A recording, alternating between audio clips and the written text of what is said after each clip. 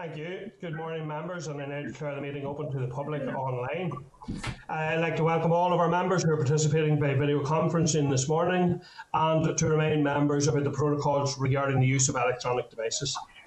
So uh, we've received no apologies. Um, are members aware of any apologies? No, thank you. Chairperson's business then. Um, I wanted to flag up a couple of items. First of all, uh, we did the, the meeting yesterday with the Royal College of Surgeons. I think that was a sobering meeting, I have to say, in terms of the significant issues facing us in terms of waiting lists and in terms of people who are, who are waiting for surgeries. I think it was very useful. I want to thank the Royal College of Surgeons for the time that they, they gave to that meeting. Um, but I think that is an issue of some concern for us um, and will be will be moving forward. So we, we obviously have a briefing today on that on that issue, so members will be able to contribute and, and make remarks in relation to the meeting yesterday at that point.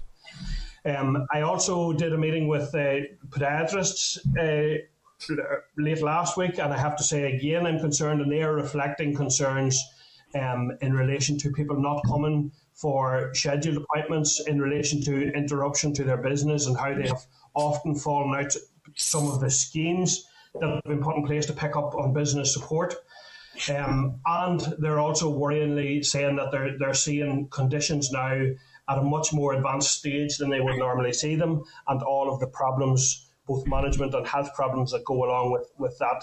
Uh, so that, that's a matter of concern. I met with the Royal College of GPs as well, and they were discussing uh, their concerns around around similar issues in terms of people availing of appointments and people coming forward with uh, with things that are worrying them or troubling them, and they would be keen to meet with the committee to discuss the the uh, the provision of general practice uh, services as well. And finally, in terms of chair's business, I did a meeting with the in relation to stroke services, met with Chest Heart Stroke and uh, British Heart Foundation in relation to the consultation on the um, review of services, and they are concerned that, that that consultation, you know, remember there's a significant consultation on that issue completed, and they are they are keen that that would be um, progressed now. They understand that COVID had interrupted it at a point in time, but that it's significantly advanced, and that in order to improve the outcomes for the population here, that that that element of the of the uh, review of services needs to be progressed. so, moving on then, members to draft minutes. Item three there is your minutes, which are at tab three point one of your pack. Are members content with the minutes? Yeah, thank you, members. There is one item arising there from the minutes. Members will recall the department provided a memorandum on delegated powers for the Health and Social Care Bill. That was included in your table papers last week and is also at tab 4.1 of your pack this week. This memorandum identifies the provisions in the bill which confer new powers to make delegated legislation. So now that the bill has been introduced, our members content that the committee uh, forward the delegated powers memorandum to the examiner of statutory rules. Members content with that? Thank you. Okay. So moving on then to our first uh, substantive item briefing this morning, which is a briefing from the chair of the Interdepartmental Working Group on the Mother and Baby Institutions and Magdalen Laundries. I refer you there, members, to papers at tab 5 of your pack. A copy of the opening remarks are also included in your table pack at, at tab 5.7. I can advise members that the chair of the Interdepartmental Working Group on Mother and Baby Institutions and Magdalen Laundries is here today to update the committee on progress and on next steps. So I'd now like to welcome by video link Miss Judith Gillespie, Independent Chair of the Interdepartmental Working Group. Are you able to hear us, Judith? Yes, good morning, Chair. Can you hear me as well? Yes, I'm hearing you, Judith, and thank you very much for coming along. And you're, you're welcome to our committee um, this morning. And please go ahead. We would love to hear uh, from you there in relation to progress and next steps on your on this important this important work. Thank you. Thank you very much, Chair. Good morning, and good morning to the members of the committee as well. And can I also introduce Eilish McDaniel from the department who leads on these issues as Director of Family and Children's Policy. Um, thanks for the introduction, and I really welcome the invitation from the committee to uh, give you an update on progress in connection with the historical mother and baby and Magdalen Laundry institutions. Uh, I know you didn't ask for this, but if members are content, I'd also be keen to provide a brief update on where we are on the second strand of the work of the Interdepartmental Working Group, which is on historical clerical child abuse. Um, you'll recall I last briefed the committee on the 26th of November last year, and at that stage, the report of the research by Queen's University and Ulster University was still in draft, and the committee was quite rightly uh, pressing for publication of the report as soon as possible. So I'm very pleased to advise that there has been considerable activity and progress since the end of November. You'll know that the research report is now published publication took place on the 26th of January. And on the same day, the executive made its decision about what would happen next. The decision was announced by the First Minister in a statement to the Northern Ireland Assembly on the afternoon of the 26th of January, after both she and the Deputy First Minister advised members of the Victims and Survivors Reference Group of the Executive's decision in a meeting in advance of it being made public. With regard to the Mother and Baby Homes and Magdalene Laundry's research report, if members are content, I want to just very briefly outline what the, the research found and then go on to provide you with an update on progress made since its publication. Uh, it's really important. I, I, want to firstly pay tribute to the work of the researchers at Queen's University and Ulster University and to the lead researchers, Professor Sean O'Connell and Dr. Leanne McCormick in particular. The research report is both comprehensive and well written, and as required by the terms of reference, it includes contextual information and information from the archives, including those held in the Public Records Office and in the records of the bodies who ran these historical institutions. It also includes the rich personal testimony of 60 individuals survivors of the institutions, or others connected with the institutions. The research examined eight mother and baby homes, a number of former workhouses, and four Magdalen laundries. Three of the mother and baby homes were operated by Roman Catholic bodies, four by Protestant denominational groups, and social services and charitable bodies also operated similar provision in Northern Ireland during the relevant period. Workhouses were examined on a sampling basis only. Work was carried out on a number of sample years for Belfast's Union Infirmary. Three of the institutions described as Magdalen Laundries were operated by the Good Shepherd Sisters and one by the Salvation Army. In terms of the research report's key findings, uh, the research found that around 10,500 women were admitted to mother and baby institutions and over 3,000 women were admitted to Magdalen laundries here between 1922 and 1990, the period covered by the research. I know it's hard to believe, but the last mother and baby institution closed in 1990 and the last Magdalen laundry in 1984. As far as mother and baby institutions were concerned, there were strong similarities with the experience of women examined in the recent report of the Commission of Investigation into Mother and Baby Homes in the Republic of Ireland, although there were a number of key differences. There was stigma attached to pregnancy outside of marriage. Women and girls were admitted by families, doctors, clergy, and state agencies. They were required to undertake tough chores late into pregnancy they had little preparation for childbirth, and some had cold and castigating birth experiences. Many women and girls were separated from their children by placing them in children's home in homes, boarding them out, in other words, fostering or through adoption. There was also the issue of cross border movement of women and children into and out of these institutions. In terms of the key findings for the Magdalen Laundry institutions, the key findings from the research in relation to Magdalen laundry institutions highlight that women and girls entered by a number of routes, including from mother and baby institutions. There is evidence of some admissions triggered by the circumstances of our past, for example, teenage girls and women being sheltered from forms of community rough justice.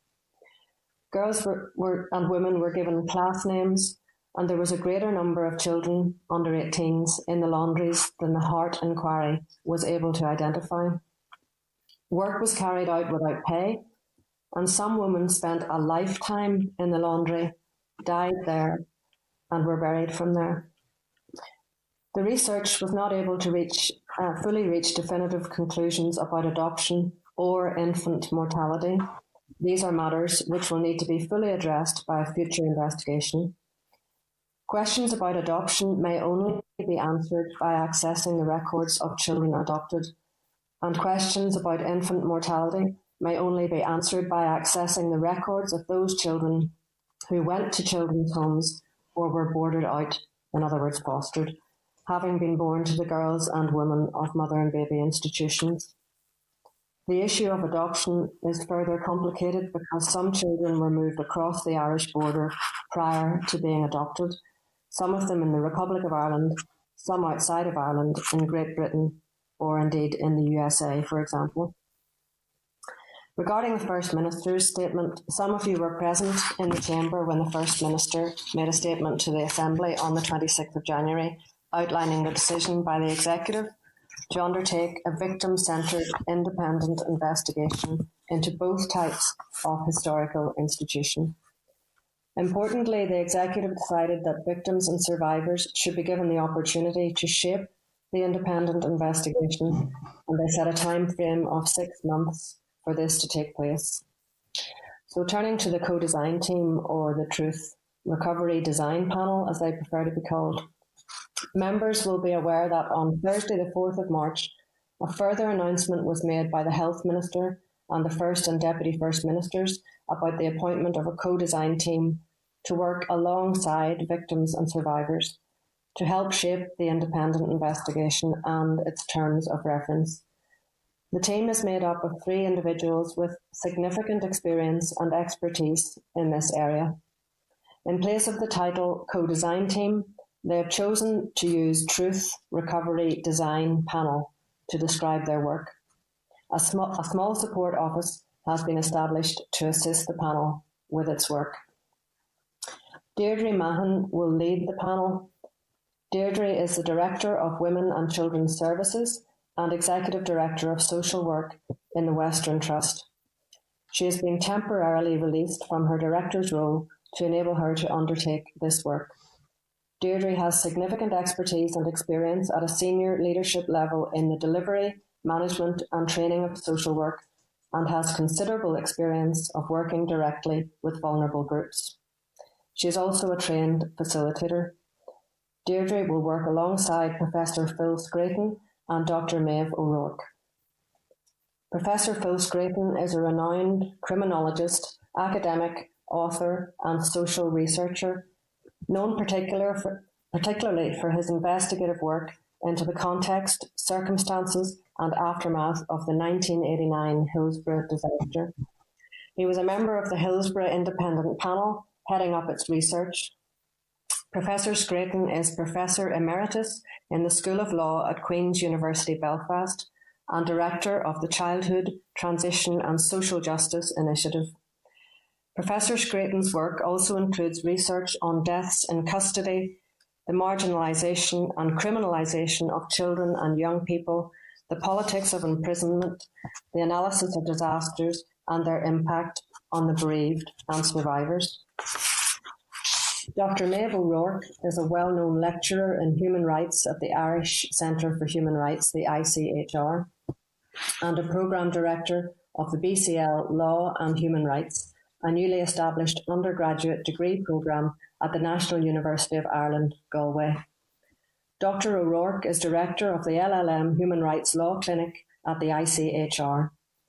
Dr. O'Rourke's research interests lie primarily in the development of the rule against torture and ill treatment, human rights protections in institutional and care contexts, access to justice and redress for systemic and historical human rights abuses, and human rights research and advocacy methods.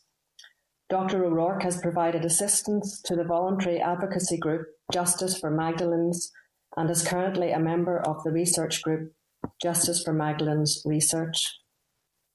I have to say, as independent chair, I am delighted that such a fiercely independent, experienced, and eminent panel is engaged in this work.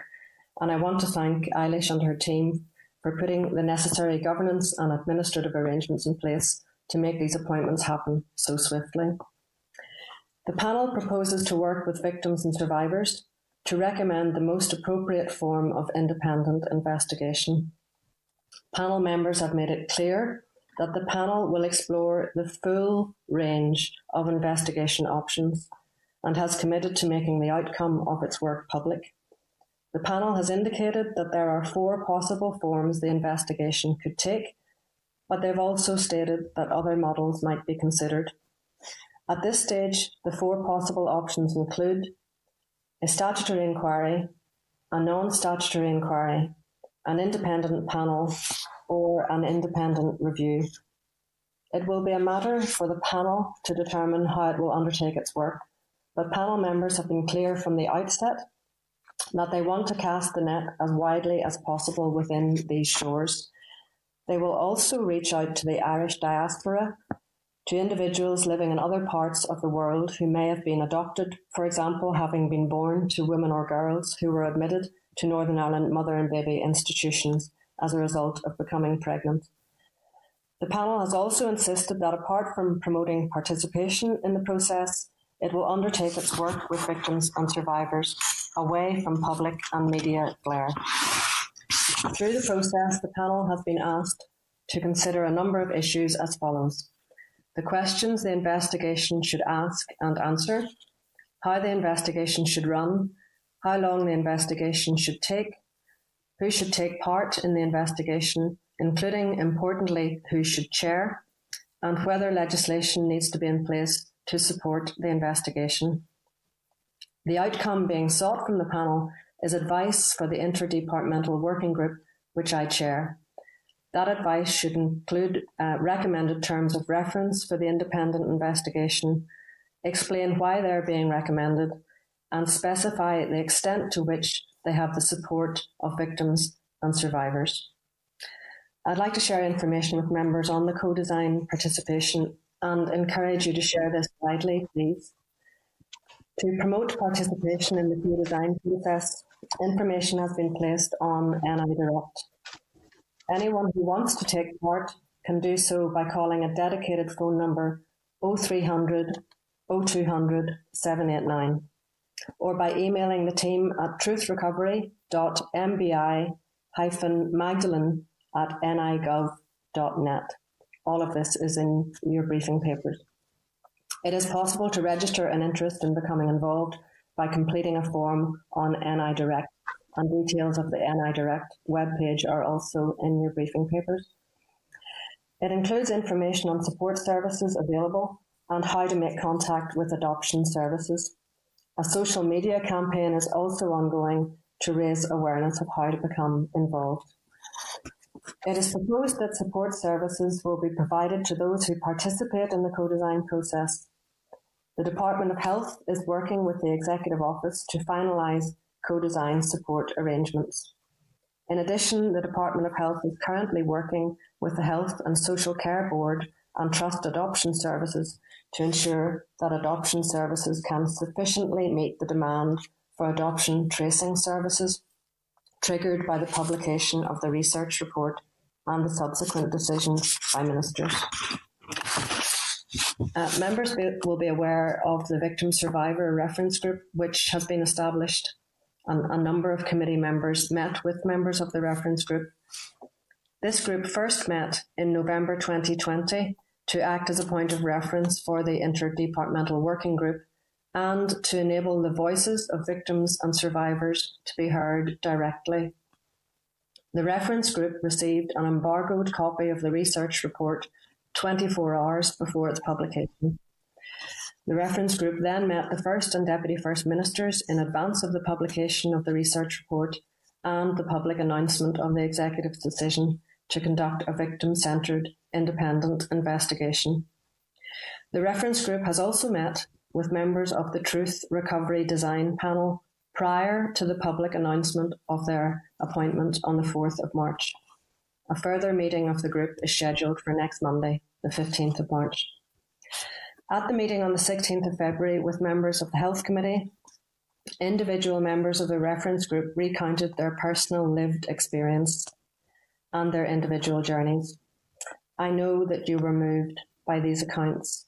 I have heard them a number of times now, and I never fail to be moved by them. Members will recall there was a wide ranging and very powerful discussion from which a number of themes emerged.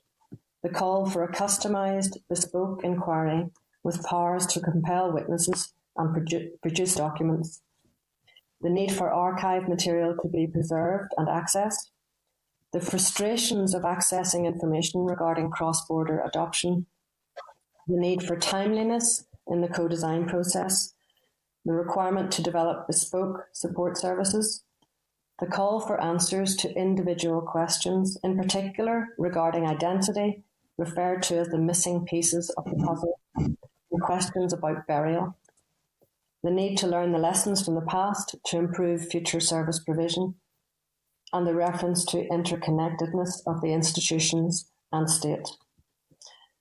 You were also presented with a position paper on behalf of the Birth Mothers and Their Children for Justice group. The paper calls for a statutory public inquiry, explains why a statutory inquiry is necessary, and suggests terms of reference for the inquiry. It outlines the outcome an inquiry should deliver, including recommendations, redress, and holding individuals to account. It also deals with the preservation of records and access to records, to the conduct of the inquiry, and how it should report. Importantly, it comments on the participation of survivors and how this might best be facilitated. It states a preference for an inquiry panel rather than a single chair, and for a chair of the panel with judicial experience. The paper has been shared with the Truth Recovery Design panel, and I am confident that that will help to stimulate discussion among other victims and survivors who participate in the co-design process. Uh, Chair, if I could now turn to the issue of historical clerical child abuse, which fell outside of the terms of reference of the institutional abuse inquiry. It is appropriate to note that it is the Executive Office which leads on this particular element. As members may be aware, the Interdepartmental Working Group wishes to commission an in depth research project on historical clerical child abuse in Northern Ireland. This research will enable the IDWG to make recommendations to the Executive on any future action necessary. The research will not be restricted to abuse perpetrated by ordained clergy, it will also include abuse by those carrying out a role related to the ministry of a religious institution or faith group. As such, I've held a number of introductory meetings with churches and faith groups in preparation for the launch of the forthcoming research project.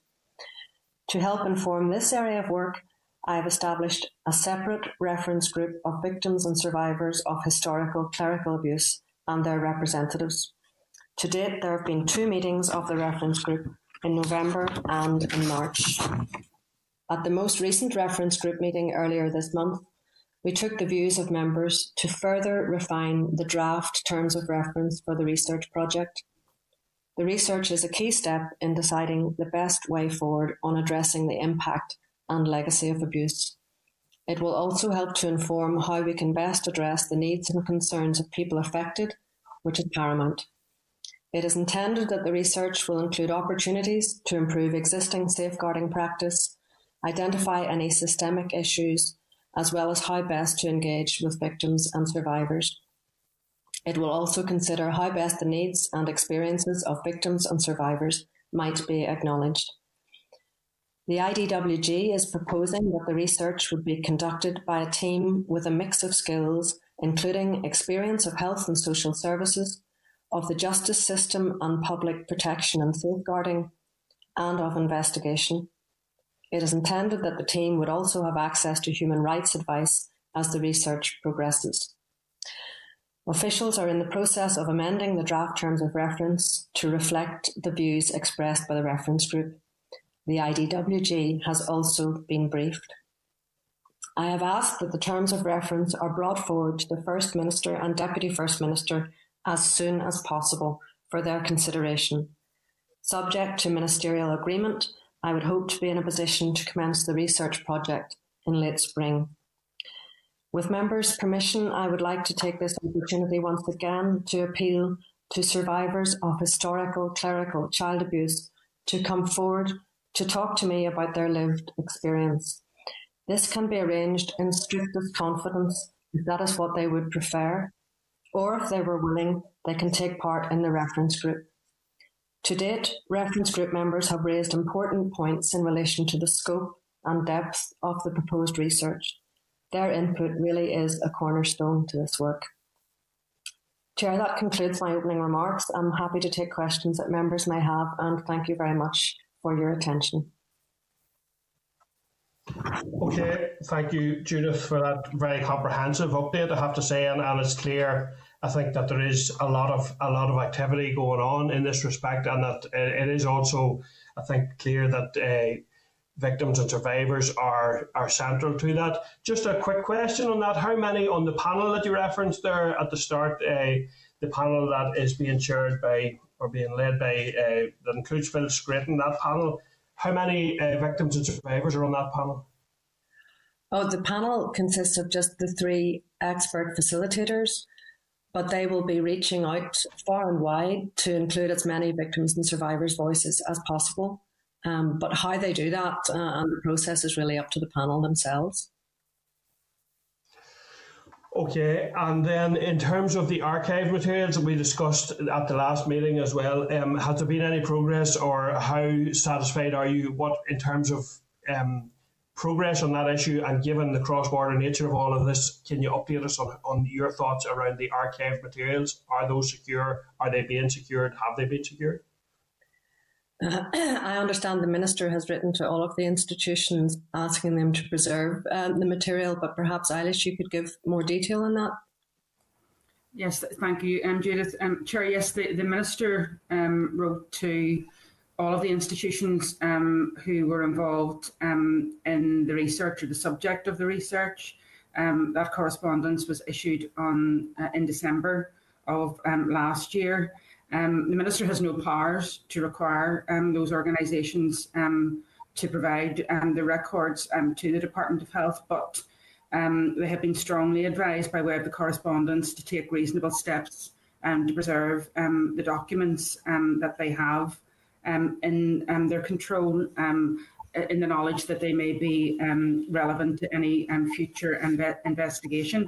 In, in addition, um, they have been advised to ensure the immediate suspension of any routine um, or um, procedure for deleting or destroying any of the documents um, in um, in their archives.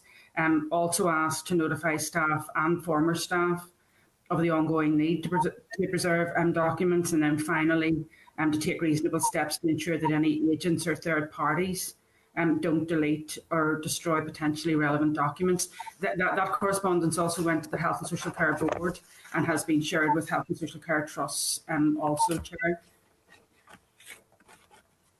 Okay, thank you. And I wonder, does that speak to the necessity for a statutory inquiry that would have powers to compel? Is that one of the is that one of the key considerations that will have to be taken? that, that that's definitely one of the key concerns of victims and survivors: the preservation of archives and access to archives. Um, but of course, all, all of this is part of the um, the consultation process that the panel will be conducting with victims and survivors. So that's a clear message that will come, come through loud and clear. Okay, thank you. And then in relation to support services, can you update us what support services are currently in place or are being developed, or where, where are the support services that you referenced, Judith, please? Where are you at on those? Well, well, perhaps I'll talk. Um, Eilish can give more detail on this. I'll just say some preliminary uh, remarks. Um, there will be support for those taking part in the design process, uh, immediate support available, but there will also be uh, longer. Just, just, a second, Judith. Sorry, Judith. There's some there's some interference coming. I'm not sure it was just me. Can I check that all members are on mute there? I'm hearing like a like a noise coming through. uh, it's leaving it quite difficult to follow. Yeah, I think that's better now. Go ahead then, Judith, again, and I apologise for that. Sorry. Yeah, no problem. It's a function of the technology, I guess. But, um, the, the support services will be uh, in, in two stages almost. You know, there'll be the immediate um, support services available for those taking part in the co design process. But there's also um, a co design process leading to bespoke support services longer term. So maybe, Eilish, do you want to say something more about how that will work? Yes, um, and particularly Eilish in relation to the current services that are available. I'm, I'm, interested in particular what's available now because this is obviously a very difficult and traumatic process that, that survivors are going through right now. So that's my main concern at present. Okay, so one of the things that we have done, and again, it's it, has been done by way of the NI Direct website, is to signpost individuals to what we consider to be the most relevant services that are currently um, available, and and uh, we can provide more information to the committee on, on that um, if you require. But in addition to that, um, for those individuals who will be participating in the co-design process, um, we will um, be contracting um, the Victims and Survivors um, Service, which is a, a subsidiary of, of, of TEO. to provide services to individuals who need them by virtue of being part of, of co-design. So, I mean, that might be um, providing a listening ear, um, uh, some emotional, psych- psychological support, or, or indeed um, more intensive support if individuals um, actually um, require it. So we're in the process of putting that in place um, with VSS at the minute. I, I, am expecting a proposal um, today, and hopefully we, we will be able to get that signed off as quickly as possible. Okay, thank you. And I think it's important that, that that considers the full range of, of measures that will support people, but also that will empower them to engage uh, with the sort of that equality of arms kind of legal concept that whatever they might need to engage in what will be heavy documentation, dramatic, and uh, that, that that will all be considered. Uh, I think that will be very, very important, and I'd like to sort of keep an eye on that end of things. And the final one then from me, um, Judith, you outlined that the research project will commence in late spring on the historical clerical abuse element. Yes. So can you give me a timeline for when, when you expect that to be completed and when you expect it to be published? Um, uh, well, that, that's of course all subject to ministerial agreement, but um, certainly if, if the research commences in late spring, um, at the moment, the plan is it would be completed within a 12 month period.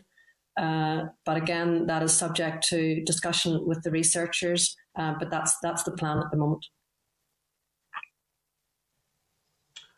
Okay, thank you. So I will go then now to members. I'll start there with uh, Deputy Chair Pam Cameron, and then I have Jonathan, Paula, Gerry, and Carol um, in that order. So I'll go then back to you, Pam. Go ahead, please. Thank you, Chair, and thank you, Judith and um, Eilish, for your attendance at committee today on what's uh, quite a distressing subject for, for very many people. Um, uh, I wanted to kick off with um, previously talked about um, that the public inquiry would have been the, the, the obvious course of action um, in response to initial research on mother and baby homes. Could you tell us why that changed? That would be my first question. And I also wanted to ask if, um, if independent investigation will have limitations in terms of its powers to call witnesses and in terms of um, any legal aid support for victims and su- survivors? Uh, okay, thanks for the question. First of all, I, am not sure um, that my view or the view of the um, interdepartmental working group has, has ever changed. It's always been a question of putting uh, a range of options to ministers and uh, a preferred option. And um, the issue of co design with victims and survivors came out of discussions with the reference group and um, learning from international best practice. And indeed, uh, a number of commentators, not least uh, Dr. O'Rourke herself, has, has, said that this is a, a world leading approach, and a number of other jurisdictions are looking at what's happening uh, with the co design process in Northern Ireland. Um, to, to get the learning out of that. So I think um, it's always been a question of um, learning from the experience of victims and survivors and trying to put the, the very best option forward that would put them at the centre. Um, so, in terms of um, the, the, powers, etc., of of whatever inquiry, that's a matter for the uh, again for the Truth Recovery Design Panel, and and they'll be taking all of that into account in in their deliberations about what is the most appropriate way forward. Thank you for that. Um, and can you tell me, is the interdepartmental working group is it playing an active role in facilitating access by victims and survivors to records held by institutions in relation to their experience? Uh, the the interdepartmental working group won't be playing a, a, direct role in that, but I know when it comes to, for example, adoption records, uh, I said about um, uh, Eilish's consideration about additional resources being made available within the trusts to meet the demand, because there is no doubt it's very clear the demand has risen given the profile of uh, the research report and the public statements around it, that there has been um, an increased awareness and people are coming forward to access records that perhaps they wouldn't have done previously. So uh, it's important that the resources are there to meet the demand and to facilitate requests for information as so far insofar as it is legally possible. The complication, of course, is when it comes to cross-border access to records. Um, and I have had already two meetings with Minister O'Gorman from the Republic of Ireland. And now, uh, with this facilitation process, we need to think about how um, cross border access to records will actually practically be facilitated. Okay, now that's obviously quite a complicated process. I appreciate that. Um, and this might be a difficult one too, but it's the last one for me. And to ask you around, you know, what you're envisaging as a timeline for completion of an investigation after this current six months, and, and presumably that will depend on the agreed terms of reference. Absolutely, that's it's it's impossible to answer that question right now, but that's for the the panel to determine. But one of the messages that has come through from victims and survivors, again, loud and clear, is about timeliness. You know, this can't go on and on. Some of them are getting quite um, old and frail, in particular. The Magdalen Laundries um, demographic, the women who were in the laundries, those who are still alive are, are getting old, and, and it is important to deliver something as swiftly as possible. Absolutely. Thank you. Thanks, Chair. Thank you, Pam. Uh, Jonathan, go ahead, Jonathan. Thank you, Chair, and uh, thank you, Judith, uh, for your presentation. I want to congratulate you uh, on holding to your word in terms of the uh, swift uh, publication of the report following our, our meeting um, late last year. I, I think that um, that is certainly to be welcomed, and indeed, any of us in the committee that have listened to the testimonies of these brave women uh, your heart can't not but go out to them. And, and I, I welcome your, your approach in talking about uh, a victim uh, led approach in, in all of this uh, as we go forward. So, ju- just a couple of questions, uh, if, if I may, uh, in relation to that. We, we have been told uh, that the academic research indicates that the health and welfare authorities were involved to varying degrees in the entry of women to these institutions. How will the relevant departments demonstrate independence from the investigations? Uh, that, that's a really important question, um, and it goes to the heart of confidence in whatever independent investigation is decided on. But this is not the first time that departments will have been subject to independent investigation, and I'm sure there are well established processes by which there are firewalls put between um, those involved in the, in the investigation and those being investigated. Um, and I suppose it is really important to to have the voice of, of those who, who know their way around the system, who know where records are held, who know what questions to ask, um, to have those voices also represented in, in the process. Um, but I accept it, it's it's difficult to manage that, but it's not the first time. This is not the first inquiry where that will have had to be managed. I don't know if Eilish wants to add anything more to that. I, I suppose a, a, reasonable comparator would be the historical institutional abuse inquiry. Um, you know, uh, departments were subject to um, investigation by way of that inquiry, and, and, there was a very clear separation between how the, the inquiry was conducted and, and the departments um, who were um, involved as as respondents um, to that inquiry. So I think Judith is right Um, it has been done before. It, it, it you know, it, it is possible um, to do, and my expectation is that it will be done um, by way of the independent investigation um, that, that, that the, the um, Truth Recovery Design Panel is currently looking at. Okay, and, and I welcome the comments there because that independence element will be crucial in terms of credibility of the work going forward. In terms of the work that's take, being taken forward or potentially being taken forward by the Interdepartmental Working Group on Mother and Baby Institutions, are they separate to the independent investigation? Can you give us any indication on that? So the, the Interdepartmental Working Group will put a proposal to ministers uh, which will be recommended by the Truth Recovery Design Panel. So in six months' time, when they've finished their co-design work with victims and survivors, they will put a recommendation to the Interdepartmental Working Group, which will then go to ministers for decision. So um, the, the Interdepartmental Working Group itself won't be developing um, a proposal. It will be the, the, the Truth Recovery Design Panel, if that answers your question. Yeah, no, that, that does indeed. And, and finally, you did touch on this in the previous uh, response in relation to the, the cross border element of this and how that is adding an extra layer of difficulty in relation to um, compelling witnesses, etc. Are you in a position to elaborate on, on uh, how the independent investigation, um, how those powers will manifest in relation to calling witnesses from other jurisdictions?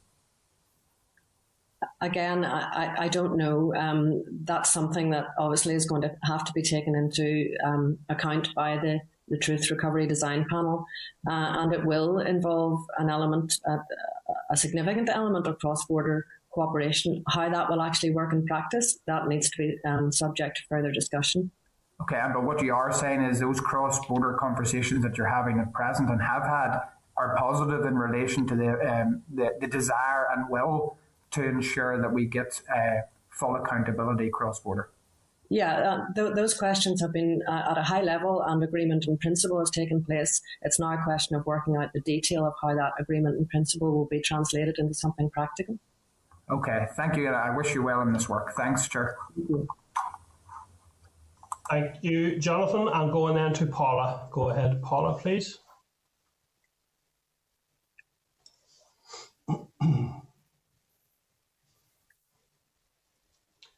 Just checking, do we have Paula Bradshaw Sorry, there was, yes, there's Paula, a delay there in getting the um, unmuted.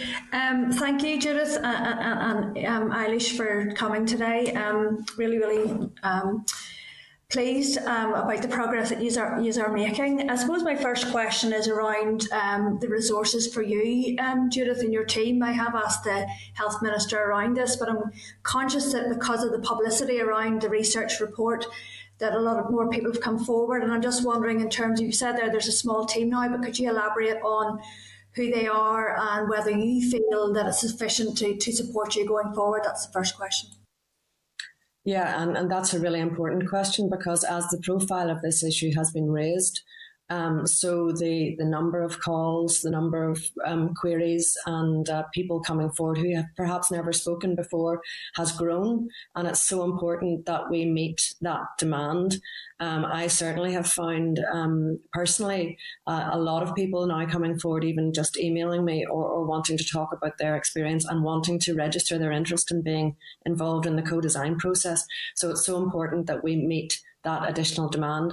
Uh, I know Eilish has been looking at the resources um, uh, for for both the support offices and indeed in adoption services. So maybe Eilish, you want to say something more about that, please. Thank you, um, Judith. Yes, Paula, we've put a, a, a reasonably small support office um, in place now. That that exists to um, support the panel, um, the Truth Recovery Design um, panel. So um, it, it, does include um, a qualified social worker um, among um, the team um, because um, we consider that it's important that when people are making calls to the support office that there's somebody there who can actually deal with maybe some of the issues that people want to discuss when, when they make that initial call. So the, the office is small at the minute, but there, there's the capacity to grow that if demand increases at, the same time, um, we're currently looking at our adoption services. So we do know that um, there has been an increase in the, in the number of calls to trusts um, seeking support um, with tracing, um, for example. So I think there's around 34 new referrals have been received since the publication of the um, report, and we know that 12 of those referrals have a direct connection um, with mother and baby homes. So one of the things that the department is looking at the minute is how we actually add to that resource um, to ensure that when people do make um, the call, seek support, want to trace, that our adoption services are, are capable of responding um, to the demand uh, as efficiently um, as possible. Thank you. And as you know, it's something I was campaigning for, for for many years to get more resources in there. So I'm glad it's finally happening. I suppose that the second um, issue is in relation to the paper that the birth mothers and their, um, and their children for justice have um, circulated around the public inquiry. Um, it, it, they make a very um, compelling case for it. Um, the only concern I would have about a public inquiry per se would be that um, it wouldn't bring forward then the, the likes of access to compensation and redress. You know that may push it down down the road. And as we know, a lot of the victims and survivors um, of mother baby homes are now quite elderly, and I, the last thing we need is for this exact same thing has happened with historical institutional abuse, where people are actually dying before they actually get the redress that they deserve. So, could you talk to us about how that part of the process could be expedited? Thank you. Well, again, um, uh, accepting all of the points you've made, Paula, that that is a matter for the, the Truth Recovery panel, the design panel. They are very mindful of the demographic of the victim survivor population that they're working with, that they will want to listen to the views of, of all of the people involved. And I think it, it's really important to remember the, the, the Magdalene women um, and, and the point that I made earlier about the, the aging population that is that, that group of survivors of the laundries and um, the need to deliver something as swiftly as possible. But also, um, that there is the possibility of using the existing redress uh, scheme for those who were children in these institutions. And so we mustn't forget that it is possible in parallel to make sure that those who are eligible for redress under that scheme um, come forward and, and get uh, the redress that they deserve. Um, but all of this is a matter for the Truth Recovery Design Panel to consider in, in their um, deliberations regarding what is the most appropriate type of investigation going forward. Okay, and thank you. Um, um, and finally, for me, it's in relation to the reference group around the historical clerical child abuse. Um, when I met with um, TEO officials probably about three or four years ago, um, I think uh, I think uh, Eilish, you were maybe at that meeting, and, and one of the concerns was that it was hard to get a bit of traction because people were not coming forward to the, the department to um, you know to tell their story and seek some support. How have you identified the, the, the, members of that reference group? And the second part of that really is around obviously where there's um, clerical child abuse, there's obviously a criminal element to that. And, and so, how are you separating that out and, and supporting those people around the sort of the criminal justice um, redress avenue? Thank you.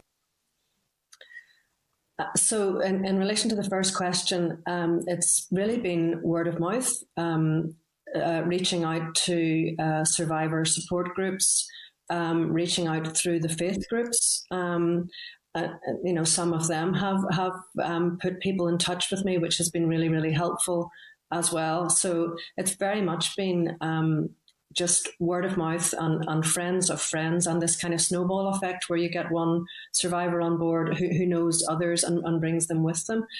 But I would like ideally to have many more survivors' voices represented on that group. Um, I can't remember the second part of your question, Paula. Sorry, could you ask it again? Obviously, if they're coming forward, they're, they're presenting the subject to a crime, uh, yeah. multiple crimes. Yeah, so some of the survivors actually have been through the, the criminal justice system and have had outcomes.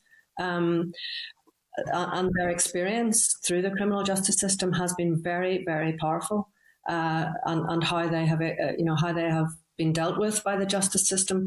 And that is equally part of the research uh, that's included in terms of reference, uh, how people have been supported through the justice system and, and what the outcome was at the end of it. Uh, and that's an equally important part uh, of the learning in all of this. So it's really important to hear survivors' voices and not just those who for whatever reason, haven't been through the criminal justice system, but also those who have. And uh, a number have also taken civil actions and been through the civil process and, and got outcomes from that. And relating their experience, uh, how, that, how that felt for them, is, is an equally important part of this research. Okay, thank you, Judith, and thank you to your team. Thank you, thank you, Paula. And going then to Gerry Carroll. Gerry, go ahead, please. Thanks, Chair. Thanks, Judith and, and Eilish. Um, in, in, terms of the files um, that the researchers have, have had access to, um, I know the Chair was talking about the records generally, but the files that the researchers have have have have had, excuse me, access to, have they been uh, protected? Um, and also uh, a second question, um, in terms of um, has the government or TEO or anybody in the department had, had any meetings with um, any of the charities, any of the institutions in relation to you know some of the issues generally, but also exploring operate the, the possibility of uh, of redress as well, as far as you know. Um, on the first question, uh, the files that the researchers had access to, um, they are still held by the institutions, um, although the researchers would have created their own records as well, and that they are being preserved. Uh, obviously, they have anonymized records and held under data protection regulations. So um, th- their archive material is, is being held, but also the um, the files that they accessed are still held by the institutions, and that's the, the letter that Eilish was referring to, the letter from the minister, which went to all of the institutions asking them to preserve and not destroy those those records. Your second question about meetings with um, the institutions, I, I've I have met with all of the, the faith leaders. I've met with the Archbishop and um, the the uh, Church of Ireland Archbishop um, and the heads of the various Protestant uh, Christian denominations. Um, there hasn't been any discussion around uh, anything other than taking forward the historical clerical child abuse um, research. So, in terms of the uh, anything connected with redress and all of that, that's a matter, I guess, for the uh, Truth Recovery Design Panel um, to discuss with victims and survivors. But no, no meetings have taken place uh, in relation to that to date, so far as I know, and certainly not with charitable organisations that you referred to.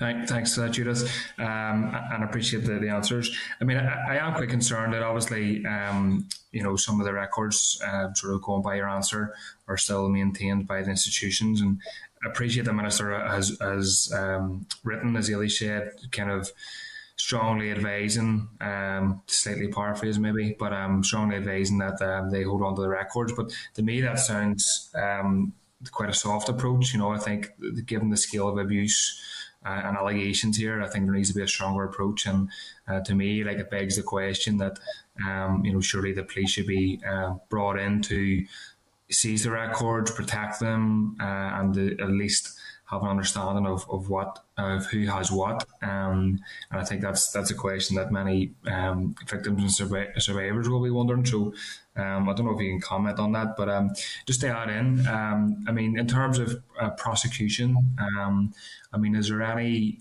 uh, discussion about prosecution? How that would happen? you know, who would be likely targeted or, or, brought in for investigation or, or questioning? Um, uh, uh, and and that I think is, is quite a, an important um, point. And then, and I think uh, just finally, because I know we've we've got limited time, I think in terms of a, a statutory publicly public inquiry, I think obviously the, the terms of reference um, has to be, in my view and, and, the view of others, shaped quite strongly by you know victims and survivors, not in a you know with respect, not in a tokenistic way, but in a in a strong way in terms of who can be compelled, in terms of making recommendations. So just to, just to comment on that uh, as well. Thanks. Um, okay, so uh, in relation to the the first issue about the minister's letter.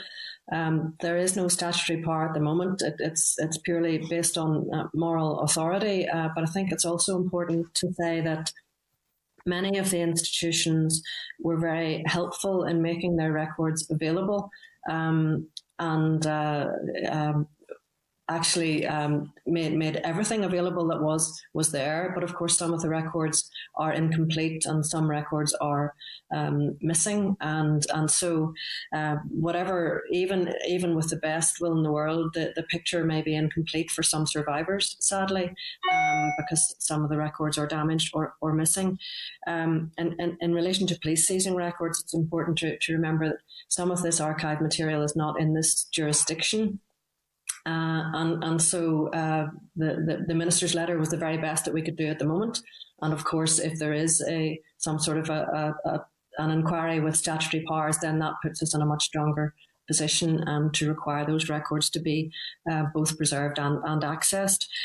Regarding prosecution, um, yes, there has been discussion. Some victims and survivors want to see people held to account through through the criminal justice system.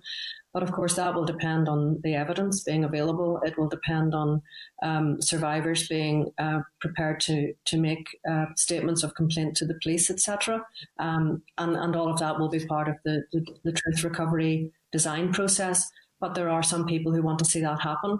Not not everyone wants to see that happen, um, but but some certainly do. And and if the evidence is there, that has to be an option that that might be taken forward. And then finally, your point about the public inquiry, about the, the terms of reference being shaped by victims and survivors and, and not as a token. Um, this is absolutely putting victims and survivors in the centre of the process. And I know that the Truth Recovery Design Panel will be fiercely um, independent about that and will want to make sure that they hear all of the voices, not not just those perhaps who have um, spoken the most about this, but they want to hear new voices as well, um, and to make sure that everybody's voice is heard in, in deciding what is the best way forward. So it's certainly not tokenistic as far as I'm concerned. Thanks, Judith. Okay. Thank you, Thank you Gerry. And going then to Carol and Go ahead, Carol, please.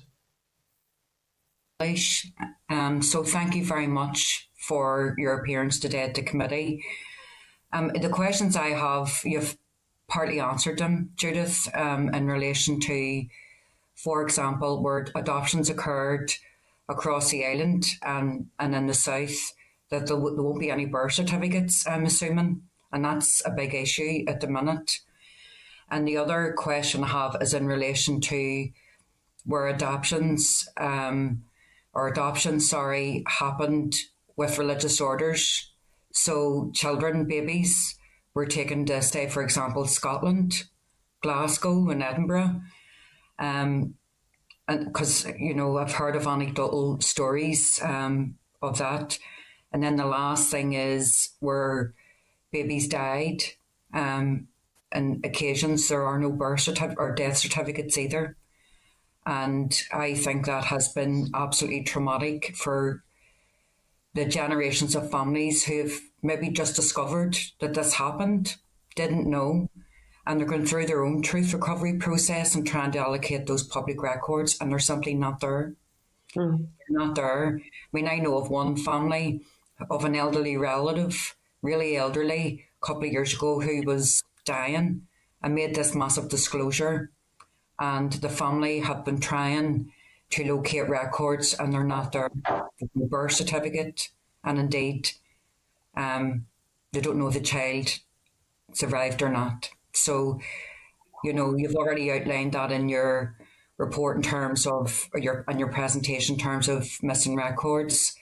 It's just to get your views on that because it's particularly a live issue at the minute in the in the in the south. Okay, thanks for those questions, um, Carol. And maybe I'll ask Eilish to take the first and second one, but if I can deal with the third one first, which is about the mm-hmm. the, the, babies who have died. Um, you know, the, the Queen's and UU research really, um, and this is not a criticism of the researchers, but it just scratched the surface of this issue and what it discovered raised really big questions regarding what happened to the, the babies who ended up in um, baby homes or indeed were, were fostered or um, boarded out, as, as the term was back in the day. Um, and that's a huge unanswered question uh, and because of the time limitations on the research, uh, they just weren't able to get into this in any detail.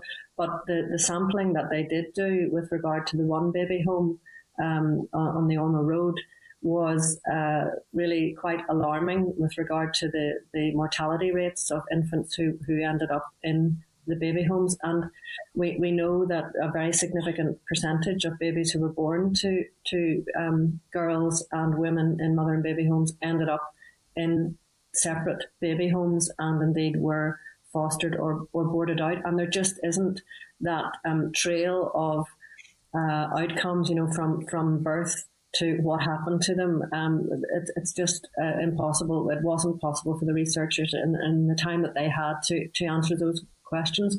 So any inquiry, any investigation that comes out of this, um, I think will that will be a very significant plank of that investigation. Again, that's up to the um, the panel to decide what that looks like. But it's for me, that's a really important part of the investigation because the babies who died don't have a voice. And yeah. um, from what you've said, um, you know that there are revelations about people who who are coming forward now who want to know what happened to these babies that um, are, are wanting legitimately wanting to find the answers to that. So so those are really important questions that need to be answered. Eilish, I'm going to ask you to talk about the, the other two issues about the adoptions, please. Uh, yeah, I, I, think members um, uh, fully understand that the research wasn't able to reach mm-hmm. Definitive conclusions about um, adoption um, at all. Now, that's partly because the research had no access to adoption records and to, to fully answer the questions um, about adoption adoption records will need to be um, accessed, and, and, that will be a matter for an independent um, investigation. You're quite right, Carál. Um, the adoption journey starts with a birth um, record, and um, and uh, absolutely access to birth records too will be incredibly important um, for an independent investigation. so a lot of work to be done to get to the answers about adoption um, in those historical um, institutions. We know what the, what the law required um, mm-hmm. historically about the movement of children out of the jurisdiction, um, for example, and we, we need to examine um, whether um, the law was um, followed in, in, in, in, in all the cases of those individuals um, where adoption was the outcome. And, and, and finally, um, Chair, we're hearing of uh, horrific uh, stories that you know, there was faked pregnancies of uh, women who were going to receive a baby from the mother and baby homes um, or the Magdalen laundries. Um, and there was no record whatsoever of the, you know, even the girl or the woman being in an institution in the first place. Uh, sorry, the records are very vague about them being there, but what happened to them or what happened to their babies um, we're only hearing some of the stories coming out now. Um, do you believe that it's only through a public inquiry that you'll get to the truth recovery and indeed the truth underneath this just horrible and tragic um, uh, shame for us all? Because uh, I believe that's what it is. I believe it's a completely national shame, the way in which girls and women were treated right up until the 80s and 90s. But certainly, do you is it is your own instinct that we will not get to the as much to the truth as possible in absence of a full public inquiry? Um, I, I, agree with you that it is shameful the way girls and women were treated, and in many cases, girls and women who had been the victim of um, sexual crime, who'd been mm-hmm. the victim of rape, incest, um, unlawful carnal knowledge, and then were doubly victimized in the way that they were shamed and, and treated in these institutions, and worse still, some of them ended up then in a laundry after having given birth to um, their babies. Uh, so, it, yeah, it, it's absolutely shameful. It's appalling. It's grotesque. It's all of those awful descriptive words. Um, you talked about faked pregnancies. The research, uh, I don't believe um, came across any evidence of that happening in Northern Ireland, although I know um, that appears to have happened in, in the Republic of Ireland. Uh, uh, but they certainly didn't, um, to my knowledge, uncover any evidence of faked pregnancies. But there certainly were, in many cases, um, very vague or scant records. In fact, there was this um, this policy of not asking how girls and women uh, ended up pregnant. That was a concerted policy that we don't discuss the circumstances in which they came into this um, institution. And it was described as um, a cloud of unknowing, I think was the term. You know, nobody asked the question. Uh, and therefore, nobody dealt with the trauma that the girl or the woman had even before she came into the mother and baby home. And the records uh, often were, were, you know, names were changed or, or um, girls and women were not encouraged to talk about their experience with other women in the institution. So um, it, it, was all very much no questions asked, very scant records kept, and therefore that makes um, tracing archive records very, very challenging. Uh, so, uh, in answer to your question about uh, is the public inquiry the only way, I would say even with a public inquiry, even with full access to archive records, even with the statutory powers to compel witnesses, there may still be some questions that remain forever unanswered, and that's desperately sad. Um, but certainly, powers to compel, powers to require records would be very, very helpful um, to, to get answers to as many people as possible. Thank you, um, Judith, Thank for you. your work. It's it's very difficult. I listened to those testimonies, so just to put on record, and Eilish too, I really appreciate it. Thank you. Thank you. Thank you, Carál. I'm going then to Órlaithí Flynn. Órlaithí, go ahead, please. Um, thanks, Chair, and thank you to um, Eilish and, and Judith for coming to the committee today and providing us with um, all of this information and update. Um, I just wanted to ask on um, Judith. I think you had touched on it around the so obviously the, the inclusion of as many survivors' voices as possible in this process of, of co-production and co-design and you mentioned the NI Direct um, website, the email that people can access, and then also that dedicated um, phone number. So I'm just wondering, um, the the social media campaign uh, that you have spoke about, sort of launching to, to raise the awareness about how people can become involved. Has that been launched yet, or has that still to, to take place?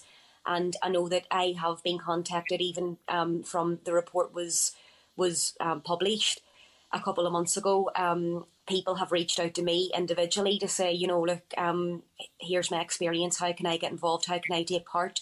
So, um, aside from the the NI Direct and the email and the dedicated phone line number, um, and the social media campaign, has there been any consideration to try and get mainstream media to try and um, sort of elevate it for you to, to to give people an opportunity to have their say in this process? Thanks for the question, and, and I welcome any opportunity to um, get the the contact details out into the public domain. And um, we have considered all forms of, of media. And uh, for example, the, after the Spotlight program, which went out on Tuesday evening, I know Spotlight tweeted the details of of contacting. You know, the, so it's on the BBC um, uh, Twitter feed as well. Uh, but I'm very conscious that the, the, again going. Sorry, I'm getting some feedback here. Is everybody getting feedback, or is it just me? There's a bit coming through to me as well. Can everybody just check they're on mute, please, again? Thank We're you. We're still hearing you, okay, Judith? It might be difficult, but we are hearing you. Okay, thanks, Chair. Um, I am very conscious of the, the, the demographic here, um, and many of these women and, and indeed their their grown up adopted children may not be on social media. So it is important to think about the mainstream media um, and and quite often my experience has been that it has been sons and daughters or nieces and nephews or uh, you know relatives of these women who have brought this to their attention by seeing it on social media or indeed um, in other media in the mainstream press. So we need to consider all of those options. Your your question about um, has the social media campaign been launched? I, I believe it has although I'm not 100% sure but I certainly have done um, video recordings to be put out on social media. So the, the preparatory work has been done, and I think it has already gone live. Uh, but I'm not 100% sure, to be honest, on that. Uh, I, I, can check that. No, thanks very much, Judith. And apologies if it has, because then obviously I, have missed it. But um, certainly, I'm sure, along with the rest of the health committee members, will be more than happy to you know, promote this for you and, and to share all, all those those details. Um, my my final question, just quickly. Um, Eilish, you had mentioned earlier around uh, one of the questions the chair had asked about the current supports for people, then obviously that are getting involved in the process and that might need that that support um, afterwards. So the the, the NI Direct website that obviously offers some of those agencies that can help and support people. Um, are you able to monitor how many people are availing of that type of support? And I'm only asking that question because as more people uh, will hopefully come forward and and get involved. It's do you have the capacity with the the resources that you have at present to help support people uh, through that process. Uh, in response to, to, your question about will the department be monitoring, um, I, I, think I just need to make it abundantly clear that the department is actually quite separate from that process. So our role was to ensure that those support pro, uh, uh, those support services were put in place as and when people access them, that will obviously happen through a co-design process that the department is actually sitting quite separate from. So, I mean, it's something that certainly I can raise with the, the panel um, itself, um, ask whether it proposes um, to monitor the extent to which those support services are being accessed. I mean, I have had the conversation with the Victims and Survivors um, Service, and what we've agreed is that they will monitor um, who will um, access um, their service, and if demand exceeds um, what, what, what, what we think um, it will be, they will come back to me and, and we may need to um, increase that contract or provide more under that contract or, Leah. Uh, very good. Eilish, you know, thank you for, for clarifying that. That's very useful and thanks again. Thank you, Órlaithí. And uh, going then finally to Alan. Go ahead, Alan, please.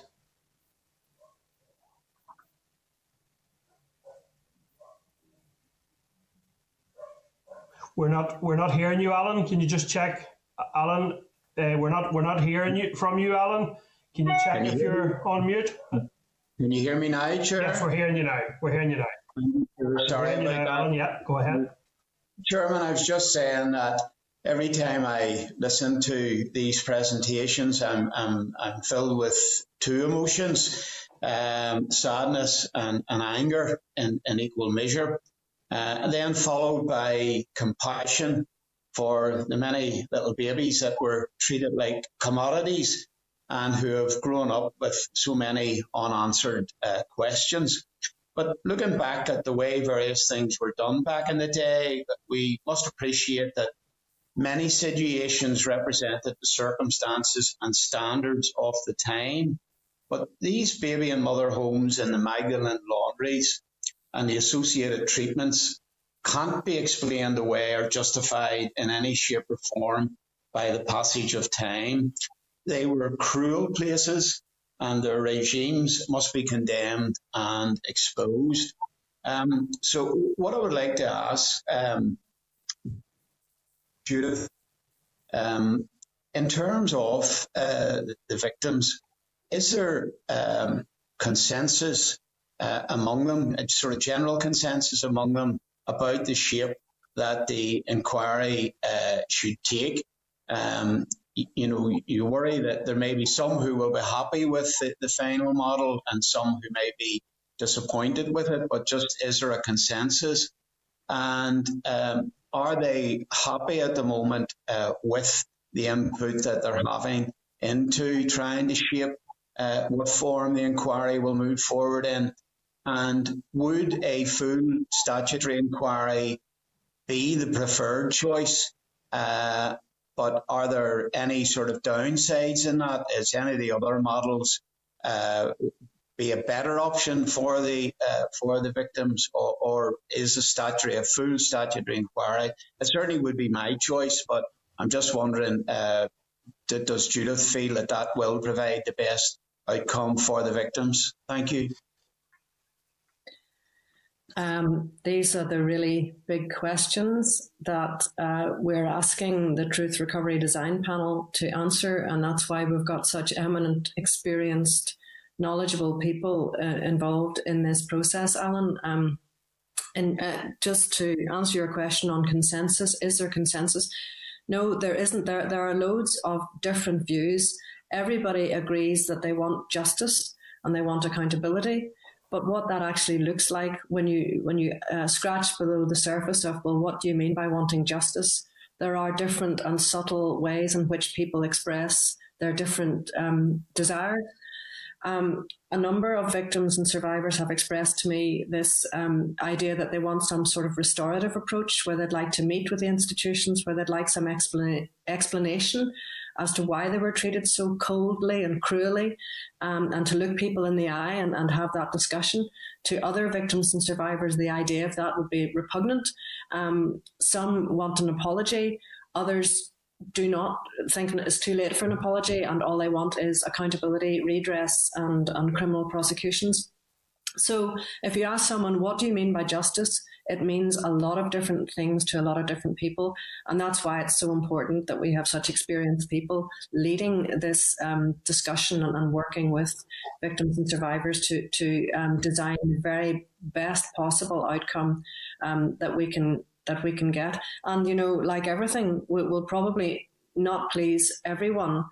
But if there's something in this for everyone and if it delivers something for everyone, then that, that would be success as far as I'm concerned. And and you asked, um, are, are, victims and survivors happy with the sh- the way things are shaping up? Um, the, most, if not all, uh, have welcomed the the panel. Uh, a very eminent and experienced group of people. Um, that there is a huge responsibility on their shoulders, and they are very conscious of that. Um, but no better people for the job, and, and I look forward to to the outcome of, of their work with victims and survivors. And, and it is about putting victims and survivors right at the centre of that at the end of the day. Yeah, well, Judith, I'd just like to place on record my appreciation for the work that you have done to date uh, on this subject. Thank you. Thank you. Okay, thank you. And um, Chiara has indicated that her questions haven't already been picked up on, so she has she has uh, she's she's content with that, and I appreciate that in terms of in the interest of time. So thank you for that. Uh, so listen, thank you again, Judith and Eilish. I have to say, you know, it is it is clearly a huge amount of work. I am pleased to see that, and I think we're all pleased to see that the, the victims and survivors are central and their voices are being heard, and that that support is being developed at, at the very least and being being delivered to them, which is which is crucial to allow them to continue to engage in this process in a meaningful way. But I want, on behalf of the committee, to wish you all the best in the time ahead in this very, very important work. And I agree with the comments that this is an absolute shameful episode in our history as a, as a nation, and we do need to ensure that this can never happen again, and that those who suffered from it are find some part of the solution that, that they are seeking that along the, the many the many various aspects of it that you have outlined, um, Judith. And we will certainly, as a committee, also when, when we can and where we can, would share those contact details to try to encourage many to take part. So thank you for coming along today, and we look forward to engaging with you in the future again around this key issue. Thank you very much. Thanks very much, Chair. I'm coming. Good morning. Thank you.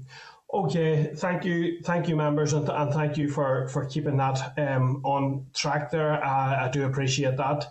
Um, I wonder, I'll, I'll, take comments now, but I'm just wondering, um, should we look up at putting this back on the forward work programme, maybe from the co-design team to get a further update? I think this is an issue that we should keep a kind of a watching brief on and, and to ensure that things are moving along and, and pick up on some of the issues that are being raised as this unfolds would members be content or members any other things they, they wish to suggest in that light, in that respect? Content, Chair. What with that, Paula, were you looking in? Um, I think it was Carál first. Go ahead, Carál. So, uh, yes, I would be content. Um, and I appreciate the comment you said at the start, you know, in terms of our time and all the rest of it. But, you know, that, this, this is something that, you know, we personally, I feel on the committee that we need to be, you know, fully supportive of and as needs to be part of our our work. Yeah, Paula. Um, thank you, Chair. And I was really pleased to get that update on the historical clerical child abuse. I think that's very, very significant. And I suppose that's something that we need to maybe get a, a more full update as the terms of reference are published um, and as people start to come forward. But again, I was really pleased to hear that today. Yeah.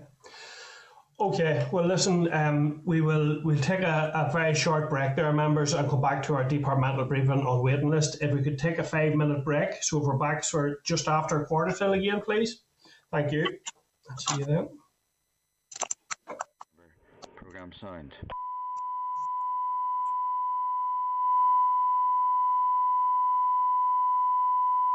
This is the Northern Ireland Assembly Senate Chamber Programme signed. This is the Northern Ireland Assembly Senate Chamber Programme signed.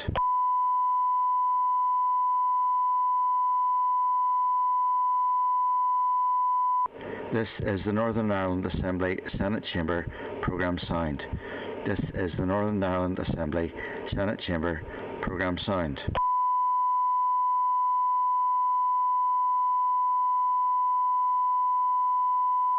This is the Northern Ireland Assembly Senate Chamber Programme signed.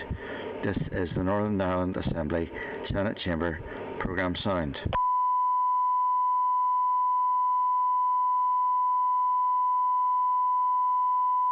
This is the Northern Ireland Assembly Senate Chamber Programme signed.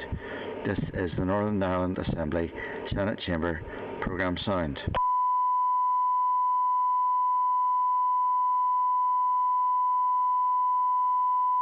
This is the Northern Ireland Assembly Senate Chamber Programme signed. This is the Northern Ireland Assembly Senate Chamber Programme signed.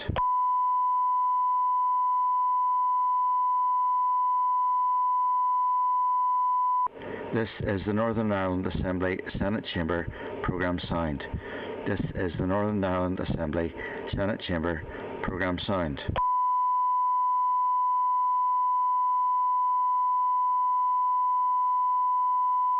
This is the Northern Ireland Assembly Senate Chamber Programme signed. This is the Northern Ireland Assembly Senate Chamber Programme signed.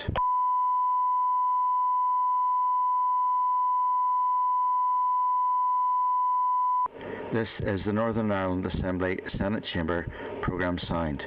This is the Northern Ireland Assembly Senate Chamber Programme signed.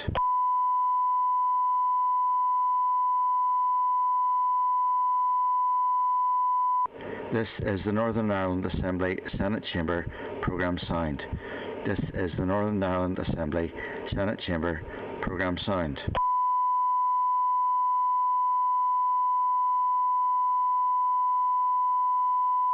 This is the Northern Ireland Assembly Senate Chamber Programme signed. This is the Northern Ireland Assembly Senate Chamber Programme signed.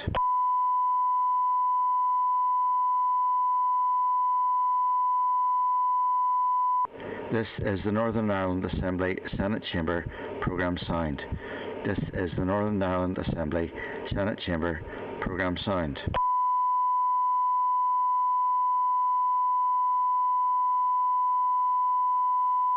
This is the Northern Ireland Assembly Senate Chamber Programme signed. This is the Northern Ireland Assembly Senate Chamber Programme signed.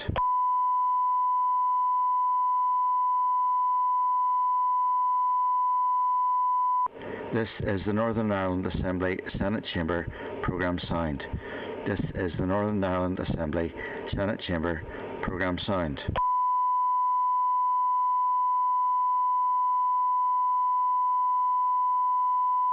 This is the Northern Ireland Assembly Senate Chamber Programme signed. This is the Northern Ireland Assembly Senate Chamber Programme signed.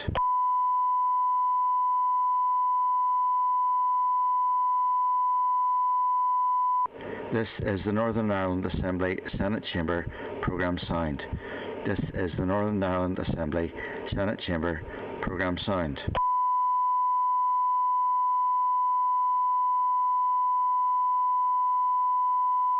This is the Northern Ireland Assembly Senate Chamber Programme signed. This is the Northern Ireland Assembly Senate Chamber Programme signed.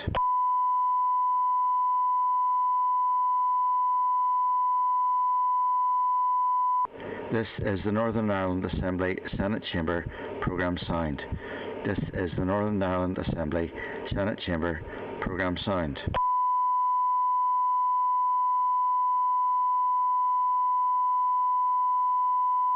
This is the Northern Ireland Assembly Senate Chamber Programme signed. This is the Northern Ireland Assembly Senate Chamber Programme signed.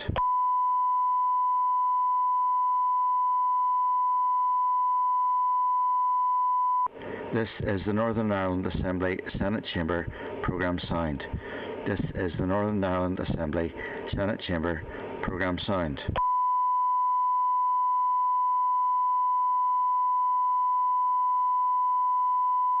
This is the Northern Ireland Assembly Senate Chamber programme sound.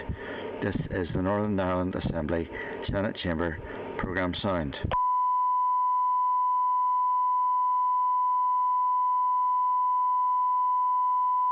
This is the Northern Ireland Assembly Senate Chamber programme sound.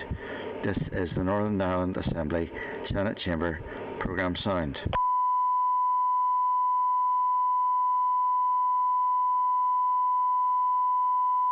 This is the Northern Ireland Assembly Senate Chamber programme sound.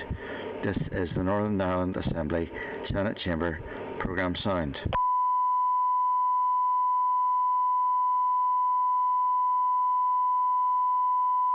This is the Northern Ireland Assembly Senate Chamber programme sound. This is the Northern Ireland Assembly Senate Chamber programme sound.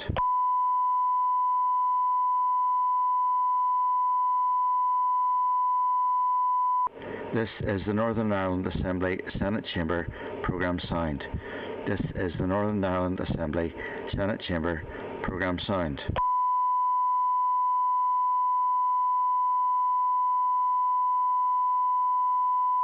This is the Northern Ireland Assembly Senate Chamber programme sound. This is the Northern Ireland Assembly Senate Chamber programme sound.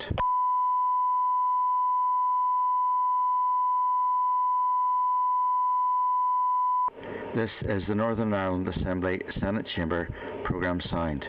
This is the Northern Ireland Assembly Senate Chamber programme sound.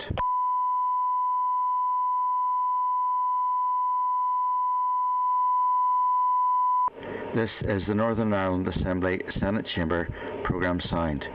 This is the Northern Ireland Assembly Senate Chamber programme sound.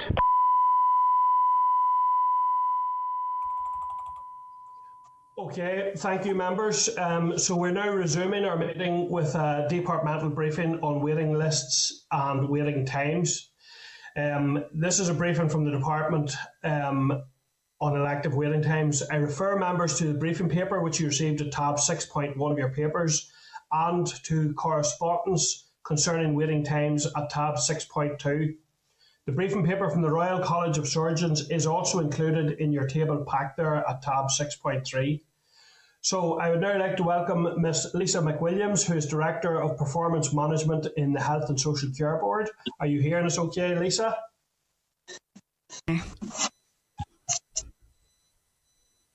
Yeah, are you hearing us okay, Lisa? Just double checking.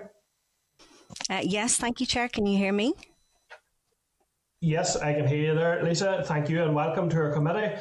We're also joined by Mr. Paul Cavanagh, who is Interim Director of Planning and Commissioning within the HSCB. Can you hear us okay, Paul? I can, Colm. Thank you. Good morning. Good morning. And Mr. Alistair Campbell, Director of Hospital Service Reform within the Department of Health. Are you able to hear us okay, Alistair?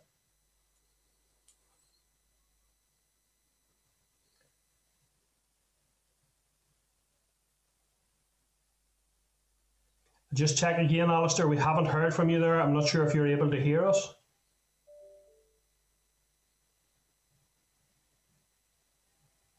No, I can see. I you. I have you on the screen. We can see you, Alistair, but we're still not hearing you.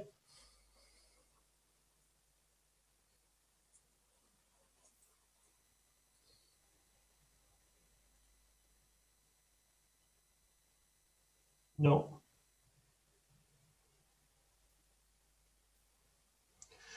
No, we're, we're still not hearing you, but what I might do is maybe we'll go back to Lisa and just maybe we'll proceed and hopefully Alistair will be able, I'm sure he's resourceful enough to get that sorted out in the meantime. So Lisa, is it yourself doing the principal the principal briefing?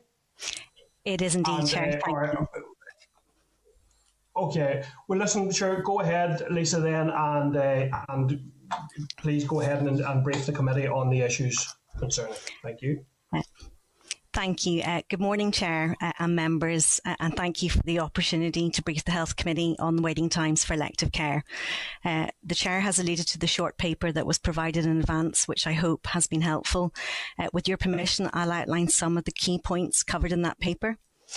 It is regrettable that any patient has to wait longer than they should for assessment, diagnosis, or treatment, and I fully understand the distress and anxiety that long waiting times cause, particularly when patients are suffering pain and discomfort. Long waiting times also have a societal impact, much wider than the individuals themselves. We last briefed the Committee on Elective Waiting Times in February 2020. Since then, COVID 19 has presented our health and social care system with its biggest challenge since its foundation. And that is in the context of the huge strategic challenges facing the HSC prior to the pandemic, which are well highlighted in the Bengoa report and Delivering Together agenda. Waiting times for patients have been unacceptable for some time and have deter- deteriorated further as a consequence of the pandemic. At the end of December 2020, some 320,000 people were waiting for a first consultant led outpatient appointment for assessment.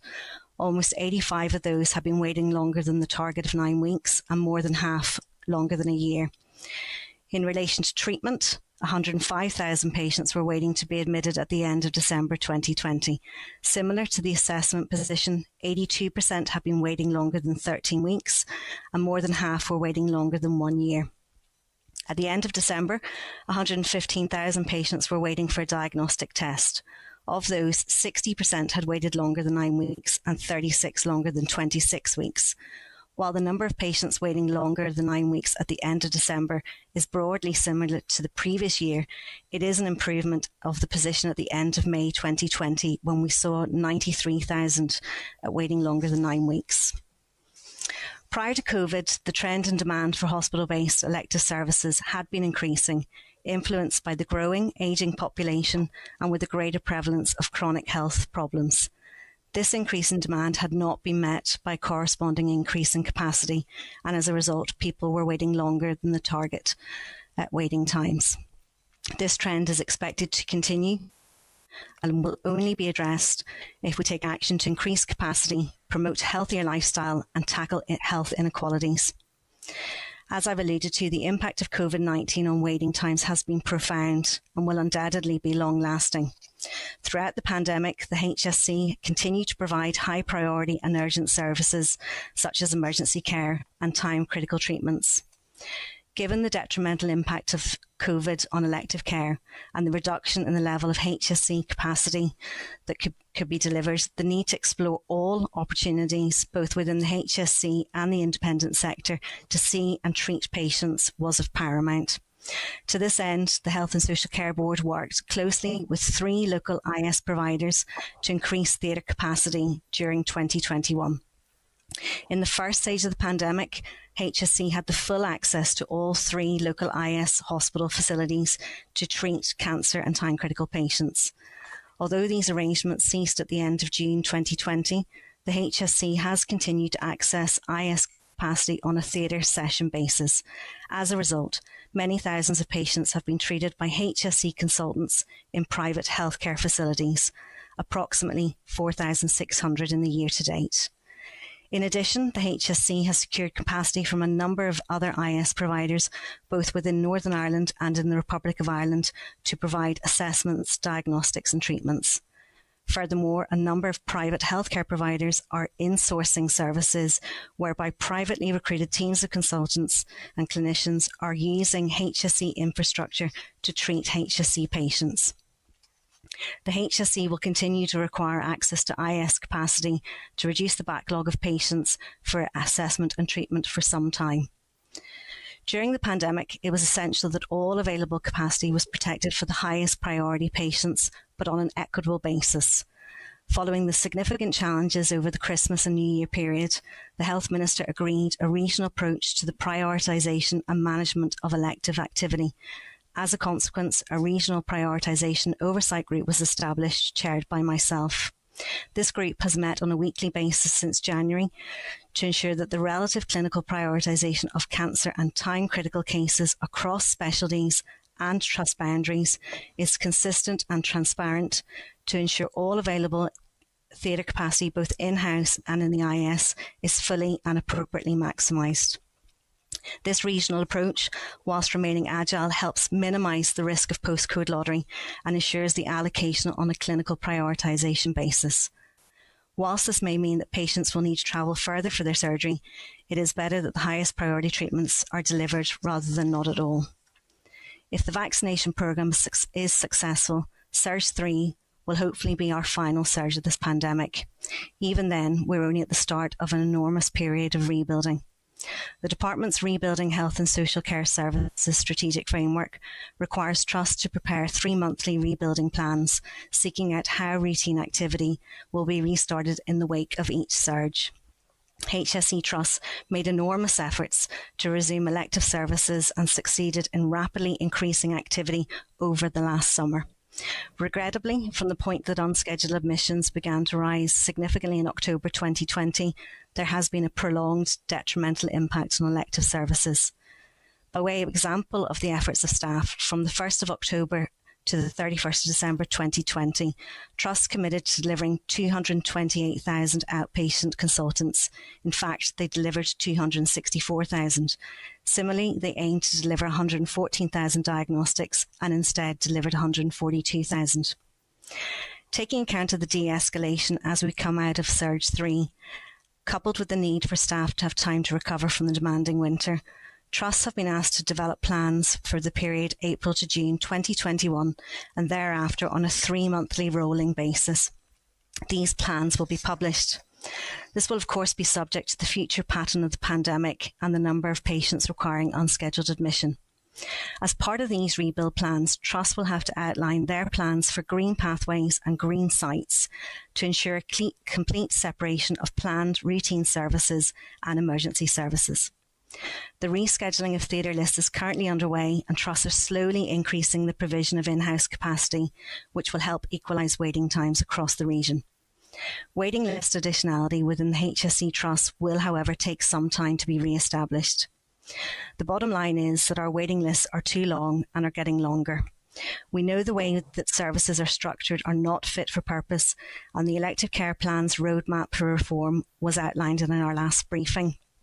However, reform will not be enough without investment necessary to deliver it. Without major sustained investment, it will not be possible to return waiting times to an acceptable standard. The Minister has made it clear that hospital waiting lists across all programmes of care must be a major priority in 21 and beyond. The level of funding available will be made clear with the budget bill, but I can assure the committee that work is already underway to ensure that any additional investment is fully utilised to best effect. In summary, addressing the waiting list backlog and reforming services to ensure future sustainability is complex and will take time. Multi-year funding, both recurrent to close the capacity gap and non-recurrent to address the backlog will be required over and above what is needed for the delivery of core services. The required investment continues to be estimated to be in the region of 750 million to 1 billion pounds, and it is likely to take up to 10 years to tackle this challenge. Thank you, and I'll be happy to take comments from the committee. Okay, thank you, Lisa. And um, I suppose firstly from me, we have we have met uh, uh, informally with the Royal College of Surgeons, and they have outlined, you know, some of their some of the difficulties and some of the suggestions. Um, prominent among which were the were the development of green pathways and sites. So, um, and they had, I suppose, they had we, we discussed the need for urgency and the need for focus and in, in terms of this and, and a similar type of urgency that that we, we've seen in terms of re- re- redesigning services around COVID. So, are you satisfied that the trusts and how do you ensure that the trusts will have this plan in place that will significantly press down and will provide those green pathways um, very quickly in April, and so we're not waiting. We're not discovering in June that there's a lag time, or you know, how are you ensuring that that urgency is maintained? Uh, thank you, Chair. And what I would indicate is that we have been operating a number of COVID light sites in a number of our hospital trusts and facilities throughout the pandemic. Um, so Daisy Hill, when uh, the emergency department had been uh, coupled in with Craigavon, acted as a, a, COVID light site. And then we have many of the uh, Lagan Valley Downe Mid Ulster have continued to act as COVID light sites. So we do have uh, COVID light sites that are separated from uh, particularly emergencies and unscheduled admissions. Um, the trusts in their plans for April to June will be looking at sites including the likes of the Musgrave Park Hospital, where we can undertake our orthopaedic activity in the Belfast Trust, to see how the workforce can be protected um, and also to ensure fractures are not decanted into that site, therefore preventing it from being a COVID light site. Uh, so, workforce is key uh, and the scale and pace, including the uh, designation of the uh, City Hospital um, for the complex surgery will take a, it will take time, but the trusts in their plans for April to June will step through the scale and pace of their green pathways uh, and their green sites because it is acceptable that you'll have green pathways in sites that have an ED uh, and have unscheduled admissions, but you separate wards admissions and you separate emergency theatre access. Um, so the trusts are working through that, and there's a very clear expectation and there's a clear desire for the trust, the clinical teams, and the management to actually resume elective services. Okay, and, and thank you for that. And that actually leads me on then fairly fairly neatly to the, the, the other major and perhaps the major issue, as we all know, all of these services and procedures depend upon people and those frontline staff who have been so hard pressed and, and regardless of what infrastructure you have, if we don't have the, the nurses, if we don't have the anaesthetists, if we don't have all the ancillary staff there, so, given the pressure they've been under, but also given the fact that many of them have re- been redeployed out of the areas they were trained for and would be keen, I think, across the board to return, um, what can you outline for us what the plans are and the timelines in order to uh, rebuild those uh, key people back into the uh, to make them available again for these key surgeries? Uh, thank you, Chair. And as we've been de escalating, uh, as we've come out of uh, Surge 3 over the last number of weeks, we have been moving, I, I suppose, what you would, the operative staff, so uh, the theatre nurses and the surgical ward staff, have been being relocated back to the jobs that they would normally do. Uh, so we've been doing that in a very phased step as we have been able to close the escalated ICU beds. So we have already started that process of, re, you know, I suppose reverse uh, deployment back to uh, core jobs.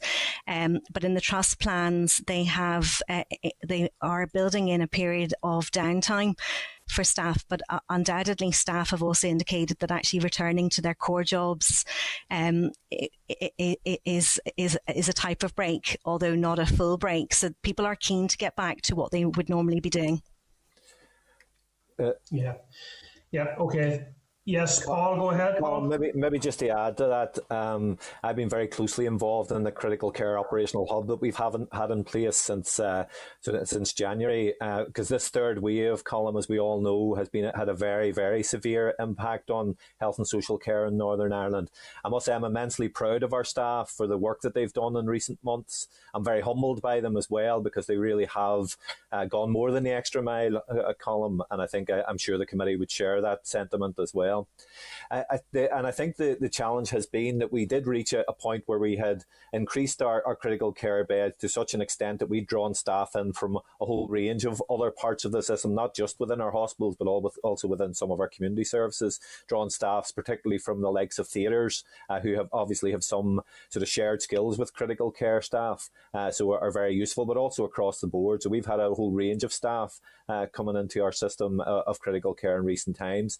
And what we also found with the third wave Colm was that longer lengths of stay have also been evident. So we've had patients longer in those beds, a lot more beds actually put put up compared to our, our, our normal critical care, and a mix then in terms of trying to cope with the number of patients who were uh, who were uh, who had COVID related uh, conditions, and also the, those non COVID those those uh, things that we would have any other year uh, in relation to critical care requirements uh, in terms of things like major trauma and so on. so it, it has been very challenging for us to, to reduce, and one of the, the principles I think we're very clear of is as we reduce, and we have seen a considerable reduction in the last three weeks of the number of critical care beds that we've had. We're very conscious that we need to give staff some time to rest. Uh, and, the, and each of the trusts are thinking about that in terms of as we reduce beds. One, the staff who have come from all over Northern Ireland to support the Nightingale in Belfast City, they have been released back to their, their home trust and, and uh, are, are getting some time off as well. Uh, the staff within uh, Belfast are beginning to actually get some of the respite they need as they begin to return to their work in theatres. So in that way, we haven't just been able to kind of flip the switch and say, today you're doing uh, critical care, tomorrow you're back in, in a theatre and you're back in a surgical ward supporting patients. We've had to be patient. So, so the de-escalation has taken longer than we than I think we would have first anticipated. But it's a reflection of the number of patients still in our beds. And while we're in much better shape today, Colm, than we were a month ago, at the same time, we're not out of the woods yet. And I think everyone kind of recognises that. But but again, we have to give our staff a chance to to recuperate and, and get back to the hard work and the excellent work that they do. Yeah, thank you.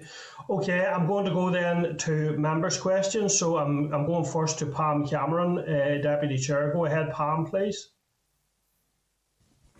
Thank you, Chair, and um, thank you to the panel for being here today uh, on a, such an important issue. Um, and Chair did refer to um, an informal briefing that we had with the, the Royal College of Surgeons yesterday, and one of their um, key messages to us was that patients were presenting with conditions that we've not seen for years, like perforated colonic cancers and ruptured hearts. Um, they also referred to the waiting list as devastating, and they spoke um, about nursing staff being their most important resource. Uh, and obviously, fair pay for nursing is is vital for recruitment and for retention. But I wanted to know first of all what plans are in place to dramatically increase the staffing levels um, and what has been done to train up others to support nursing roles and free up nurses uh, in order to return to theatre work so that elective care can resume um, urgently. That's my first question. Thanks. Um, Thank you. Um, with regards to uh, nursing workforce, uh, and I suppose one of the underpinning uh, tenets of our elective care reform is expanding the skills mix, um, and, and, also ensuring that people are treated right place, uh, right you know right time by the right individuals. So we have been working on enhancing both uh, experienced nursing, so creating the advanced nurse practitioners, but we've also been looking in the areas if we go back to the operative setting looking at our operating department practitioners. So they are effectively the runners um, in the theatres and actually releasing theatre nursing to do purely nursing duties within theatres. So we have a small number of operating practitioners, uh, operating department practitioners in a number of sites, uh, and we as an elective care cell um, would be targeting um, that going forward to support theatre nurses. Um, I think the chief nursing officer was with you a couple of weeks ago and had indicated the number of vacancies, um, and you're aware of the uh, increase, significant increase in pre-registration training uh, and midwifery university places. I think they've gone up uh, from 710 to some 1300 since 2016. So we are enhancing the pure numbers uh, of nurses coming through the system, but we're, we're also looking at expanding all skills mix, including if we look at our radiology departments, including the enhanced skills and practitioners of radiographers uh, and moving to consultant radiographers to make sure that we actually aren't missing a trick anywhere in any of our professions to fully support uh, the workforce and build capacity and capability uh, in order to address demand. Chair, can I come in briefly? Hopefully, uh, members can hear me this time as well. Um, Lisa, Lisa we can hear you, Alistair. Yeah, go ahead. Great. Just to add briefly to what Lisa said, so obviously the main issue around workforce is time. So it will take time to increase the workforce. We know we need to, but um, it, it takes time to train them, and takes it can take years for them to come through. So that's not going to be a rapid fix at all. The other point I just wanted to make was uh, that there is a piece of work happening under the chief nursing officer being led by Mary Hinds on perioperative nursing and the model for that. So that work is happening now, which is looking at different models and different roles within the theatre teams. Okay, thank you, Alistair. And Pam, Yeah, thank you, Chair, and thank you for those responses there. Um, um, and obviously, the, as a department, um, the department's elective care plan focuses heavily on transformation and reform, uh, including the one billion financial commitment to address waiting times for elective care. And given the clear pressures on the public services as we chart the COVID recovery, is there a plan B um, in the interim to, to promote better outcomes using the resources that are available? And could you also tell us um, what plans, if any, you have to utilise the independent sector in, in the short term?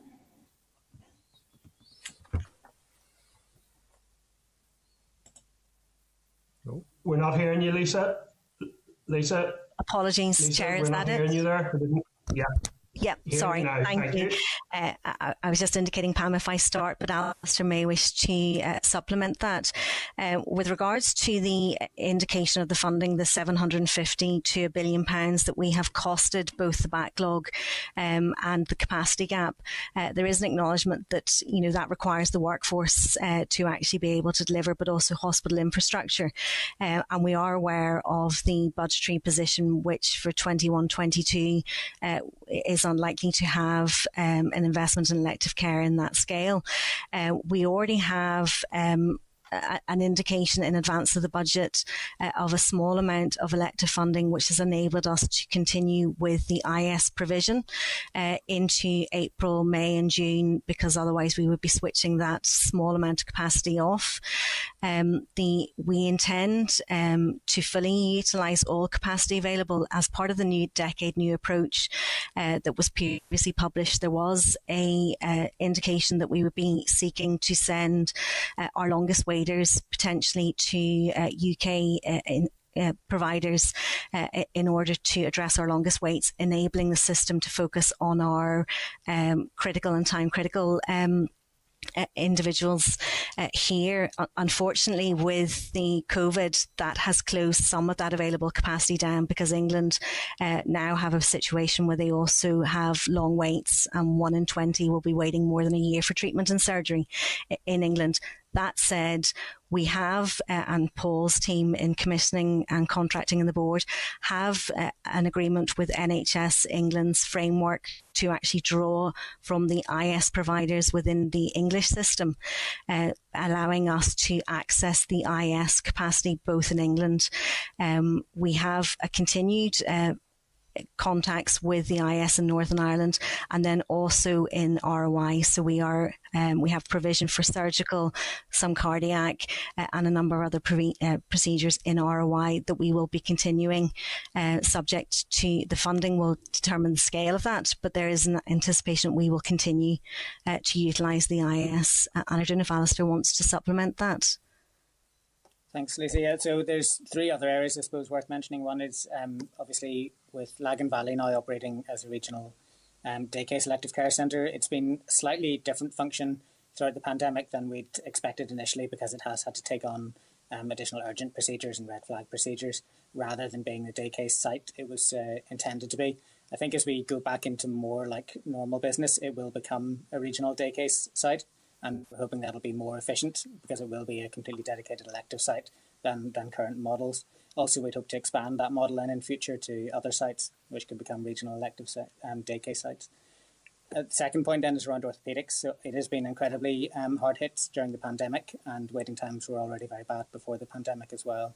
And it's obviously an area which impacts a huge amount of people across Northern Ireland, and um, is an area where demand is increasing every year as well with our aging population. So we've set up an orthopedic network, which is currently looking firstly at how we rebuild, but then also how we improve efficiency around the system. So different pathways, different ways of working, new models of care, skills mix, all those kinds of things. So we want that to be um, up and running pretty much uh, in the next two or three months. So we know it's already reporting, but we want to have some more product out of it so we can start to change the way things are done. And then allied to that's the point Lisa mentioned about Musgrave Park, which really needs to become a dedicated elective orthopaedic site and needs to be protected with the staff and the theatres protected for elective. So it, get, it does about two thirds of the elective activity for orthopaedics in Northern Ireland. We really need it doing that. Um, in the pandemic, it was reduced to providing one theatre list. I think it was one day's theatre capacity per week as opposed to the normal 10. So we need to get back up to the 10 as quickly as we can. And then the final point which actually um, is probably an answer to um, Pam's question previously that I forgot to mention, is around the No More Silos work. So we are very aware, definitely, that there will be people presenting as emergencies or later stage in this, and they may be presenting through urgent or other unscheduled pathways. So the No More Silos work is intended to provide a faster way for patients to access that, as opposed to simply just going through an emergency department. It's supposed to be better links between primary care and secondary care, and smoother ways for people to access the care they need, as opposed to spending a long time on trolleys. So all three of those together are immediate actions we want to take to try and uh, improve the, the way we're dealing with patients at the moment. Okay, thank you. And um, I just will will just we are fairly tight for time this morning, so I'll ask all members to keep questions fairly succinct, please, and also if we can have a, a principal answer from the panel, and uh, if there's additional information to be added, that's that's also fine. But if we can, I'll just ask everyone to keep it as succinct as possible. So I'm going to uh, Paula Bradshaw. Paula, go ahead, please. Um, thank you, Chair, and thank you, panel. My first question I, I, put to the Royal College of Surgeons yesterday, and that was around the um, regional prioritisation list, and I'm glad they support the approach to, um, adopted by the department. And I, I got the um, indication that they think that it would probably be easier if we had one trust here in Northern Ireland as opposed to five. And, and there, so my question really is whether the Department of Health, through the sort of transformation implementation process, are possibly looking at that.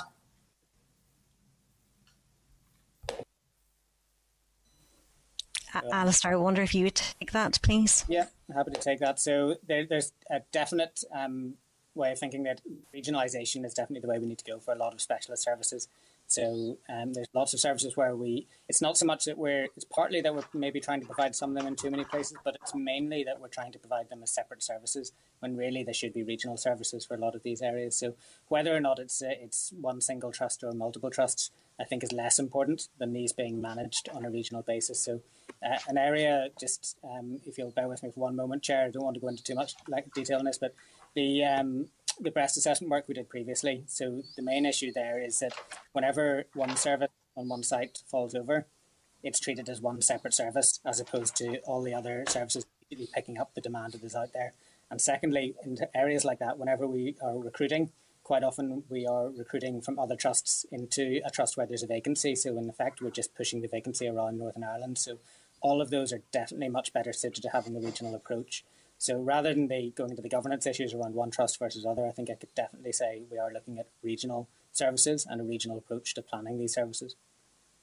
Um, thank you. It's very encouraging. I suppose the, the other issue that was raised yesterday was really around how um, targets are measured and the waiting lists are measured. I'm not seeking for you to start massaging the figures or anything, but is there any work ongoing about how to better present the severity of, of those who are waiting on the list because I think it's very difficult for us to really get our head around the 324,000 or whatever the number is that are waiting. So, is there any work on that? Thank you.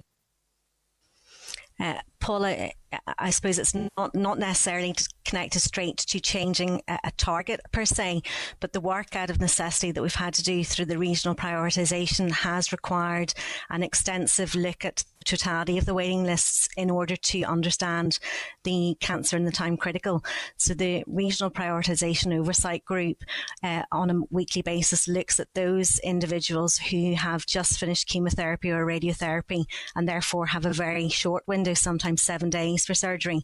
Uh, it captures those with uh, confirmed cancer who have a, a, month to have treatment uh, and those with the suspect who require an urgent diagnostic day case procedure uh, but it also captures our most complex benign cases. So we're not excluding it purely to cancer because quite often uh, cardiac, vascular, uh, those individuals could actually have a more time critical pressing factor. So we have a system now that has looked at the at that cohort within our treatment waits.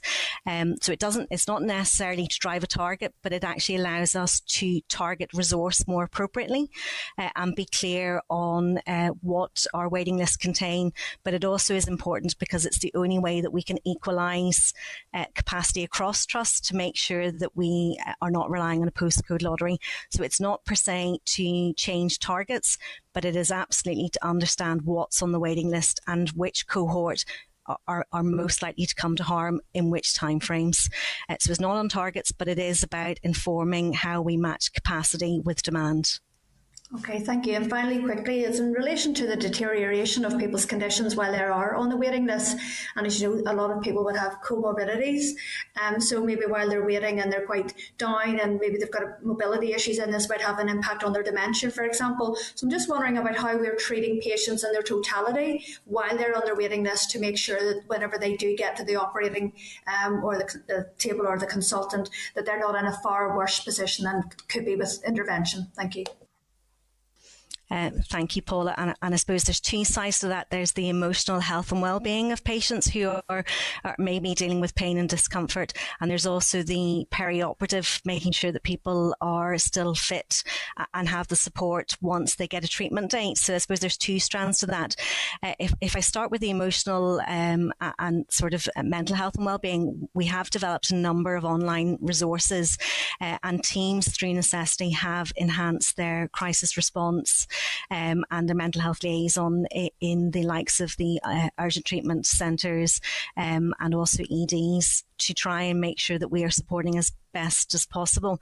Um, unfortunately, the move that we've taken to uh, virtual outpatients isn't suitable for all cohorts. Uh, uh, and if you think of dementia patients, a virtual consultation isn't necessarily suitable for our dementia uh, or cohort of dementia patients. So actually, the teams sift through very carefully uh, and then ensure that they are receiving the face to face. However, we have had to reduce our face to face contact due to spatial um, and social distancing. So the teams are keeping an eye on those individuals.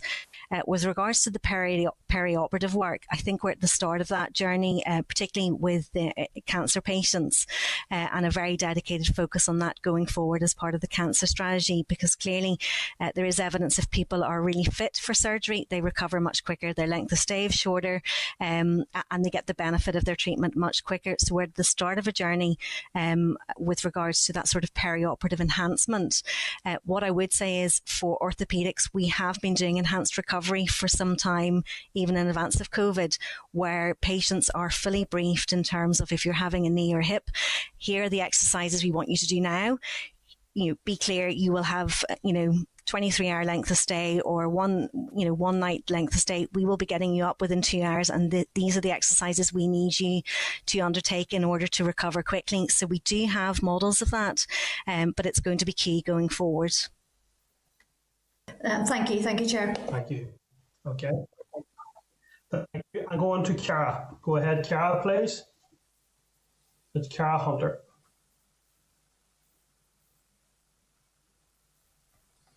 Sorry, there was a delay in, in unmuting there. Thank you all for being here today.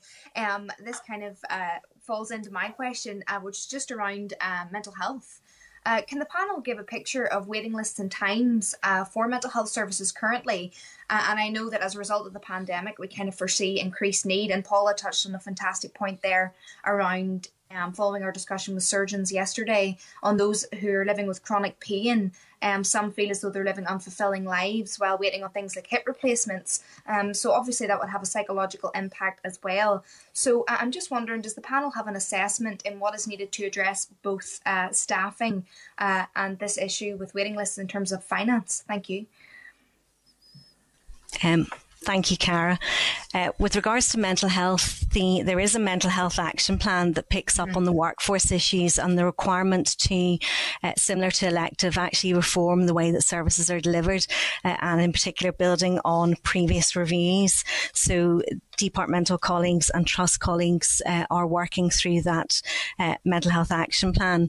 Uh, if I can pick up your point with regards to uh, pain and people living with pain whilst they're waiting for treatment, um, there are a number of um, pain management uh, resources, uh, and we we as part of the elective care plan had instigated a lot of um, sort of musculoskeletal pain management services and support to ensure that those, you know, surgery is not going to be the answer for everybody experiencing pain, but actually to actually enable people to manage their pain without an over dependency on drugs uh, and particular types of drugs. So uh, our pharmacy colleagues uh, in in the board have been doing a huge amount of work on that pain pain management and supporting individuals. And I'm sure we would be happy after this meeting to provide further information because I just wouldn't have have it at hand.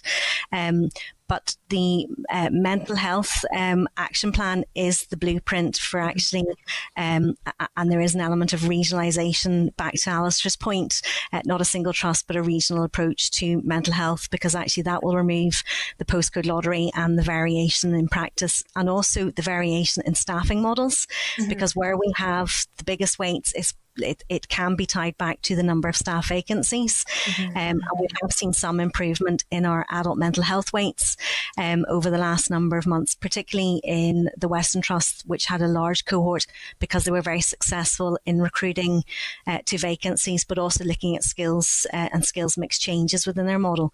So I think the mental health plan actually underpins all of that. Okay, thank thank you, Lisa. Um, that was a really good answer. Thank you. I, am just looking here. Um, we I think it was Alistair who touched on on new models of care, uh, and I'm just wondering, can you outline any innovative ways that are currently being used, um, or that are being explored to try and overcome the waiting list issue? Just any kind of pilot programs or anything creative that's been done. Thank you. Sure, um, Cara. If I pick up on one that we've been uh, using this year, which is the fit testing that we've been using uh, in all trusts, it, it's a test that, uh, following a GP referral to secondary care for a suspect colorectal cancer following a bleed uh, or, or in compliant with the guidance. The uh, clinical team triage it and then they will issue a fit test to that individual. Now that fit, fit test is then returned and it's a pathological examination uh, of the uh, results of it. Uh, we had always wanted to move fit testing into primary care as a way of uh, being clear which patients needed to join the red flag pathway, but during COVID, because the colonoscopies were considered such a high risk um, for um, for uh, you know they're an aerosol generating procedure, we actually had to switch back all of our colonoscopies up until the most uh, you know the truest urgent. So we've been using the fit test to actually prioritise those individuals who must have a colonoscopy, um, and despite you know a thirty percent reduction in uh, colorectal referrals into the system, um, and fifty percent reduction in endoscopy. The FIT test has resulted in, in comparable pathology reports of about 85% compared to the full year previously. So it demonstrates the, the benefits. Um, so we, we're, we're not going to lose that. Uh, so we did it out of necessity, but we absolutely intend with our colleagues in the Public Health Agency to move that to primary care uh, because we've allowed it tried and tested and we were able to do it probably in a much quicker fashion uh, than we would have been doing if we were bringing in as a new, uh, new technology. So hopefully that's a good example of an opportunity that actually is of huge benefit to patients, but it also means that we're allocating capacity to those that truly need it. Mm-hmm. as opposed to those that would automatically get a colonoscopy, but there's you know there was no no requirement necessarily for them to have it.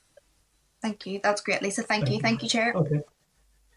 Thank you, Cara. And then, so in, in the following order, then I'm going to Carál Ní Chuilín, then Jonathan, then Gerry, and then Órlaithí. So I'll go then to Carál. Go ahead. Thank, thank, you, Chair. Thank you, Lisa, Paul, and Alistair for this morning. Um, so the questions I have are in relation to in 2017, the department produced a selective care plan, um, waiting list crisis needing anything from 750 million to 1 billion to tackle waiting lists, and it would likely take up to 10 years. So um, I just want your views on that. And that was obviously pre COVID. And again, like other members have referred to, we met with the, the surgeons, yes, the consultant surgeons yesterday, and they were pains to point out that retention, more so than recruitment, or as well as recruitment of staff, was critical. So you've already mentioned you know, there are gaps and the waiting lists are more intense where those gaps appear. Um, it's just to get your update on that. And then my final thing is in relation to um, the independent sector. Um, it strikes me that while money will be spent to tackle the waiting lists, we're actually literally um, we're going full circle because unless we get to the bottom of re- re- the retention and indeed recruitment of staff that are needed in order to have these in-house facilities, then we're going to constantly come back to this. And the issue around, you know, the way in which the intensivists and the ICU staff from different hospitals have went to Nightingale and some are coming back. Have you any idea what that looks like per Trust. Thank you, Chair. Thank you. Oh, thank you. If I maybe start uh, and uh, pick up a couple of those points before turning to colleagues. Uh, the elective care plan in 2017, uh, the the board did the financial assessment in terms of uh, backlog, costing backlog, but also the capacity gap. Um, that was updated in the in the two months before the pandemic started. Uh, so in doing that, um, what we were clear on is that the backlog had increased by about 100 million. capacity gap um, when you did the pure number assessment hadn't increased, but that was largely because patients weren't getting through the system. So, um, and that, that is prior to COVID. Now we uh, know the downturn in referrals uh, that have taken place uh, during the COVID pandemic. So again, we don't have a true picture of capacity.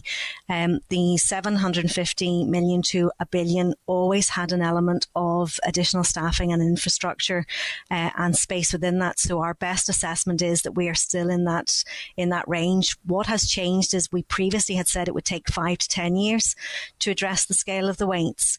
Um, think our assessment, uh, both in the board and the department, is it'll be towards the latter end of that time frame now, uh, and it will take us longer. Uh, which does connect to your point about you know the the IS approach is always the approach in, in the short run with short term funding to um, address backlog, but doesn't actually ever address capacity. And if we don't address capacity in parallel, we clear one backlog, but we're automatically adding a patient to that backlog all over again. Um, so whilst we uh, will always accept non-recurrent and it's always welcome, it does only address backlog for a period of time, and it, it does require that investment in the capacity gap to actually keep us uh, moving forward. Um, with regards to the retention of staff, the COVID experience of staff has absolutely had an impact on uh, staff emotional health and well-being uh, and people being displaced. Uh, and there will be a time for people to, uh, and there may be some um, post-traumatic um, you know instances that will need to be supported uh, through our occupational health and through our trust management teams working with staff closely. Uh, and clearly what our clinicians tell us is they want to be able to do their job. They want to be able to treat patients. They want to be proud of their service. So getting elective switch back on and um, you know taking their learning of the things that will actually make a difference and listening to patients actually has a huge impact on increasing morale. And morale increasing in effect also helps retention. Uh, but Alistair may want to pick up whether the department are doing anything specifically in retention from a policy side, because I'm sorry, I wouldn't have that information. So it does. Um, it links to even before COVID. I think the, the main thing people want is to be able to go in and do their job and then leave whenever they've done their shift. And you know, the, the what we're trying to do in elective care centres is part of that. You know, you're in, you see your first patient immediately, you work until it's time to leave, and then you go home. And that's the experience we sometimes hear from people who've gone to other countries. You know, is that they know what they work, and when they finish their working day, they finish their working day. That's where I want to get to. Um, but it will it will take time to do this properly because it's going to take investment over a long period. So what I would say about the investment is we've been in this position, similar position, um, not quite as bad, in around 2005. And we did get the waiting list down over about four years until they were in, at acceptable levels. But we did focus a great deal on additionality and non-recurrent funding because that was the funding we had available. Um, and if we do the same again, we will end up in the same position again, that we'll get the waiting list down to an acceptable level and then they'll continue to grow again. So I think we're looking at a long-term period, period where we need to start it with funding additionality and in-house because that's where the capacity will be. But over time, we have to turn that into recurrent funding and increase capacity in-house if we want to keep this as a sustainable improvement. So that's definitely the direction we need to go. But it will, if you think of it like scales in terms of what's recurrent and non-recurrent, I think it starts off where you're looking at additionality, and then over time that becomes your in-house capacity, but you need the sustained investment. And maybe just to, to pick up on the final question, uh, Chair, if that's okay, just in terms of, of Nightingale. Nightingale, at the, at the height of the, the most recent surge, Carál, has uh, had 40 beds in total, of which eight of those, I suppose, were, were what we would call regional beds. So that was, uh, the, I suppose, to keep pace, because obviously a lot of beds were there for Belfast patients as well. And staff came from all over Northern Ireland. And unfortunately, I don't have the, the, the numbers to hand, Carál, but happy to, to follow up on that if you wish. Uh, but a, quite a number of staff came from uh, all of the other four trusts and indeed additional staff from within Belfast Trust to support uh, the 40 beds in, in Nightingale and particularly those additional, uh, what we call pods uh, uh, in terms of the, the Nightingale. Uh, and those staff have now re- been redeployed back to their, their home trust, but certainly again, their, their efforts have been well recognised, I think, in recent months. Okay. Yeah, sure. Thank you. Um, going then. Sorry, okay. Go. Particularly those who had to travel for, go, for money and all the rest. No, um, Absolutely. Yeah, okay. I'm going then to Jonathan Buckley. Go ahead, Jonathan. Thank you, Chair, and thank you, panel. Uh, waiting times have been an issue that has been a long time paramount concern for me, both pre-COVID and now exacerbated via COVID. And to be honest, the statistics released in December are harrowing and highlight the scale of the challenge facing our health service as you've outlined in your report. And I think it is important that we, we note those statistics because they're people. Over half of patients were waiting more than 52 weeks for a first consultant led outpatient appointment, and another 57,000 waiting for more than 26 weeks for a diagnostic test. You know, the, those, those figures are scary and there's and they're real life stories. That's that's the sad thing. Behind each statistic is a real life. It's a person. Uh, there needs to be a recognition that a single track focus on COVID nineteen, particularly as transmission drops, is a threat to fairness and equality within our health service. I have listened to first hand accounts as an elected representative of late presentations and advanced cancers that are showing up as a result because they have not been picked up uh, in part in part due to the pandemic. Um, you know, I, I, look at this and in particular about cancer. About two thirds of those waiting, just over ninety five thousand, are waiting for a test that could be help used to help diagnose cancer, an endoscopic or an imaging test. Waiting for a test that could possibly tell you that you have cancer in general is stressful, but to be told that it could be a six month waiting list is even worse. So, firstly, can anybody provide figures of how many endoscopic and imaging procedures are planned to take place uh, in the IS going forward and how long the IS capacity has been secured for? That's the first one. Thanks, Chair. Uh, thank you, John. Oh, oh. Very well. I was actually going to say you probably have much more of the detail around the um, endoscopies and, and all of that, but I'll, I'll just start with the, the wider. Post. I think it is important to, to say that we are not prioritising COVID over any other conditions. What we're prioritising is unscheduled presentations. So anyone who turns up at the hospital requiring urgent or emergency care needs to receive that care. And there's, I don't think there's any way around that. You can't turn people away who need urgent and emergency care. So what we've been talking about is scaling up our hospitals and scaling up our ICU to deal with the people who need this urgent and emergency care. And unfortunately, that does inevitably have an impact on our scheduled services. So our main way to get through that is to keep the COVID levels low because the COVID numbers do translate into increased requirement for hospital admissions, increased requirement for ICU admissions. So it's that that we need to avoid. It's we're not talking about prioritising one condition over another. Alistair, I, am not saying that you are, but it, there is no doubt it was presented to us by trust officials and first-hand accounts that there is a fear, a genuine fear, that late presentations at A&E because of the pandemic and because of COVID has led to an increase in those cancers that are at advanced stage and can't be dealt with. We're hearing that only uh, also in relation to GP services as well. So it's a genuine concern that I have and other members have that we need to take account of. No, it's it's absolutely genuine, and I absolutely agree. It really is. I mean, it's it's very worrying, but it was more just I didn't want anyone to have the sense that we were prioritising in areas over others. It's purely that if people arrive at the hospital and need treatment, we need to be in a position to provide that to them. But I absolutely agree, it has a huge impact across the board, and that's something we really need to focus on now. Um, the other issue was just around the you mentioned about the challenge for the health sector, and absolutely agree with that as well. But I think perhaps it's even more than that. No, I think this is a challenge for the public sector in general at the minute. It's that serious. I think is an issue because as well as the physical impact and the health impact, there is a mental impact, there's a social impact, and there's an economic impact of these issues. So I think this is a huge challenge for all of us in the public sector going forward. Okay, uh, is anybody, if somebody hasn't got those figures to hand right now in relation to the numbers, I'm happy for you to supply that to me. Is that Lisa? Yeah, uh, sorry, Jonathan. What I would say is we, we have at least two providers that we have consistently used to enhance uh, endoscopy capacity, um, to enhance our in-house capacity over the last two years. Uh, and actually they have really stepped, those two IS providers have stepped up um, and are doing insourcing in some of our facilities where the infrastructure is available, but the staffing isn't. So those two companies, we have been using them extensively uh, through the pandemic response uh, and, we, and we envisage continuing to use those going forward. So one of the providers, by way of example, um, you know, is committing to doing 250 scopes for the esophagogastric, um, and there are other scopes being provided. So those two providers we foresee using going forward. Um, we had used them to enhance uh, as an additionality to the in-house, but they have been able to use our facilities and our equipment um, when our staffing hasn't been available over the last uh, nine months.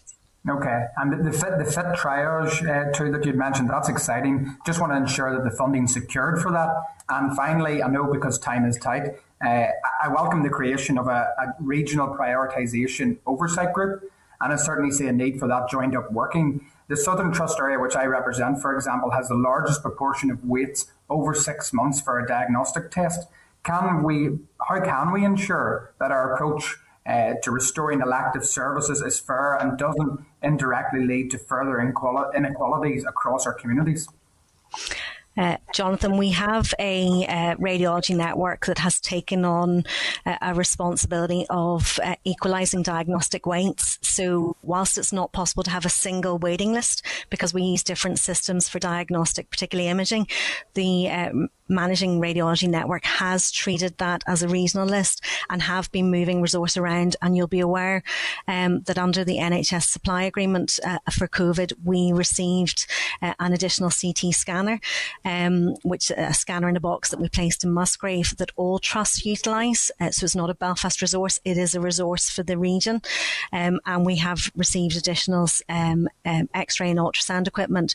But our managed radiology network has has made great efforts efforts in equalising waits. So again, uh, similar to the regional prioritisation, they look at the waits and they look at available capacity and they move the trust access around, including the Southern Trust, but they do it on the basis of chronological and uh, clinical priority. So there is a, an extensive piece of work in that area.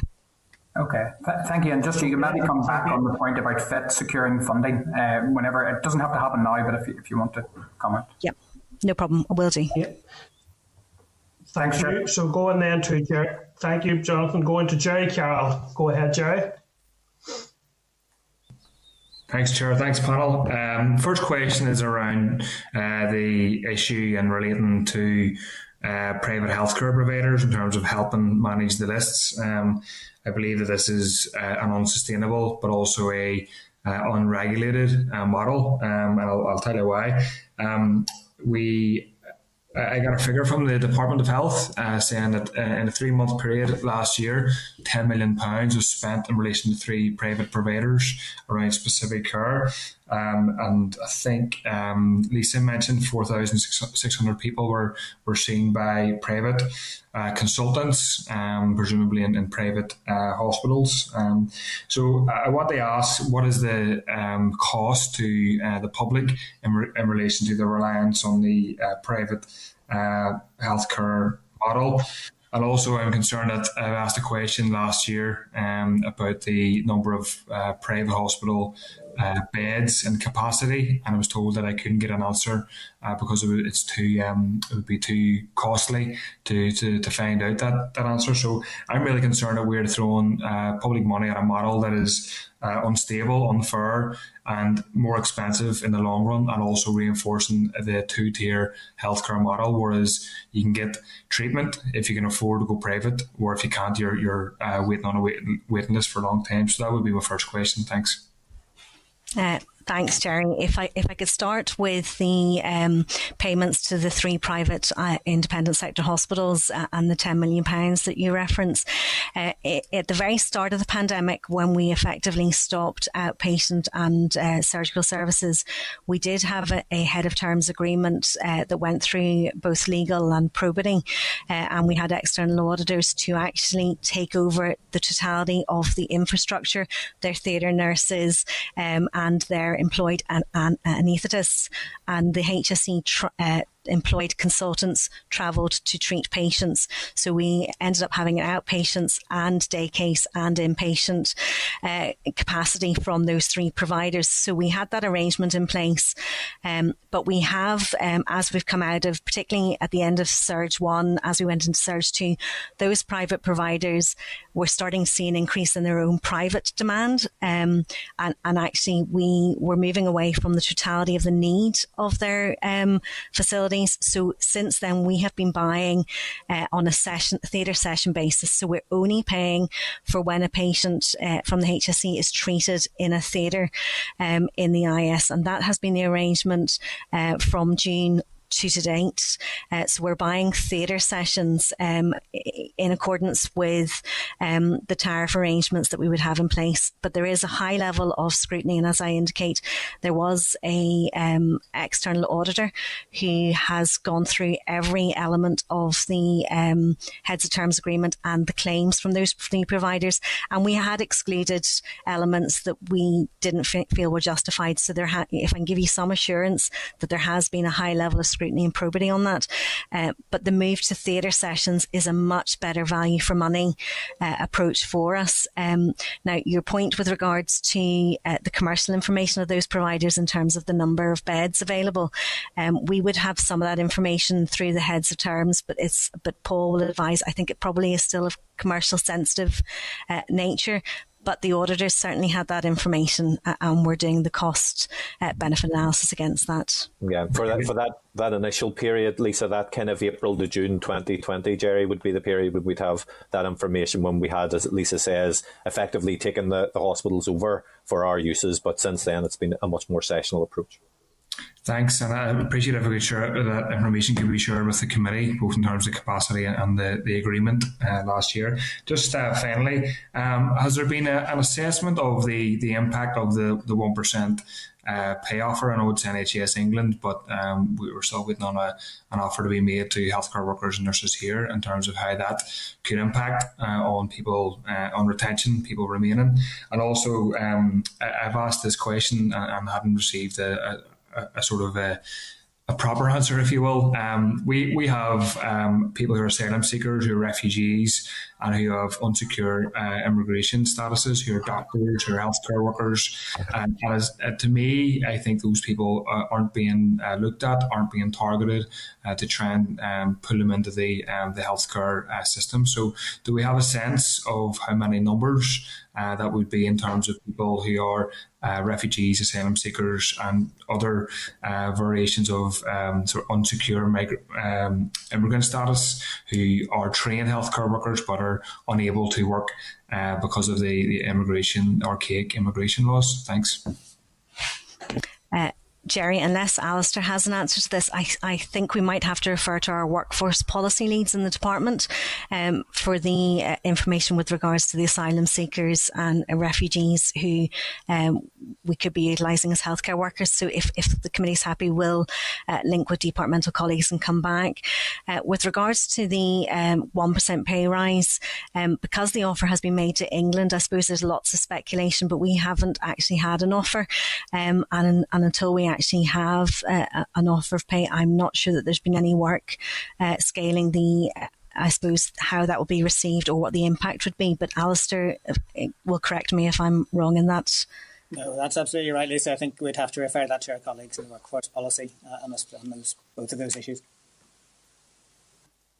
Thank you. Okay, thank, thank you. Okay, I just want to pick up on a point that Gerry made there around the issue of the number of beds in the independent sector being used. I don't understand why that would be commercially sensitive. This is public health budgeting going to private uh, providers. Now, I can understand that there may be commercial sensitivity around the amounts of money being spent, But I also don't think that should be concealed from the public either, whether it's commercially, it may be embarrassing, it may be concerning, maybe many things, but I don't think it's acceptable that we don't know how many beds we're talking about. I don't see even a commercial sensitivity on that issue, to be honest, Lisa. Uh, so I think we would like to see that. In- yeah, and chair, apologies yeah. if I, if I've been uh, if I've misled in any way. We know the number of beds utilised and the number of days that the patients utilise those beds, so we absolutely have that information, uh, and we'll absolutely share that as we're coming back, um, particularly for that first period, and also uh, any of the information that would provide a different, a different additional assurance from our auditors on that. So, no uh, apologies if I've been misled if I've misled you in that. Okay, okay, and and I also just will also reference. I was concerned earlier when you said there was two independent sector providers who we will be moving, and I think the quote you said we will be using going forward. I certainly hope there's no reliance on a longer term basis that this is only a stopgap, and that all the planning efforts are going into how we unwind and bring those back into the public into the public realm. Okay. Okay, thank you. I'll go then to Órlaithí, and then I'll, I'll finish with Alan. So Órlaithí Flynn, please. Uh, thank you, Chair, and thanks to the panel um, for coming today. Um, I first of all, um, Lisa, I was wondering. I know Carál touched on this a bit with you earlier on around the the amount of money um, that's required to sort of tackle this ongoing long term challenge. So the seven fifty million to a billion, um, and you had referenced that one hundred million of that um, was around capacity. Um, but would you have a full breakdown, Lisa, of so those costs that are required to deal with this issue? Do you have a, a, a detailed breakdown of you know um, how much needs to go towards whether it be capacity or hospital infrastructure or workforce, etc.? Um, or, Órlaithí, thank you. Because um, we provided, uh, following the February briefing 2020, uh, an indication of that, but we will update that because clearly our backlog costs have increased. So we would be happy to come back with that breakdown. And I suppose when we talk about the backlog and the capacity, we have modelled that on uh, at specialty level. Um, so we understand demand uh, and we understand what our commission volumes actually are, but also understand what the waiting lists are. Um, so there will be a process of uh, rebalance as we start getting all the appropriate referrals into the system, uh, because that's currently not a true picture um, in terms of our outpatient gap, but we can certainly provide that information. That's that's great, Lisa. Thanks very much for that. And um, I'm just conscious I need to leave six minutes for Alan. So just finally, um, you had mentioned earlier around the um, so the use of the independent sector and that um, there will be a number of patients will be able to uh, receive their treatment via um, the south of Ireland, via England, and then obviously whatever resources you have here locally in the north with the independent sector. And I'm just wondering, Lisa, do you have any sort of figures or forecasts? Um, you had mentioned the months between April to June for some of those referrals. Do you have a forecast of how many patients we're talking about that might be able to receive their treatment via those those referral routes? Um, Órlaithí, at this stage, we have the totality of those that have been treated to date and what we anticipate by the 31st of March, because that, that's in line with the contracts that we currently have. Uh, going forward into uh, 21 22, uh, we have an indication of what IS capacity will be utilising in the next four weeks uh, because it's dependent on the available funding. Uh, that said, um, the arrangement with NHS England for their IS gives a lot of scope, um, and it'll be the uh, timing uh, and the appropriateness of, of patients travelling either down to down south or um, via ferry or plane to England with the COVID uh, restrictions. So w- we have an indication of what capacity might be available, but not a firm number of patients because that will be depending on the available funds uh, and, and the scale of that. Okay, and sorry, because I know I haven't took the, the full six minutes, just quickly I forgot to mention on the workforce appeal, um, Lisa, I know that there wasn't a great uptake. The Charlotte McArdle was saying to us the other week there was about 300, 400 places out of a total of 9,000 expressions of interest, 5,000 formal applications. Is the department and the board, are you looking at any options to try and utilise that workforce appeal to try and help you in the coming weeks and months? Uh, yes, Órlaithí, and I think the, the, one of the drivers that will help that is the move to the green or COVID light sites, because we know that there are uh, there are people who are recent retires from the surgical operative theatre nursing that actually may um, be willing to come back on that workforce appeal if they're guaranteed not to be exposed, you know, not to be in a, in a site where they may become exposed by COVID. Uh, so that green pathway, green site work um, is really important. Uh, and the messaging associated in any workforce appeal is likely to uh, be welcomed, uh, is our understanding from our trade union colleagues. Okay. Okay, thank thank you, Órlaithí. Just again, a very quick follow up on Órlaithí's. One of the comments yesterday, Lisa, was to do with the the ECR, the electronic care record, which made it easier to make a referral to England rather than South. Um, so that brings with it the inherent additional difficulties and risks for families of travel.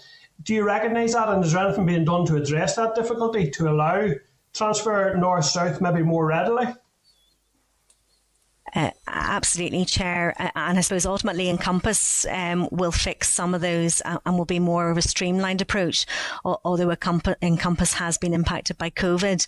Um, but the ROI providers that we uh, have been using uh, in recent months, um, there, there were always a historic arrangement, uh, and the clinical teams um, and the management teams have a, have a streamless uh, or a streamlined approach for actually addressing that. It's not necessarily a touch of a button approach, but actually governance um, and information transfer is appropriate uh, because it's tried and tested. But Encompass going forward um, and the links to both UK uh, systems and systems in ROI uh, will actually address that. Okay, thank you. And going then to Alan. Go ahead, Alan, please. Thank you, Chairman. I, I'll be quite brief. Uh, Chairman, it's, it's it's easy, I suppose, to blame COVID for the uh, the, the, current waiting lists, uh, and I certainly accept that it's obvious that the, uh, it hasn't helped. Uh, but I think that what the pandemic has done is focus more attention on the capacity problems within the NHS. And I just wonder, would the panel agree that politically painful transformation is urgently needed? Uh, and there will be no overnight solutions to all our health service problems. And perhaps it's slightly misleading to suggest otherwise. Thank you. Uh, Alan, I, I, couldn't agree more. COVID has, um, I suppose, made a situation worse, but the situation prior to COVID was already unacceptable for a waiting list. Uh, people were already waiting too long, uh, and our new decade, new approach um, made that very clear, uh, and that is clearly before COVID.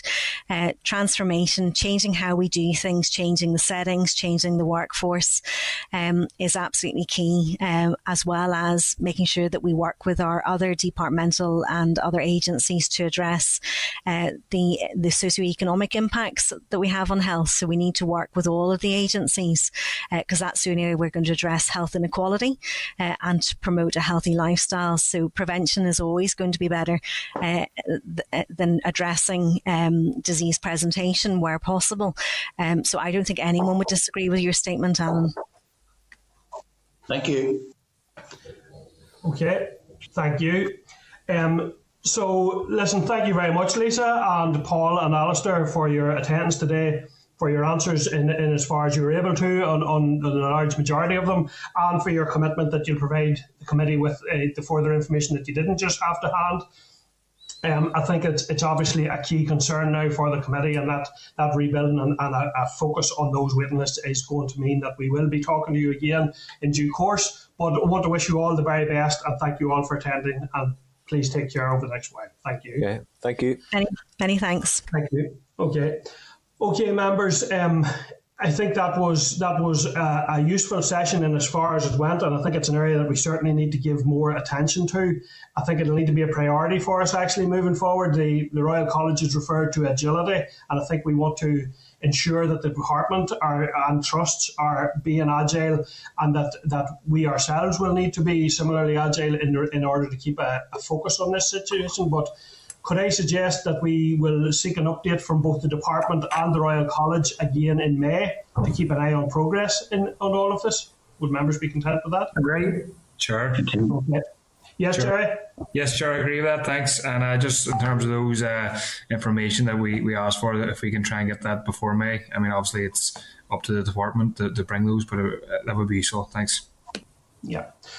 Okay, thank you, members. I'm going to take another very, very quick break. Um, so could we return and be ready to go again promptly at 12.05? Thank you, members. And can you take us out of uh, public broadcasting, Kate? Yes, broadcasting, could you go suspend for This is the Northern Ireland Assembly Senate Chamber programme sound. This is the Northern Ireland Assembly Senate Chamber programme sound.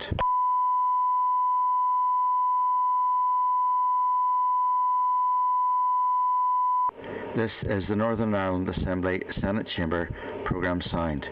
This is the Northern Ireland Assembly Senate Chamber programme sound.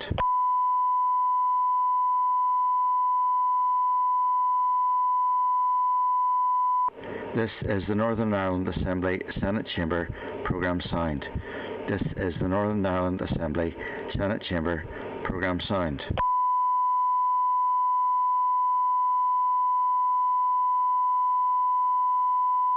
This is the Northern Ireland Assembly Senate Chamber programme sound. This is the Northern Ireland Assembly Senate Chamber programme sound.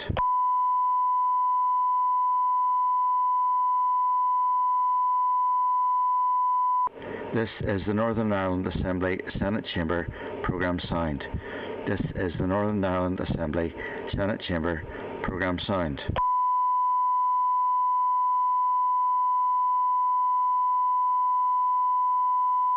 This is the Northern Ireland Assembly Senate Chamber programme sound. This is the Northern Ireland Assembly Senate Chamber programme sound.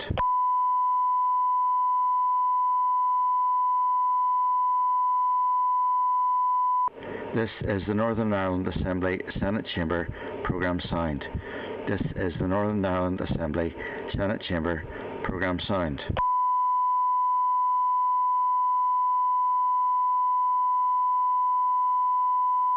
This is the Northern Ireland Assembly Senate Chamber programme sound. This is the Northern Ireland Assembly Senate Chamber programme sound.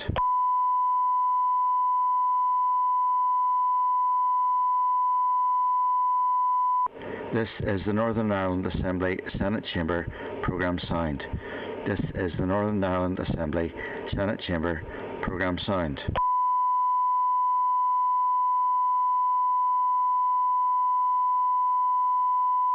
This is the Northern Ireland Assembly Senate Chamber programme sound. This is the Northern Ireland Assembly Senate Chamber programme sound.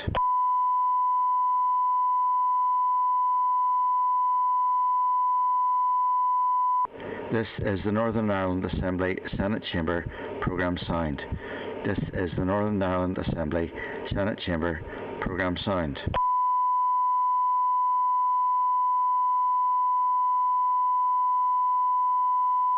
This is the Northern Ireland Assembly Senate Chamber programme sound. This is the Northern Ireland Assembly Senate Chamber programme sound.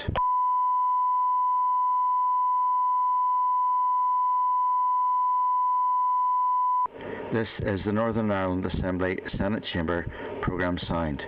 This is the Northern Ireland Assembly Senate Chamber programme sound.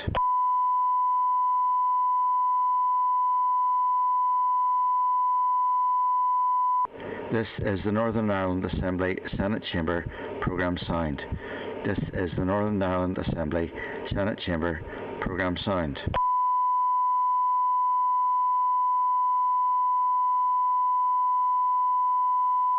This is the Northern Ireland Assembly Senate Chamber programme sound. This is the Northern Ireland Assembly Senate Chamber programme sound.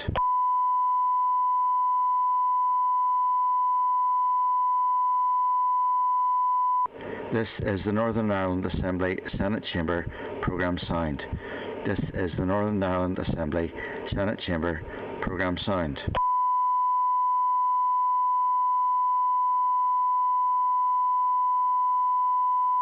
This is the Northern Ireland Assembly Senate Chamber Programme Sound.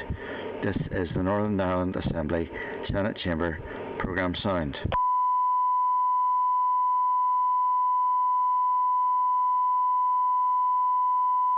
This is the Northern Ireland Assembly Senate Chamber Programme Sound. This is the Northern Ireland Assembly Senate Chamber Programme Sound.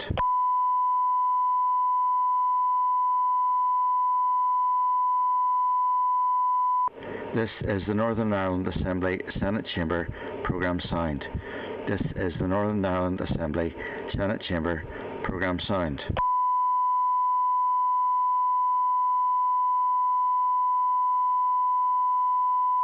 This is the Northern Ireland Assembly Senate Chamber programme sound.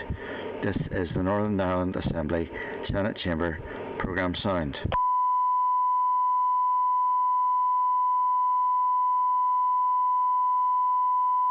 This is the Northern Ireland Assembly Senate Chamber programme sound. This is the Northern Ireland Assembly Senate Chamber programme sound.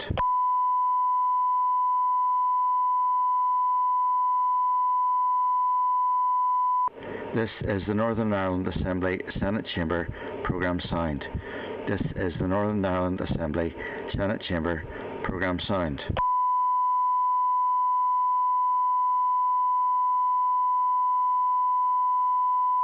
This is the Northern Ireland Assembly Senate Chamber programme sound. This is the Northern Ireland Assembly Senate Chamber programme sound.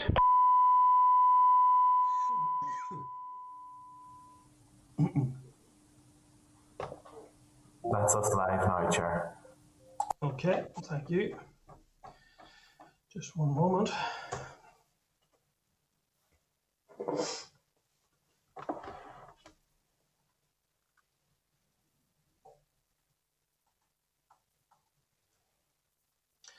Okay, members, thank you, and we're resuming now in, in uh, with, back with our meeting this morning. So our next item now is in relation to severe fetal impairment abortion amendment bill.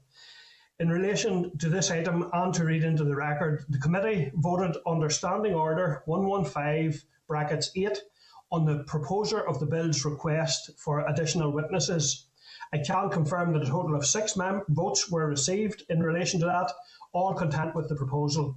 The following members voted in favour of that proposal myself, Pam Cameron, Alan Chambers, Cara Hunter, Carál Ní Chuilín, and Jonathan Buckley. I can advise members that the proposer of the Severe Fetal Impairment uh, Abortion Amendment Bill is here today to brief the committee on the principles of the bill. I refer members to a copy of the bill and the explanatory memorandum at tab 7.1 and 7.2 of the pack. Also included in your table pack at 7, tab 7.3 is a research paper on the bill produced by the Assembly's Research and Information Service. So, um, can I now welcome Mr. Paul Givan, MLA? Paul, are you able to hear us? Yes, Colin, Chairman, thank you. I, I can hear you clearly. Hopefully, you can hear me okay. Yes, we're hearing you there. We're hearing you clearly okay. And also, Lynn Murray from Don't Screen Us Out. Lynn, are you there and can you hear us?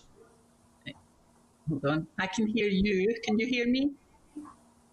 Yes, we're hearing you, Lynn. Thank you. And you're welcome, very welcome to our committee. And Heidi Crowter from Don't Screen Us Out. Heidi, can you hear us okay? Yeah, we can hear you. Can you hear us? Yes, yes, Heidi, we're hearing you there okay. Yes, thank you very much. Okay, so without further ado, then I will invite uh, Paul Givan to go ahead and give us a uh, brief us on the principles of this bill. Paul, please, thank you. Okay, well, th- thank you, Colin. Um, or give you your proper title, Mr. Chairman, uh, and to members of the committee. Um, I just want to, I suppose, read this opening statement for the purposes of the record, and then uh, we, will get a contribution from Heidi and Lynn, and then more than happy to go into a, a question and answer session with members. But uh, first of all, can I just say that I'm very pleased to have been able to take this opportunity to come before the committee today uh, to provide an introductory presentation on the general principles of the Severe Fetal Impairment Abortion Amendment Bill. Uh, this bill has been inspired by the advocacy work of the Don't Screen Us Out campaign and in particular the testimony of Heidi Crowter, who is challenging the Abortion Act of 1967, which allows terminations on the basis of Down syndrome and other non fatal disabilities up until birth. So I'm delighted that I have been joined today by both Heidi and Lynn Murray, uh, who is the director of the Don't Screen Us Out campaign, and I'll invite them uh, to speak after I've provided this overview of the bill. It was, of course, uh, Heidi's brave intervention in May last year, uh, calling on the Northern Ireland Assembly to make it clear that it rejected Westminster's regulations sanctioning abortion for non fatal disabilities like her own up to birth. That resulted in the tabling of the motion and the vote, which then took place on the 2nd of June. And on that day, in the course of two votes, there were 75 members of the Assembly voted to make it clear that they opposed abortion on the basis of non-fatal disabilities like Down syndrome up until birth. So, Mr Chairman, I agree with your colleague Emma Sheerin whenever she moved your party's amendment to the motion and she said uh, to serve disabled people properly, we need to build infrastructure that is totally accessible. We need to have inclusivity to properly service Section 75 obligations across all public sector bodies and to raise awareness of the issues that face less able people in their daily life. Sinn Féin does not believe that a non fatal abnormality is an appropriate criterion for an abortion. I hope that this committee will agree that it is discriminatory to provide a preborn baby no protection in law because it has a non fatal disability when a baby of exactly the same age is protected because they don't have a disability. Legislatively, this bill is very simple. It does not engage with any other aspect of abortion law. It simply makes it clear that there is no place for disability discrimination in Northern Ireland in 2021. Through this bill, there will be no grounds for an abortion on the basis that the baby has a non fatal disability.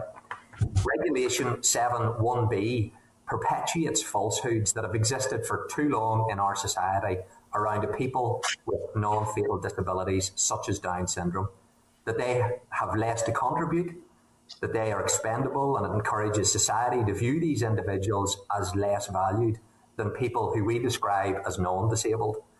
This sends out a message loud and clear, as Heidi has eloquently demonstrated, that the lives of people with disabilities are seen as less valuable, less worthy of protection than the lives of people without disability. To have a law which says in 2021, to have this law which says this in 2021 should be, in my view, completely unacceptable. And last June, I described this regulation as being years out of date and a regressive backward step in the campaign against discrimination and equality for people with disabilities. And that's why this bill has been tabled. This law is discriminatory. Disregard the last 30 years during which many people have campaigned and advocated for laws which aim to foster equality, ensuring those with disabilities are treated equally to everyone else. Laws like the, the Disability Discrimination Act of 1995, protecting the rights of a person with disabilities, and the Northern Ireland Act of 1998 which places a statutory duty on public authorities to have due regard to the need to promote equality of opportunity for persons with disabilities. This committee will know that in 2006, the, Dis the Disability Discrimination Northern Ireland uh, Order further amended the Disability Discrimination Act of 1995 to include a requirement that public authorities promote positive attitudes to, towards disabled persons. And furthermore, in 2009, the United Kingdom ratified the UN Convention on the Rights of Persons with Disabilities. These laws reflect the fact that every person is of worth and value, a worth and value that should not be changed by the diagnosis of a disability. And I use that phrase, diagnosis of a disability, very uncomfortably, but because I know that does not sit well um, with people uh, that have Down syndrome to be referred to as having a diagnosis. Um, the committee will also know that in their report uh, on Great Britain and Northern Ireland, the UN committee stated that the committee is concerned about perceptions in society that stigmatise persons with disabilities and about the termination of pregnancy at any stage on the basis of fetal impairment. And the committee recommends that Great Britain amend its abortion law accordingly. So, with that recommendation and the dis disability discriminatory legislation in Northern Ireland, how can we justify allowing laws like Regulation 7.1b to exist? Does it support pregnant women who are given the news that their much wanted child may have a non fatal disability? And there are too many difficult stories of parents feeling unsupported in these situations to continue with their pregnancy. Does this approach promote positive attitudes uh, towards disability and those who are disabled? I would like uh, the committee to, to consider the message that Regulation 7.1b sends to people like Heidi, who has Down syndrome, and to their friends and to their families. However, I do feel that Heidi is best placed to share that with you and the committee. This bill provides the Assembly with the opportunity to amend the regulation, the current regulation, and to send a clear message to people with a condition like Down syndrome, their family, friends, and wider society that Northern Ireland will not tolerate disability discrimination and that they are equally valued. So, Mr. Chairman, I would like um, Heidi just to say a few words uh, and then Lynn, and that'll just take another five minutes, and then we're more than happy to, to go for questions if, if you're content. Um, if, if Heidi can do that, and I just I note her camera isn't switched on, so I'm sure we can hear her. But if she to put her camera on, that would be great. Thank you, thank you, Heidi. And that this, this is Heidi's mum, Liz, who, who is with her just to support her uh, in this session. So thank you, Heidi. If you if you were able to say a few words, that would be great. Thank you, Paul. Mr. Chairman, I would like to thank the Northern Ireland Assembly for voting last June to make it clear that you reject abortion up to birth on the basis of disabilities like mine, Down syndrome. I would also like to thank Paul Givan for taking the lead in Northern Ireland by introducing the bill that Duke Swedish proposes to change the law to fit with the vote. The law in Great Britain and now sadly in Northern Ireland tell me and other people with Down syndrome that we are that we are worth less than those without disabilities. Maybe people are even told that living with Down syndrome is too hard. Even if you don't believe me, research confirms that people with Down syndrome and their families are happy with their lives. And I'm one of them. That is why I want my voice to be heard and the law to be fairer. My husband also has Down syndrome, and I value him with all my heart. And I think society should. This, the law makes me feel very sad.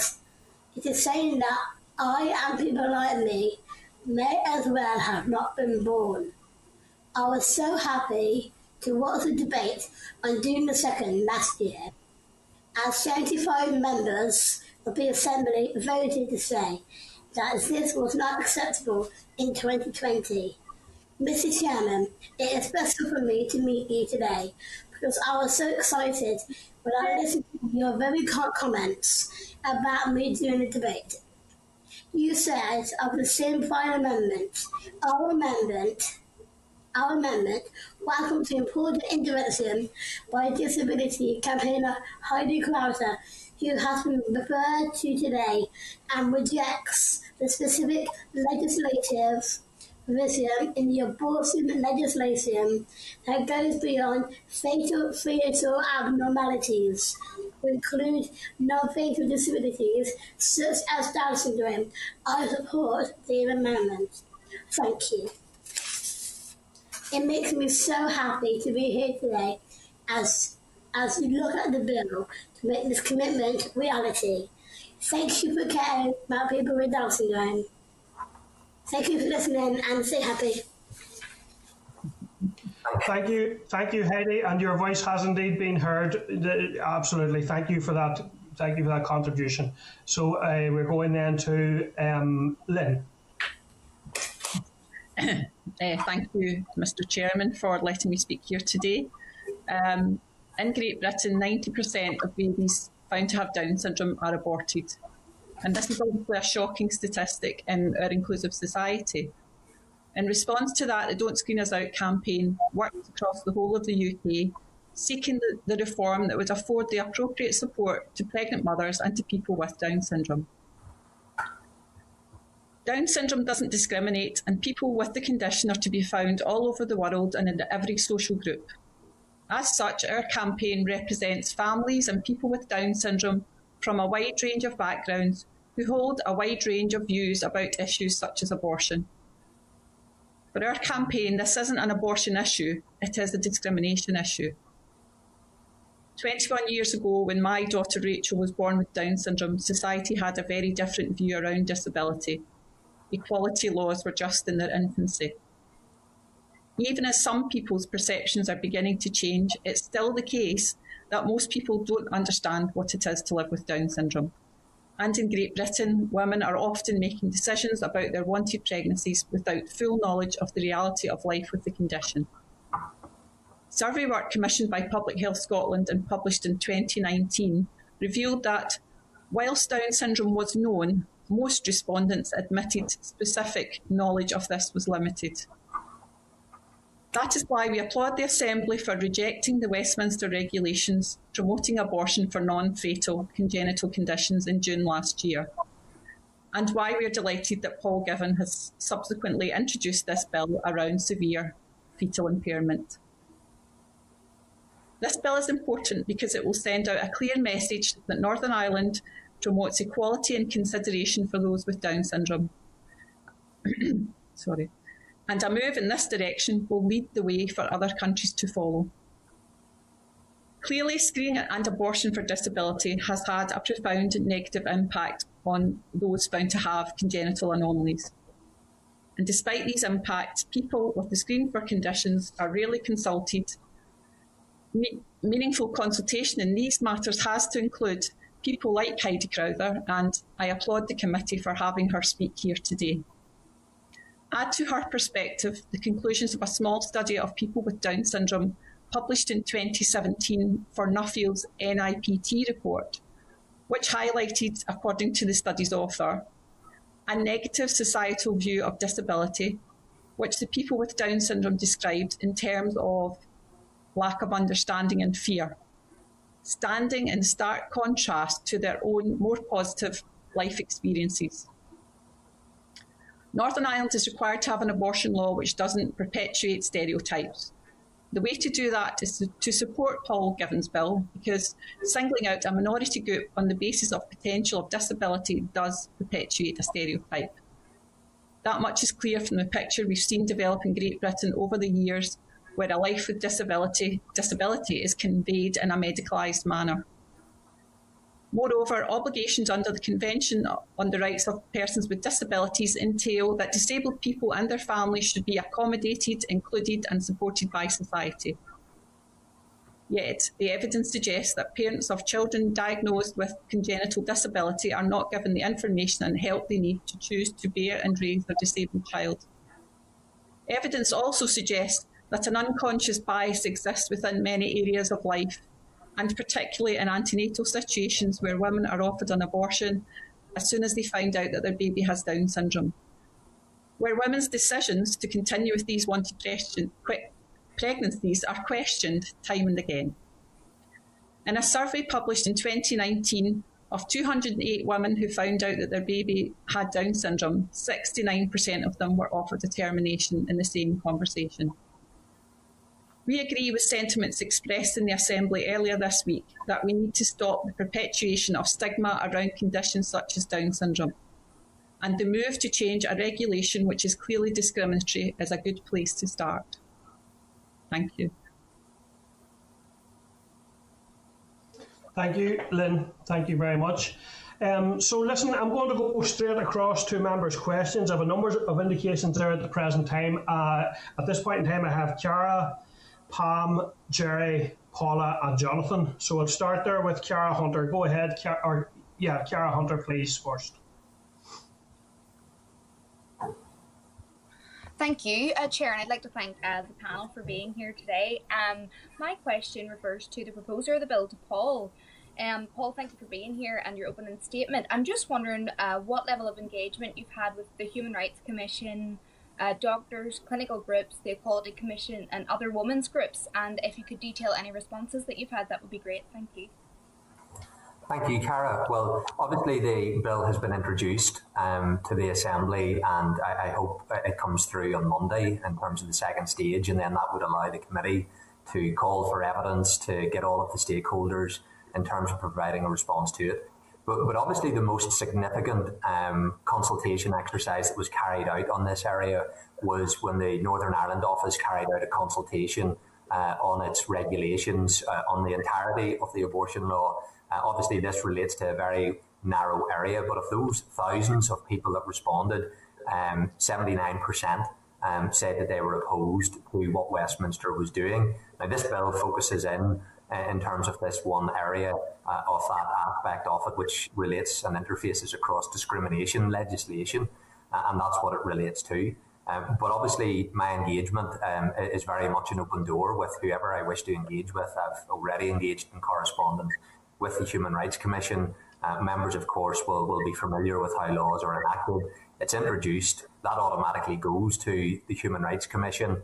Uh, and of course, then the committee that scrutinises it will be able to put this out um, and have a call for evidence. And then everybody uh, will be very much able uh, be able to carry out the scrutiny process of it. So my door is open um, in terms of engaging with anybody on this because I think it is important that we have this uh, debate uh, and then we hopefully can take things forward to address this piece of legislation.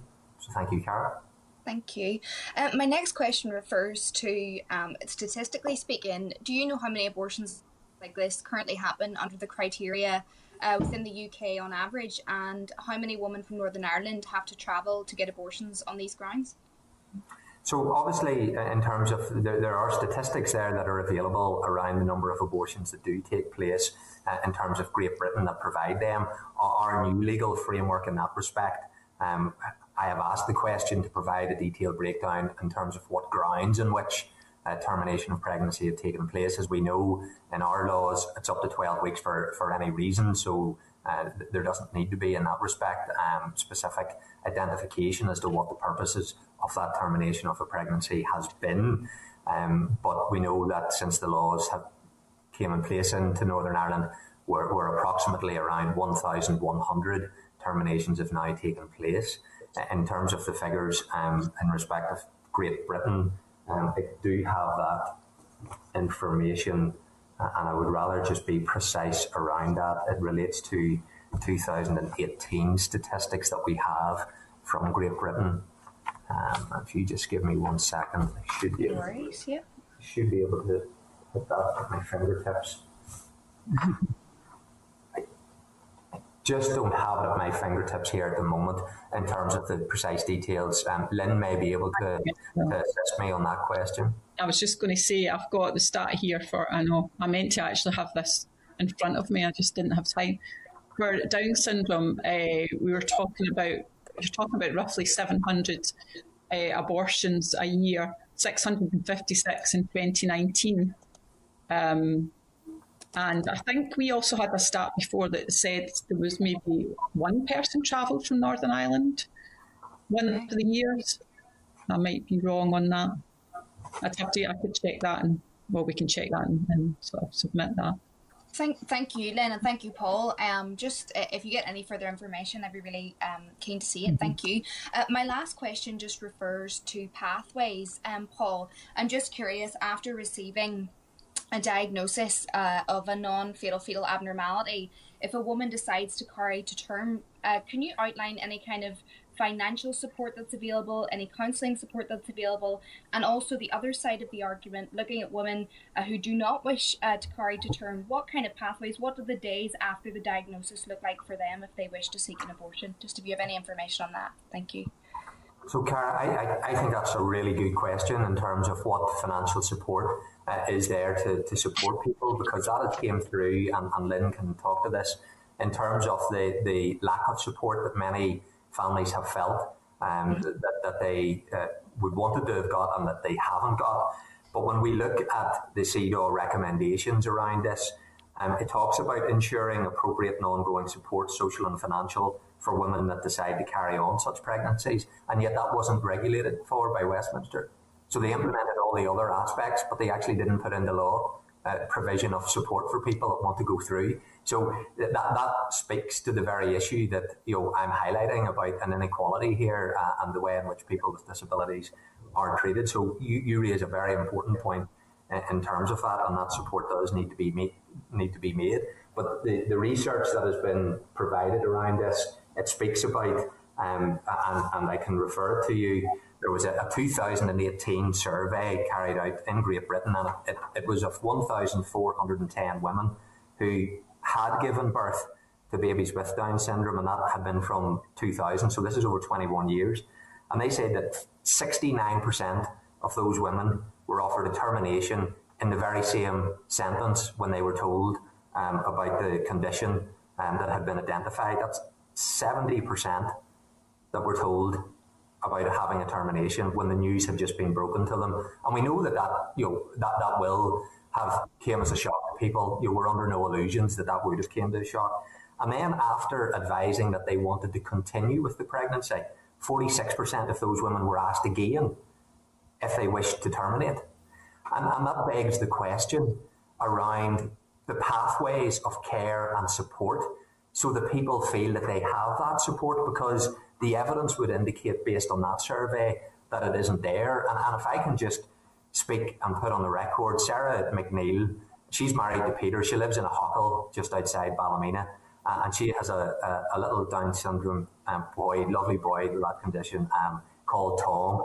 Uh, and she has spoken about why she supports this bill. Um, and she says, she said that people shouldn't be blinded by the poor, outdated preconceptions of what Down syndrome is. I thought that our outlook seemed bleak when our doctor first shared her suspicions about our brand new baby, but now I know better. And because I do, I'm going to shout about how amazing our boy is. So there is a real challenge there for us as legislators as to the kind of environment in which this uh, news is provided to people and then what kind of support is given. And I think we need to, to be challenging that. And, and this bill speaks to that. So, Lynn, I don't know if you want to pick up on, on that point as well, just to provide some of your own experiences around this. Uh, there was a call from uh, Nuffield Council in 2017 for uh, new guidance. That there's guidance for termination of pregnancy, and um, the Royal College of Obs and Gynae were asked to rename those guidelines and to expand them to include reference and guidelines for people to continue with pregnancy, and that hasn't come yet. We're still sadly lacking that sort of thing in the rest of the UK. Um, and yeah, we definitely that. And I think emotional support is definitely the sort of greater thing because as we all understand for some people and as and it was said to me when my child was born this might come as a shock and it is a shock to some people and we have to help them to to understand um, what it means Thank you, Lynn. Thank you for, for your contribution. Thank you, Paul. Just just to touch on my last point there, Paul. Just I'm not. I'm, i know we're stuck for time, but um, you know, if a woman is diagnosed and she doesn't wish to carry to term, um, are you saying, you know, if this bill were to pass, that she'd have to travel to, to receive that kind of healthcare? Well, like obviously, this bill in no way is about you know condemning women, but it's very much intended to send out a clear message as a society that living with a congenital disability is living with a good life, and that's what this legislation speaks to. So we need to provide that support. Um, you know, obviously, this bill speaks to the basis on which a termination of a pregnancy can be permissible in our law um, is purely on that condition of a the non-fatal disability after 12 weeks right up to birth. Um, it doesn't change the abortion law in any other area. Um, that, that can be a debate for another day. This bill sticks to the single grounds upon which uh, a termination would be granted, and that would be solely on the basis of a non-fatal disability um, and that's what this bill would, would remove as a condition. It would remain uh, intact the other aspects of the abortion law. Uh, and obviously, one of those areas um, which has been in Northern Ireland um, for many years has been around the physical and mental welfare of a mother um, being grounds in which terminations are permissible, and that, that has been the case for many years in Northern Ireland. But does this bill remove the grounds in which an abortion can be granted purely because somebody uh, at that preborn stage has a disability. Yes, it does.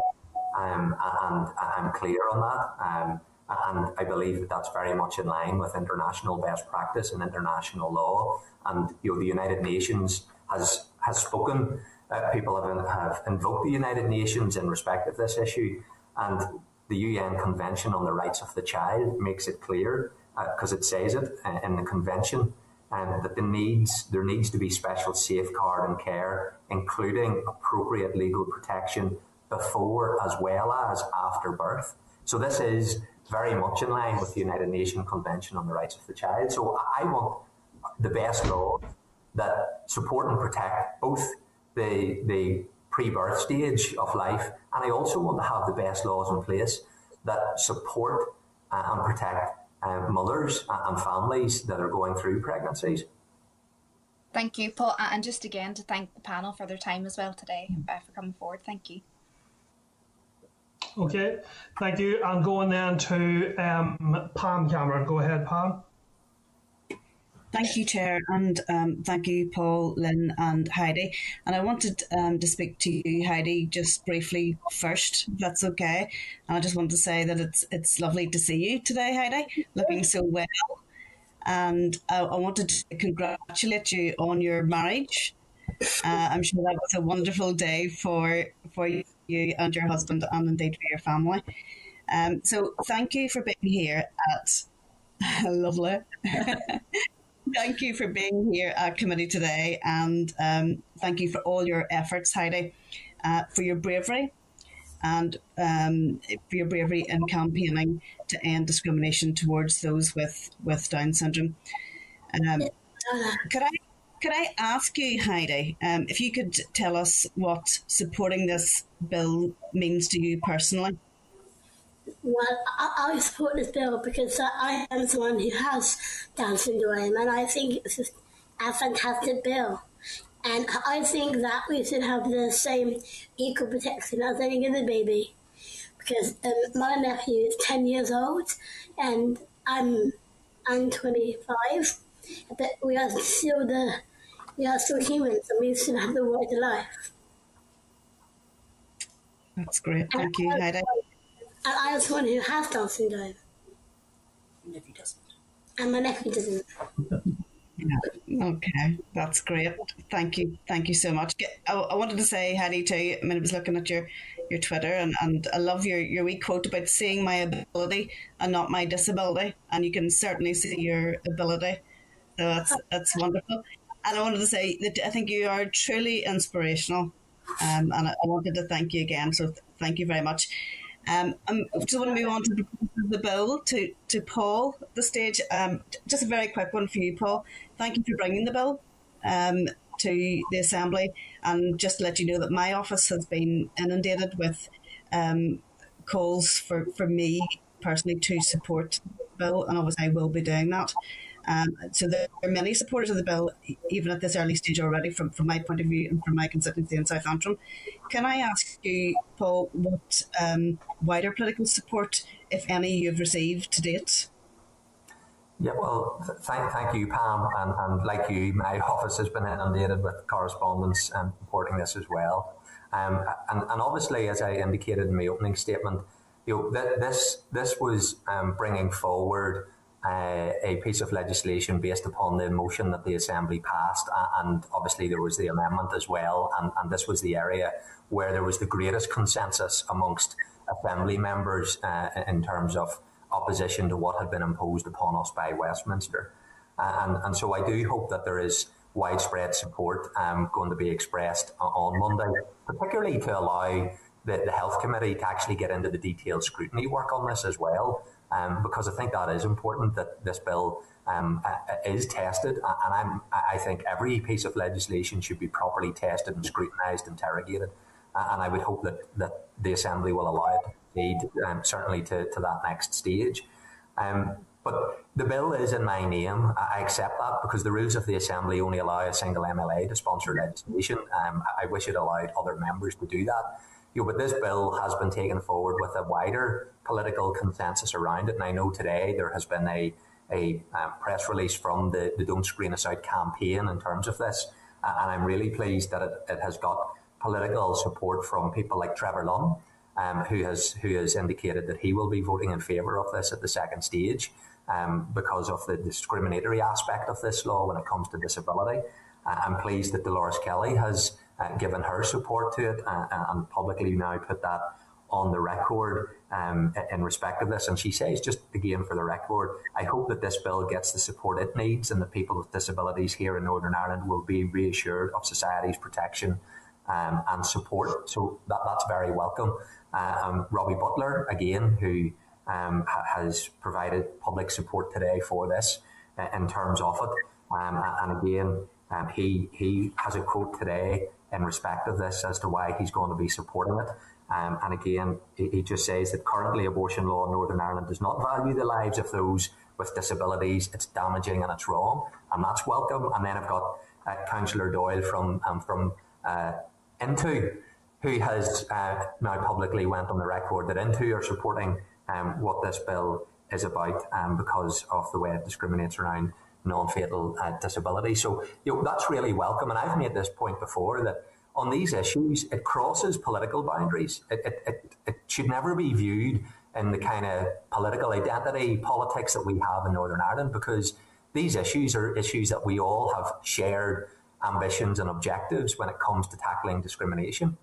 So I'm really pleased with that you know, public political support that so far has been expressed by a range of MLAs and, and political parties. Um, but what's been most impactful to me from this bill went public hasn't with respect to the political class of which we're all part of. It's been the voices like Heidi. It's been people like Sarah from Ahoghill and um, Lady Laura. Uh, I've listened to another lady, Lindsay, and they've all spoken about how they have children um, that have this condition uh, and how they support this bill. And they don't they, some of them have said they're not viewing this through the debate around are, are you pro life or pro choice, and they're viewing it through this is discriminatory legislation. And what does that message say to their child that's going to be growing up in this society? You know that that here's a law that actually pre-birth would have been a grounds for their life to be ended, and and they think that that's not something that is appropriate. And they have been the voices that have had the most impact, and it's raising awareness and I'm really um, kind of humbled, to be honest, you know, that this is providing a platform for people like that to have a voice and to be heard. That's great. Thank you. Thank you. Thank you, Chair. Okay, okay, thank you. So going then to uh, Gerry Carroll, then Paula Bradshaw, then Jonathan Buckley. Go ahead, Gerry. Thank you. Thanks, and uh, th- thanks, Heidi, as, as, well for your for your uh, your comments and contribution. Uh, I suppose, Paul, a couple of questions for yourself. Um, I know you didn't have the figures uh, for for Cara, um, but I, I, was wondering if you had any figures around the uh, late termination uh, of pregnancies uh, in the north, um, and what gestation period they they happened, uh, and what the reasons were for, for those terminations. Um, and what, what evidence uh, would you have that those decisions were, were solely or primarily based on uh, disability uh, diagnosis, uh, as you said. also, um, are, you aware of the number of people from, from here, from the north, who went to Britain before the, the legislation changed um, in relation to seeking termination after 24 weeks? Uh, and specifically as well, um, how many people, um, how many cases uh, was that in relation to a, a cleft palate uh, diagnosis uh, specifically. So I have a few other questions, but I suppose I'll, I'll decide to respond to those. Thanks. Um, thank you, Gerry. And there, there's some of those specific questions that I, that I can't you know, provide that detail with. But um, and apologies to Cara earlier, but I, I have got now the figures. I've been able to find it amongst some of my papers. So in, th- these are figures that, that we have. The latest ones around 2018.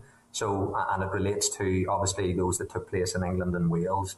But uh, in England and Wales, there were 3,269 abortions that were undertaken because of what's termed fetal uh, abnormality. And of that, 618 abortions were, were recorded as cases where Down syndrome was the principal reason.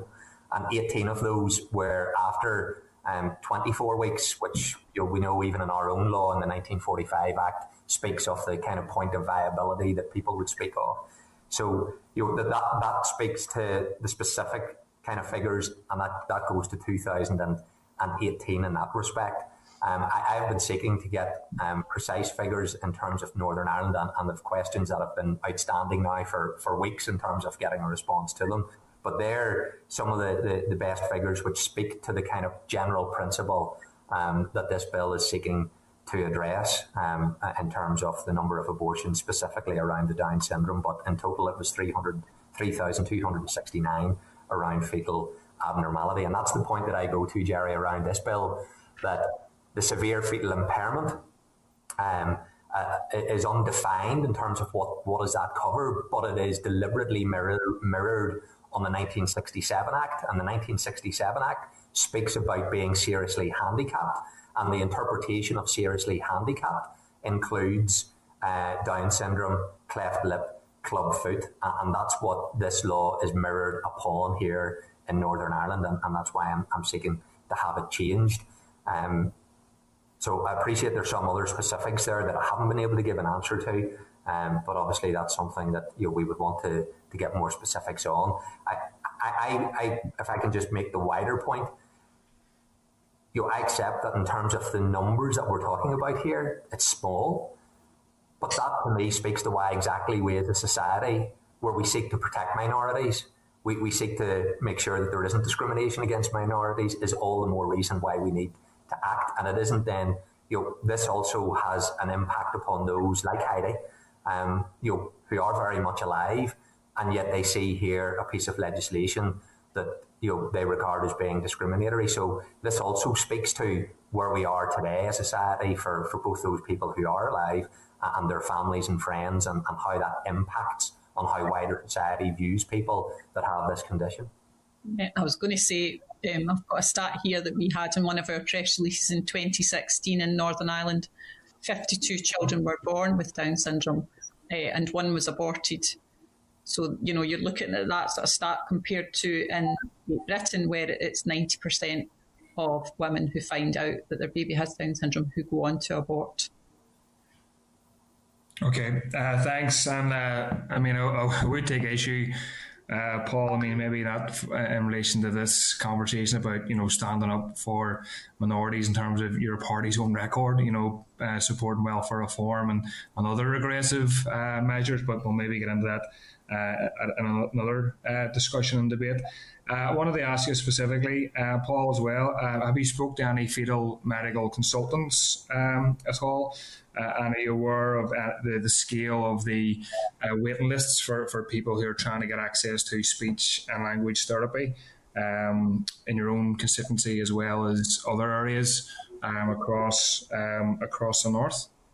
Well, I, I have a, a, meeting lined up with the General Medical Council actually tomorrow um, uh, to, to speak to them in advance of the debate that's happening tomorrow. Uh, and in previous capacities, when this issue was debated at length, um, uh, in terms of the wider debate uh, around laws here in Northern Ireland. Uh, I met with you know the Royal College of Obstetricians and Gynecology, and, and um, we, we, have I have had many discussions in terms of this area.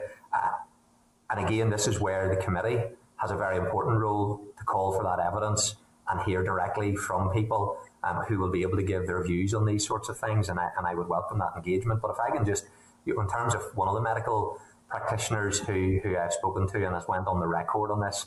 Dr. Sarah uh, Harris, who, who is, a, is a general practitioner, um, but also you know, works um, in other spheres within our medical. And she says that as a medical professional, I'm involved in supporting individuals throughout their lives' journey from birth to death. I know firsthand how they provide joy and happiness to everyone around them. And I've seen how many of them lead full, vibrant, and fulfilling lives with numerous opportunities available to them. And in that context, she goes on to say about this current law, its existence implies that those living with disabilities are in some way inferior and not entitled to the same chance in life as those of us who merely have the privilege of living with good health. Being born with a disability does not make you any less likely to lead a fulfilling life than anyone else. To make this assumption is contrary to everything that I stand for as a medical professional. So, you know, obviously there will be uh, I think there may well be differing views in the medical profession on this, um, you know, but that is one uh, medical professional who is very much uh, in favour of what this bill is seeking uh, to do. Okay, thank you. Okay, going then to Paula Bradshaw. Go ahead, Paula. Um, thank you, Paul, and thank you to panel for being here today. I think this is a really important conversation that we're having this morning. Um, I just want to, since you're here to talk about the general principles of the bill, Paul, I just um, just want to uh, put on record that I have been really engaging with a wide, wide range of opinions on this, and that included on Monday night I attended a, a, an online pro-life event, and it was interesting to, to, hear you say that your door is open because they had indicated that they had tried to secure a meeting with you and you have refused it to date. They feel disenfranchised that you have worked with UK Care UK that are based in London and did not work with local pro-life groups on, on this bill. They're disappointed that your party's pledge that the first item on the agenda when the Assembly would be res- was restored would be the repeal of the whole abortion regulations. Um, so, what do you say to them? They are disappointed that this bill does not um, outlaw abortion in its entirety. So, that's my first question. Thank you. Thank you, Paula. Uh, and I'm sure CBR will be delighted that you're advocating on their behalf. Um, in, in, terms of that wider debate, again, I'm going to stick very much to what the principles of this bill is about. I appreciate that some members may want to to stray into a, a much bigger debate around abortion law uh, and you know whether you're pro-life, pro-choice, uh, and that terminology. That this bill is about disability discrimination in respect of that. Uh, and uh, to, to that point, I have met with uh, any organisation that has sought to meet with me on this, including that one. So you know that's obviously uh, inaccurate in terms of from a factual position. But uh, obviously, the general principles of this bill relates to uh, disability discrimination legislation, and that's what this is about. Okay, thank you, Paul. Um, you focus very much on, and, and, thank you to Heidi and Lynn, uh, and um, yeah, thank you, thank you, Heidi. It's great, great to have you here today. I've spoken about my aunt who had Down syndrome and how much we loved her as an individual. So I think you're absolutely right to um, challenge societal attitudes towards people with Down syndrome. So thank you for your contribution this morning. Um, I read last night then the um, paperwork on Don't Screen Us Out, um, so I'm going to focus in on that if you don't mind. Um, the, the screening process at the minute when, when they look at Down syndrome, but they're also looking for Edwards and Patau. Um, are you suggesting through this bill that we would seek to remove that screening process as part of the antenatal services?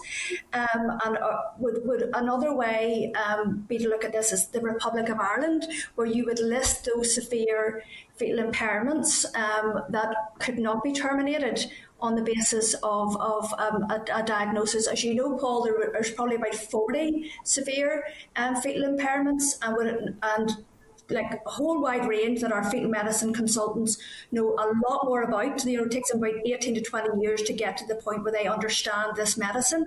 Would it not have been better to look at it from the to almost isolate Down syndrome and some of the severe fetal impairments and say that they could not be grounds for abortion, as opposed to the whole 40 plus that, that um, our medical professionals are looking for in those scans and screening. Thank you.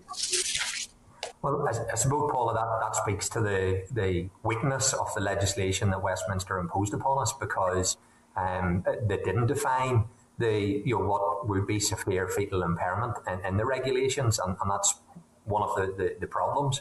Um, um, and therefore, it is that interpretation and mirroring of how um, that legislation based upon Great Britain and the 67 Act has been implemented.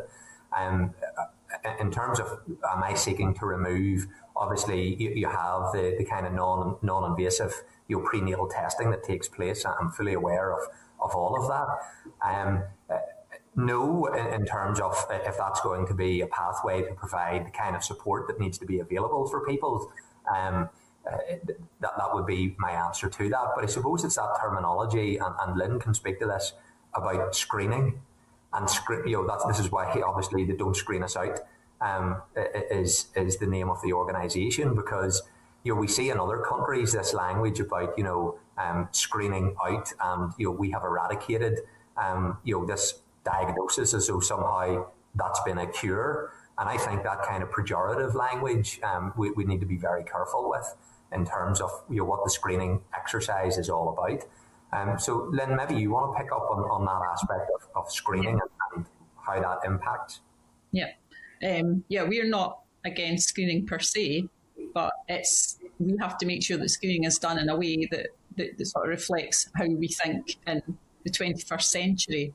So we will be screening for a, a, much wider range of things going forward, and that's that's also why this is important. So while you're looking at small numbers today, as you say, Paula, there's lots of other conditions which we are going to widen uh, and bring into screening. So I think in, in, terms of our campaign, it has been a good time with the introduction of NIPT, um, apart from to stop the kind of discrimination against Down syndrome, to, to make sure that we're sort of saying, well, why are we screening? How are we doing this? Are we doing it the best way we can? Or are we creating more sort of stigma around congenital conditions? If that does that no, no, no, absolutely. No, I appreciate that. And, and I suppose this all cuts to the heart of the fact that we got the regulations last year. None of us were in the Assembly at that point, you know, and I have said on myself and Paul were on TV probably about three years ago that I wanted this debate. I wanted anything around abortion legislation or regulations to take place through up this sort of process and not through Westminster, but we are where we are with that. So I fully agree. And I'm wondering again, this is more of a wider statement than a question, whether this is a role maybe for RQIA, which would be our sort of local regulatory body, to actually look at the full range of issues that you have raised here today around the language that's used by our healthcare professionals when a diagnosis is made, the type of screening, the timing of screening, the support services, whether I know that some trusts have a psychologist or a social worker on, on board if, if they, this diagnosis is there, others don't. So there, there's a lot of work that we need to do in terms of support for the families because, again, on record, people say I'm pro abortion. I'm not. I'm pro choice, but I want to make sure that women are absolutely supported around this issue. So the, the, third question, um, Paul, is in relation to. Um, the potential that if this um, bill um, passes into law, that women um, will seek a, an abortion before 24 weeks under the grounds of mental um, or physical impairment. And when I met with um, the fetal medicine consultants on Friday evening, they were saying that there's the potential, when you get a diagnosis at 20 weeks, whether it's whatever condition it is, whatever impairment it is, it takes a couple of weeks then for for for further t- tests or scans or other um, investigatory work to take place that may take women over the 24 weeks, which then means that there's a potential that women will use that grounds in law to have an abortion at 23 weeks plus six days rather than give themselves the opportunity to find out the full facts so they can make a full informed decision as to whether they would carry the fetus to term. So, can you speak to the potential unintended consequences um, from this sort of um, amendment? Thank you. Yeah, no, thank you, Paula. I, I think that that argument um, can be equally applied to every other form of, of pregnancy. Um, because obviously you know, we're all familiar now with the law. It's up to 12 weeks for any reason. The issue that I have, and I believe others have, is that after 12 weeks, there are three grounds on which uh, a termination can, that can then be permissible under the law, and that's obviously around the mother's physical, mental health. Then it is on the what's termed the fatal fetal abnormality, the life limiting conditions, and then based upon severe fetal impairment. So all of the other types of pregnancies up to 12 weeks you are, no, are, are then, in terms of, of the preborn stage, they are protected in law after 12 weeks. But here we have a category which is singled out as not being protected. So I think the argument that you speak to around is that going to then lead to people, uh, mothers in particular, making the case around their physical and mental health as a reason why um, you know they can't proceed with the pregnancy. That can be equally applied to every other form of pregnancy that is no longer permissible under the law after 12 weeks. So I don't think that's unique um, in terms of the context of, of you know this law that discriminates on the grounds of disability. Thank you. Sorry, Chair, I've got one very small question, very small. Very brief, um, please. You'll be aware that the IONA test can be um, um, purchased for £320 in our private healthcare providers at 10 weeks, and that can identify the three um, Patau, Edwards, and, and Down syndrome. So there's the potential, based on what you've just said there, that if a woman got that scan at 10 weeks, then she could terminate the pregnancy. So what you're doing almost is creating um, a situation where women who have means and money could get a termination and those that don't have the money um, couldn't. So, what, what's your response to sort of the socio-economic consequences of this? Thank you. Well, again, like I don't believe this should be viewed through the kind of economic advantages or disadvantages when it comes to classes around our society, and, and I wouldn't want to view the protection of people with disabilities on that on that basis. Um, you know, so I, I, don't accept that narrative around this. Um, that that you know, if you have the means to pay, I suppose we need to look at what has happened, and, and Lynn can speak to this better than I can. You know, where you have the non-invasive prenatal testing that's taking place um, in, in Great Britain, what has been the consequences of that? It's led to an increase of termination um, for people who have Down syndrome, and that, in, in terms, how does that help um, when we have a duty to promote and defend people with disabilities, when actually that process has led to greater disadvantage for that minority grouping within our society? But Lynn will be able to give better examples on that than me. Yeah. Uh, just to be clear, the IONA test or, or any of the other tests are still screening tests, so they will provide a screening result. And for, say, younger a younger woman, they're not very reliable at all. And for women in an older, older age group, they are quite reliable, but they are just another screening test. So although people can maybe get results at that time, I don't see that that would be um, a major sort of issue because, as I say, you still have to go in and, and have all the different tests. Um, yeah, that's what there was a report uh, in the Sunday Times um, around some hospitals in England, uh, NHS hospitals that are using NIPT to say that births have been reduced by 30% in those hospitals compared to hospitals that aren't using NIPT. And I think that's the issue we have to keep coming back to is that we're not, we can introduce new tests and whatever, and we just don't seem to be hitting the issues here, which is women are still seem to be scared of, of this, you know, the outcome, and, and it's such a speculative thing about how your life is going to be. And what we know, as Heidi has said, is that people that have children with Down syndrome are happy. Research is telling us that, and that's where it's all very different from. It's about abortion, it's about women being reassured that actually their life's not going to be bad. Their life is still going to be good. No, thank you. And I fully understand that. I was just really trying to get the technicalities of the bill. Thank you. Thank you. Going then to Jonathan Buckley. Go ahead, Jonathan. Thank you, Chair, and can I thank Paul uh, for briefing us on the general principles of the bill. Uh, and I do look forward to further scrutiny at different stages uh, following the debate. Uh, on Monday, I will be supporting the bill and I support the intentions of it. I believe that the current law is both discriminatory and wrong, and I do so also on behalf of the thousands of constituents in Upper Bann who have been in touch with me who equally believe that it is discriminatory and, and wrong. But I want to talk, and I'm excited to talk and see Heidi with us today. So, Heidi, thank you very much for your briefing to the committee. Uh, you're very, very welcome. You've been an inspirational young lady uh, for disability rights. Uh, I, there's I've known many people who know, now know you as a household name in Northern Ireland for everything that you've done. So thank you very much. Uh, you have given a voice to those who have otherwise felt voiceless for far too long in, in this process. So we really do thank you for that. But I want to hear about your life. I want you to tell us what led you to be involved in a campaign such as this, and also um, you know, how day to day you find the discriminatory um, legislation in relation to your life? Well, uh, tell about your life.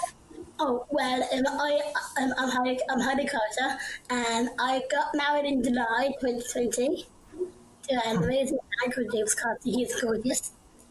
He also has Down syndrome.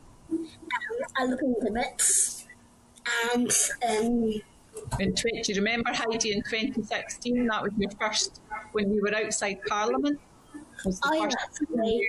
And then I, uh, so basically, um, how I got involved in this, me and my mum met an amazing lady called Lynn Roy. and um, and then um, spoke outside. I spoke outside Parliament, and I. Uh, So I it's my parliament. And the reason why I got involved in this is because in 2018, they, the government were going to bring in NIPT. But they were going, they were going to bring it through um, at, without without consultation. So we um, we just we designed a fantastic campaign led by an amazing lady. Okay. Well, thank you. Can I ask you, how does it make you feel when you hear people talk about crisis pregnancies and devastating diagnosis because a baby has Down syndrome? How does that make you feel as an individual? It makes me feel that I've seen it be here. It makes me feel that I took it back to my mom's womb. Okay. Well, look, we, we really do appreciate you coming to the committee today, and we look forward to further engagement with you as this process continues. Can, Lynn, can I ask you a final question? Because I know we are tight for time. What impact has the law had in, in Great Britain in influencing how the medical profession respond to pregnancies that Sorry.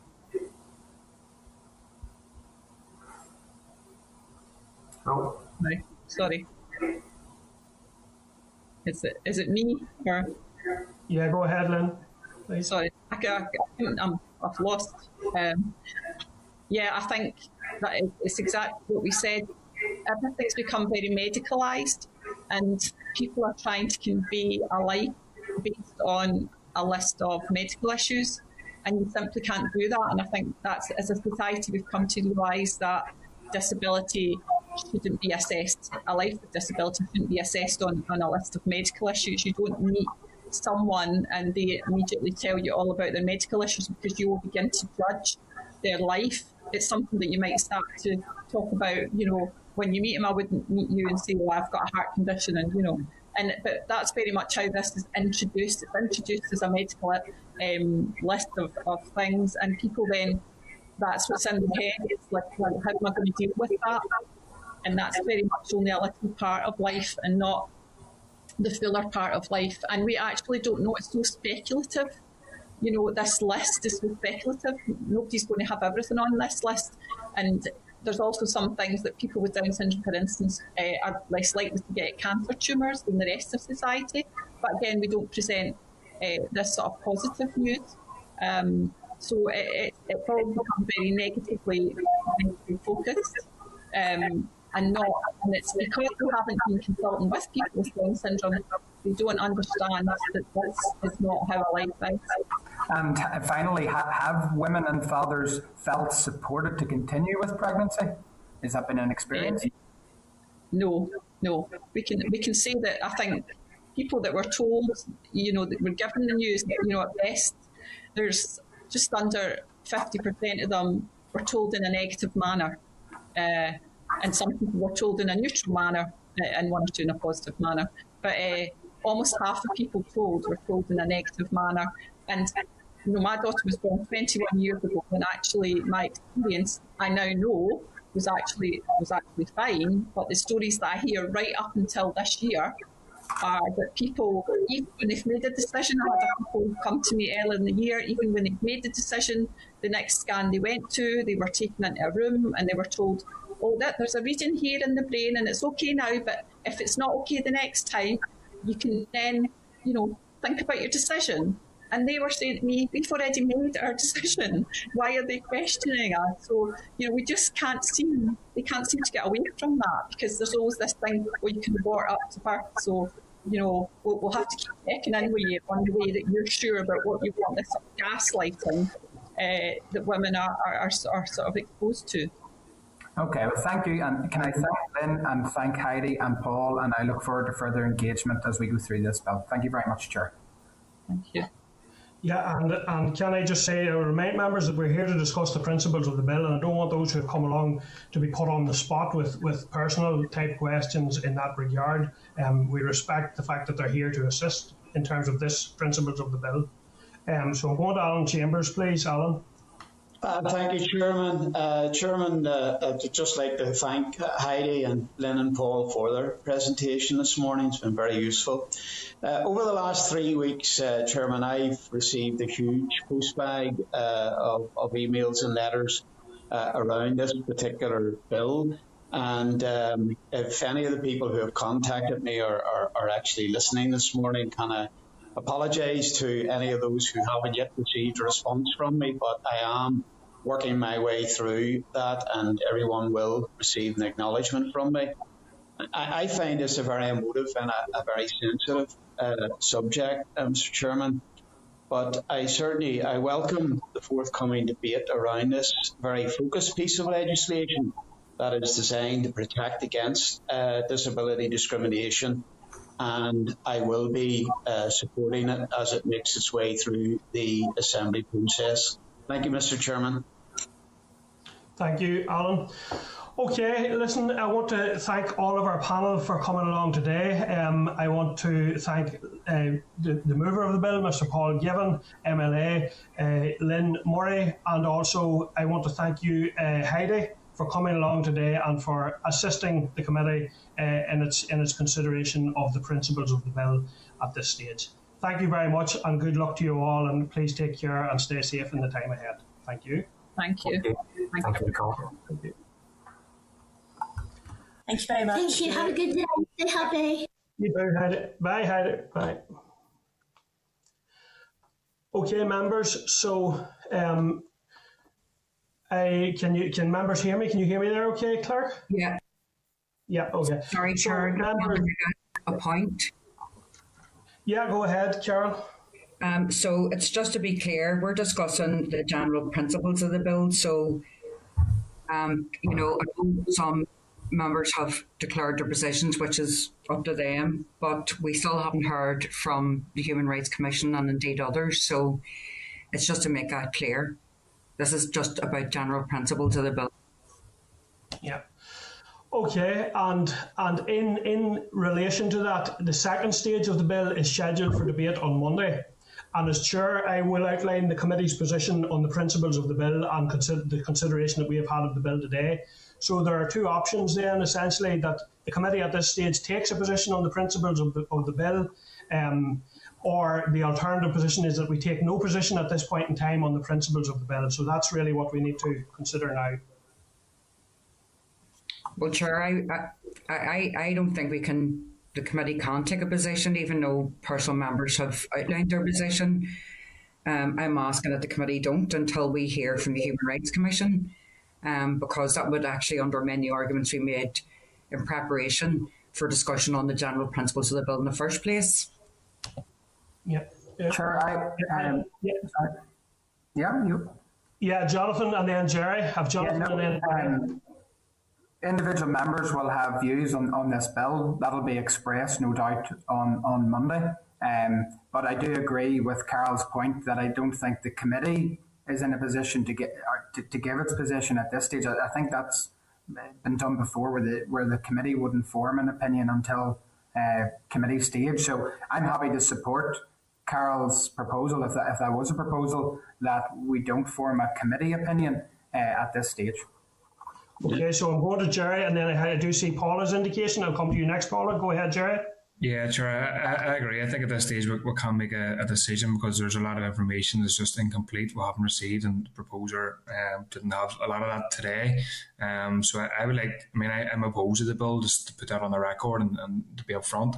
And I would like to see the committee at a later stage when it has all the evidence in front of it, uh, taking a position to um, oppose the bill uh, as it currently stands. Uh, but I think for now, we have an incomplete um, uh, set of information and we can't take a position. Thanks. Thank you, Paula. Um, thank you, Chair. Absolutely. I don't think we, we're in a position to take um, a committee view on this, but I just wanted to um, address an issue that Jonathan just raised there.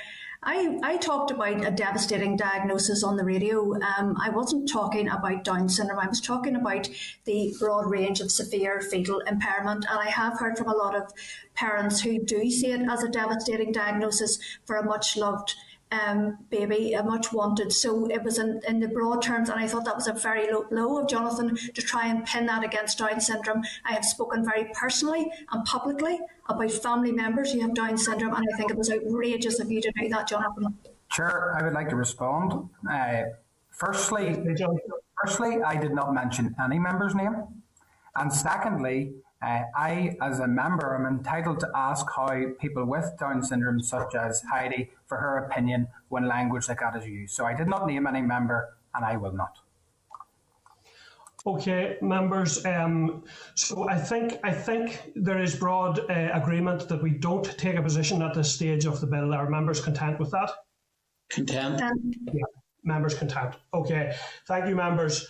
So moving on then, um, we have uh, SR 2020 2021 forward slash 39 to consider today. It's the Health Protection Coronavirus International Travel Amendment number seven, regulations uh, NI 2021. So, members, agenda item eight is uh, is this is this uh, SR. I can advise that Elaine Colgan is here today to brief the committee on the provisions of the SR. Members will recall that a number of issues were raised at last week's meeting in relation to it, particularly around the provision in relation to offences under the Fraud Act, and the committee agreed to write to the department to seek further information on this. A response has now been received from the department and is in- included at tab 8.5 of the table pack. The response provides further information in relation to the Fraud Act. So, can I now welcome Miss Elaine Colgan, who is Chief of Staff to the mm, Chief Medical Officer? Elaine, are you able to hear us there? Yes, thank you, Chair. Are you able to hear me okay? Yeah, hearing you there, Elaine. Thank you. So, if you want to go ahead and outline your, your briefing in relation to this SR, please. Okay. Um, so good morning or good afternoon, Chair and members, and thank you for the opportunity to brief on this amendment, uh, which is the uh, 2021-39. So it was amendment number seven for, for this year for the travel regulations. In February, we undertook a Northern Ireland specific review of the sectoral exemptions, which followed the, the English review, uh, and Scotland and Wales did the same. This amendment uh, implemented the changes brought about by that specific Northern Ireland review and they also made some changes to exemptions that were agreed UK wide by ministers. So I'll summarise these changes. Firstly, in order to remove the blanket exemptions from travel restrictions for all applicable sectors, the regulations introduced categories of exemptions. So there was three categories of exemption. The first one was that those who availed of them uh, would have a requirement to self-isolate when not undertaking the activity which provided the exemption. Uh, category two or category B was for those people that would that would be required to self isolate um, for non UK based individuals. And category C was a requirement where the self isolation should not apply at all. The second change for this amendment was permission for aircraft and vessels from countries listed in Schedule 6, which is known as the red countries, um, so permission for those vessels and aircraft to come to Northern Ireland if they are operated by or in support of a foreign country, where UK government has first provided written confirmation that they are travelling to undertake official business in the UK. The third change in the amendment was the removal of exemptions for road passenger transport workers, tunnel system workers, Euratom inspectors, people receiving healthcare or live donors, UK workers who regularly work abroad or workers who live abroad but regularly work in the UK, and finally seasonal agricultural workers. Prior to the decision to remove these exemptions, a consultation was carried out um, between ourselves and the other relevant government departments who were impacted to make sure that uh, the removal of these wouldn't have a, an adverse impact here. The next change was the requirement for information regarding pre-departure test result notification to include whether the test was a PCR test and if not, the name of the device that was used for the test. The regulations also made changes to some of the countries included in Schedule 6, which is the red countries, and it added Azores, Madeira, South Africa, the UAE into those countries and included the Azores um, and Madeira in the list of countries and territories from which vessels were prohibited from arriving into Northern Ireland. And these addressed alignment with uh, England provisions that we hadn't addressed previously. And finally, as you mentioned, there was an inclusion of a reference to the Fraud Act in the provision for self incrimination to allow information and evidence provided on the passenger locator form to be used in any subsequent prosecution for any offence under this UK wide Act. And as you mentioned, a written response did, um, did uh, issue to committee, um, and I'm happy just to run through the main points of that um, if helpful. Uh, so the the provision allows the pass information on the passenger locator form to be used as a prosecution under the Fraud Act. Providing false or misleading information then can attract offences under the Fraud Act, and uh, departmental officials gave consideration to the offending behaviour, including travellers to Northern Ireland providing dishonest information on their PLF. And the main reason um, that this this was raised was in the context of managed isolation being introduced in England, and they made the change at the same time as that was introduced, and so that the information could that, that uh, fraud was, was it was seen as perpetrating fraud if you lied on your your passenger locator form or provided false information in order to avoid managed isolation because you got a financial gain by failing to have to pay for the managed isolation. Um, with when, when Northern Ireland doesn't have direct international flights and doesn't have managed isolation in place uh, because we don't really need it until we have international flights, then there was the potential for, for someone to um, provide false information on their passenger locator form to avoid managed isolation in England. Um, and so we felt that it was um, merited to introduce that here at this point, uh, and that it was proportional to the health risk of the increase or the potential importation of a variant of concern into Northern Ireland. Colleagues in Department of Justice and PSNI were consulted on the inclusion and raised no issues. And just to note finally that whilst 10 years imprisonment is the maximum sentence available, um, under a conviction or indictment. Most, if not all, convictions that may result from this would carry a much lower sentence. Um, so I'm happy to take any questions the committee might have. Thank you, Elaine. So, firstly, from me, um, what feedback did the PSNI and the Department of Justice give you in relation to including reference to the Fraud Act in this SR? Uh, they, they confirmed that, that, from their perspective, they had no issues with it. Okay, and then can you outline a scenario uh, where someone would be likely to face charges of fraud following this regulation? It's not so much that we're actively pursuing this necessarily. It's just adding in the option um, that if if a, that, that it is now considered to be um, the, that the information in your form could be used uh, to uh, provide evidence if, if a case was being taken against the Fraud Act. We haven't said that this is an active enforcement measure. What we have said that is, is if a prosecuting authority wants to take a prosecution against you under the Fraud Act, then the information on your passenger locator form could be used for that.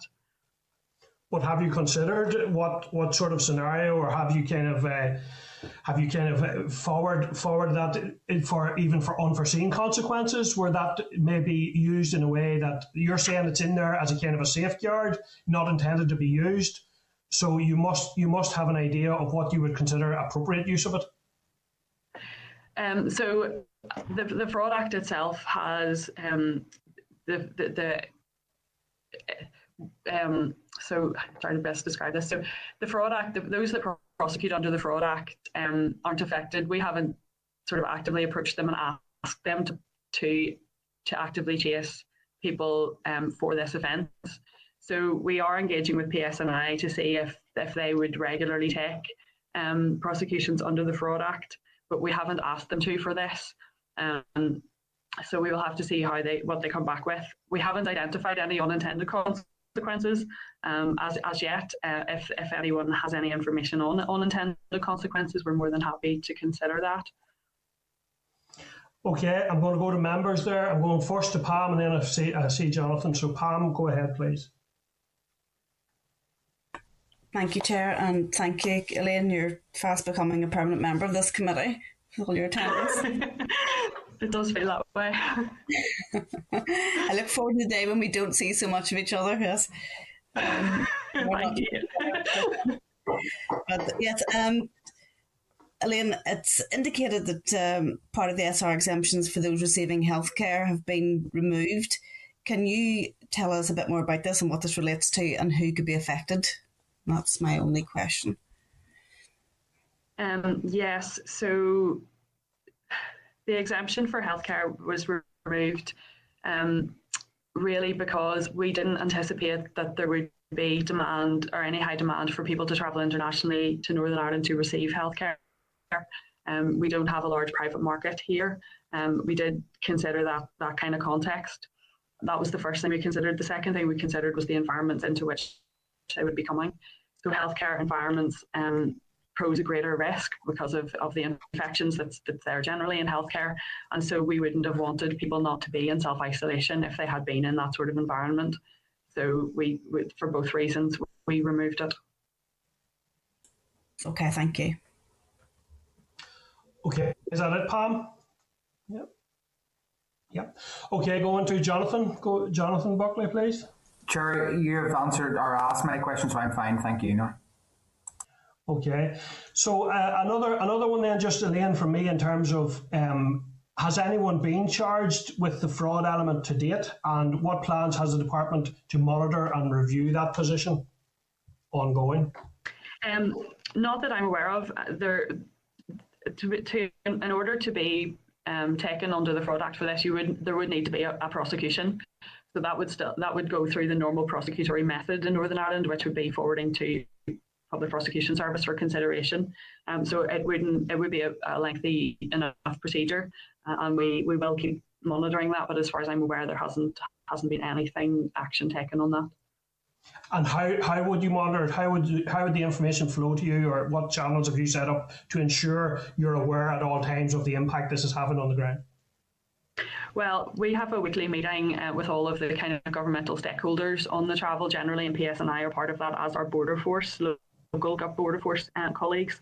Um, so we, as I m- mentioned earlier, we, we are engaging with PSNI to see if the Fraud Act is something that they prosecute. Um, we also have, have an operational group with UK government colleagues who are involved in enforcement in England.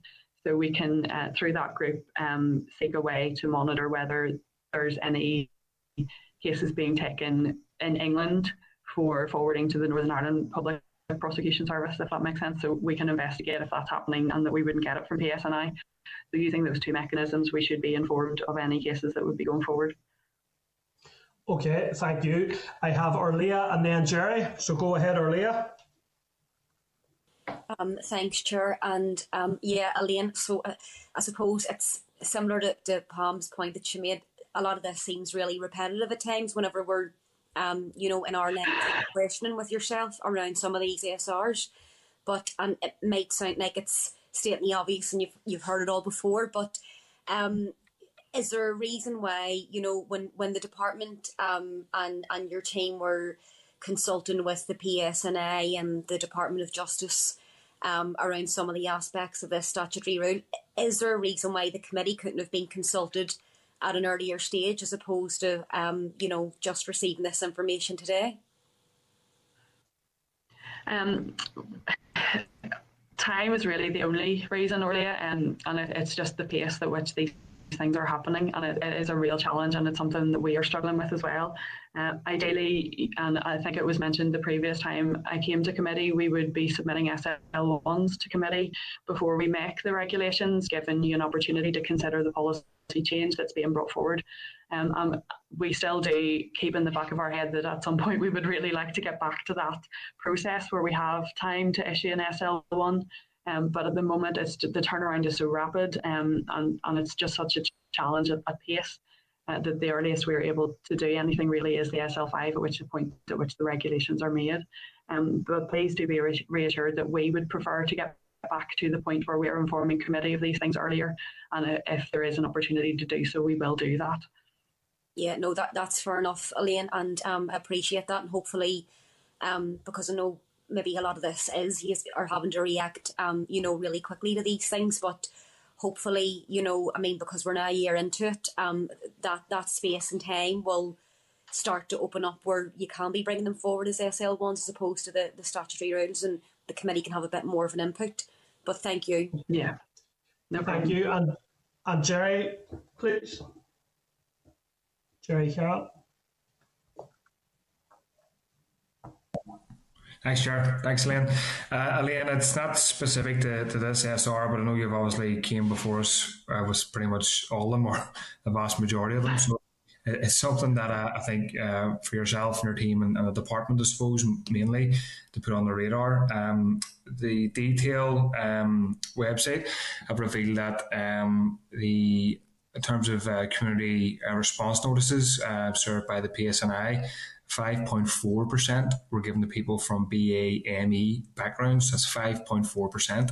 Uh, this is despite the, the group making up around 1.8% of the total uh, population. So I think that's very, very concerning. Uh, for me, points towards um, you know unfair targeting uh, of communities, um, and presumably that's mostly around the Black Lives Matter protest. But to me, that suggests that there needs to be extra work done, um, if not by yourself, then by the department to ensure that these regulations. Are fair, aren't discriminatory, and aren't targeting people who uh, um, don't need to be targeted, uh, if you will. So I, I, appreciate you may not have that information, but I just wanted to share that for yourself and for other members of the committee as well. Um, thanks, Gerry. Uh, the community response notices are issued under the general restrictions rather than travel. So the travel ones, the only the only thing that is issued by police is a fixed penalty notice or not. Um, however, it is a valid point that you've raised, uh, and I'm happy to take that away uh, and work just to liaise the PSNI on that and see if there's any action that they're looking into on that for the general restrictions. Thanks, appreciate that. Okay, thank you. And, and just a very quick one for me then as well. It's kind of uh, occurs to me on, on the back of some of what we've discussed, Liam. But how do you ensure, say, the like of say someone a wide range of people coming in say something as basic as literacy problems or being able to read the form and fill the form out correctly, what monitoring is the department taking to ensure that no one's discriminated against in terms of equality in that respect? Um, yeah, so the, the first thing is around literacy problems. Um, there is a helpline on the, the at the start of the form on the UK government page that you can phone if you have difficulty for any reason in completing the form, and there's people at the other end of that phone who can who can provide you with assistance. Um, on the language, the non-English speaking language uh, issue, the NI Direct, um, I can get you details of this, more details of this in writing. Um, it's that NI Direct have been doing some work on the, the general translation of the site. Uh, and we've also been working quite heavily in the last couple of weeks of trying to make the information in NI Direct uh, easily, more easily understood on travel it is a very complex area and it's, it is very difficult to convey the information succinctly in a way that enables people to quickly get the answer to their particular travel query. Um, but we've done the best that we think we can on that and updated the information. Um, but I can provide you some information on what NI Direct has now done on that as well, generally. Yeah, and, and I think you need to redouble your efforts in that respect, given that this is a, a, fairly significant increase in terms of the punitive outcome that this could have. I think then it's there's a responsibility on you to to make sure that that's working and people are being supported. So listen, thanks, Elaine. Thank you for that. Uh, I think that's all we have for members. Thanks for your appearance today once again at, at committee. Thank you. All right, thank you. Bye. Okay, members. Okay, members. Before before I go on to our formal consideration. Um, I can advise that the committee's this is the committee's last opportunity, and it's subject to the SR subject to negative resolution. The examiner has since reported that the SR is in breach of the 21 day rule, but she's content with the reason for that and has no other issues to raise. I do think this is an issue that, that we would want to keep a bit more of an eye on, even if we do agree to formally allow the rule through. I think it's something that we should be including a request to the department that they would keep us updated, and maybe we revisit this one again in a number of weeks, say 10 or 12 weeks, just to see if this is having unforeseen impacts or unequal impacts. So, with, with that, our members agreed with that before I put that, that we add that, and then I put the formal. Yeah. Okay, so can I uh, if there's no other comments from members, I'll go to the formal consideration. No. Okay, the Committee for Health. Can we agree for? I ask the members to agree formally that the Committee for Health has considered SR 2021 forward slash 39, the Health Protection Coronavirus International Travel Amendment Number 7 Regulations 2021 and has no objection to the rule. Are we agreed? Great, Chair. Thank you. So, members, I, I then propose to take a very short break just to allow broadcasting, which will have to come to an end, and we return there at, at uh, a 13.35, please, just to go through the correspondence on the forward work programme. And if we could ask members to return, I will try to get that done as, as quickly as we can today. So we're taking like a two minute break. Thank you. Sorry, Chair, just to mention if a member leaves at this stage or exits out, it'll be difficult to get back into the meeting just because okay. we're not being broadcast and it's not being managed. Um, so if you have to leave your your your desk, just sort of leave your. Well, do you know what? Maybe maybe we should just try. Maybe we should just go ahead. If we can, if we can end broadcasting, take a pause to end broadcasting, but stay in the meeting, and we go immediately to correspondence. Maybe we'll get that addressed. Okay. Northern Ireland Assembly, Senate Chamber, Programme Sound.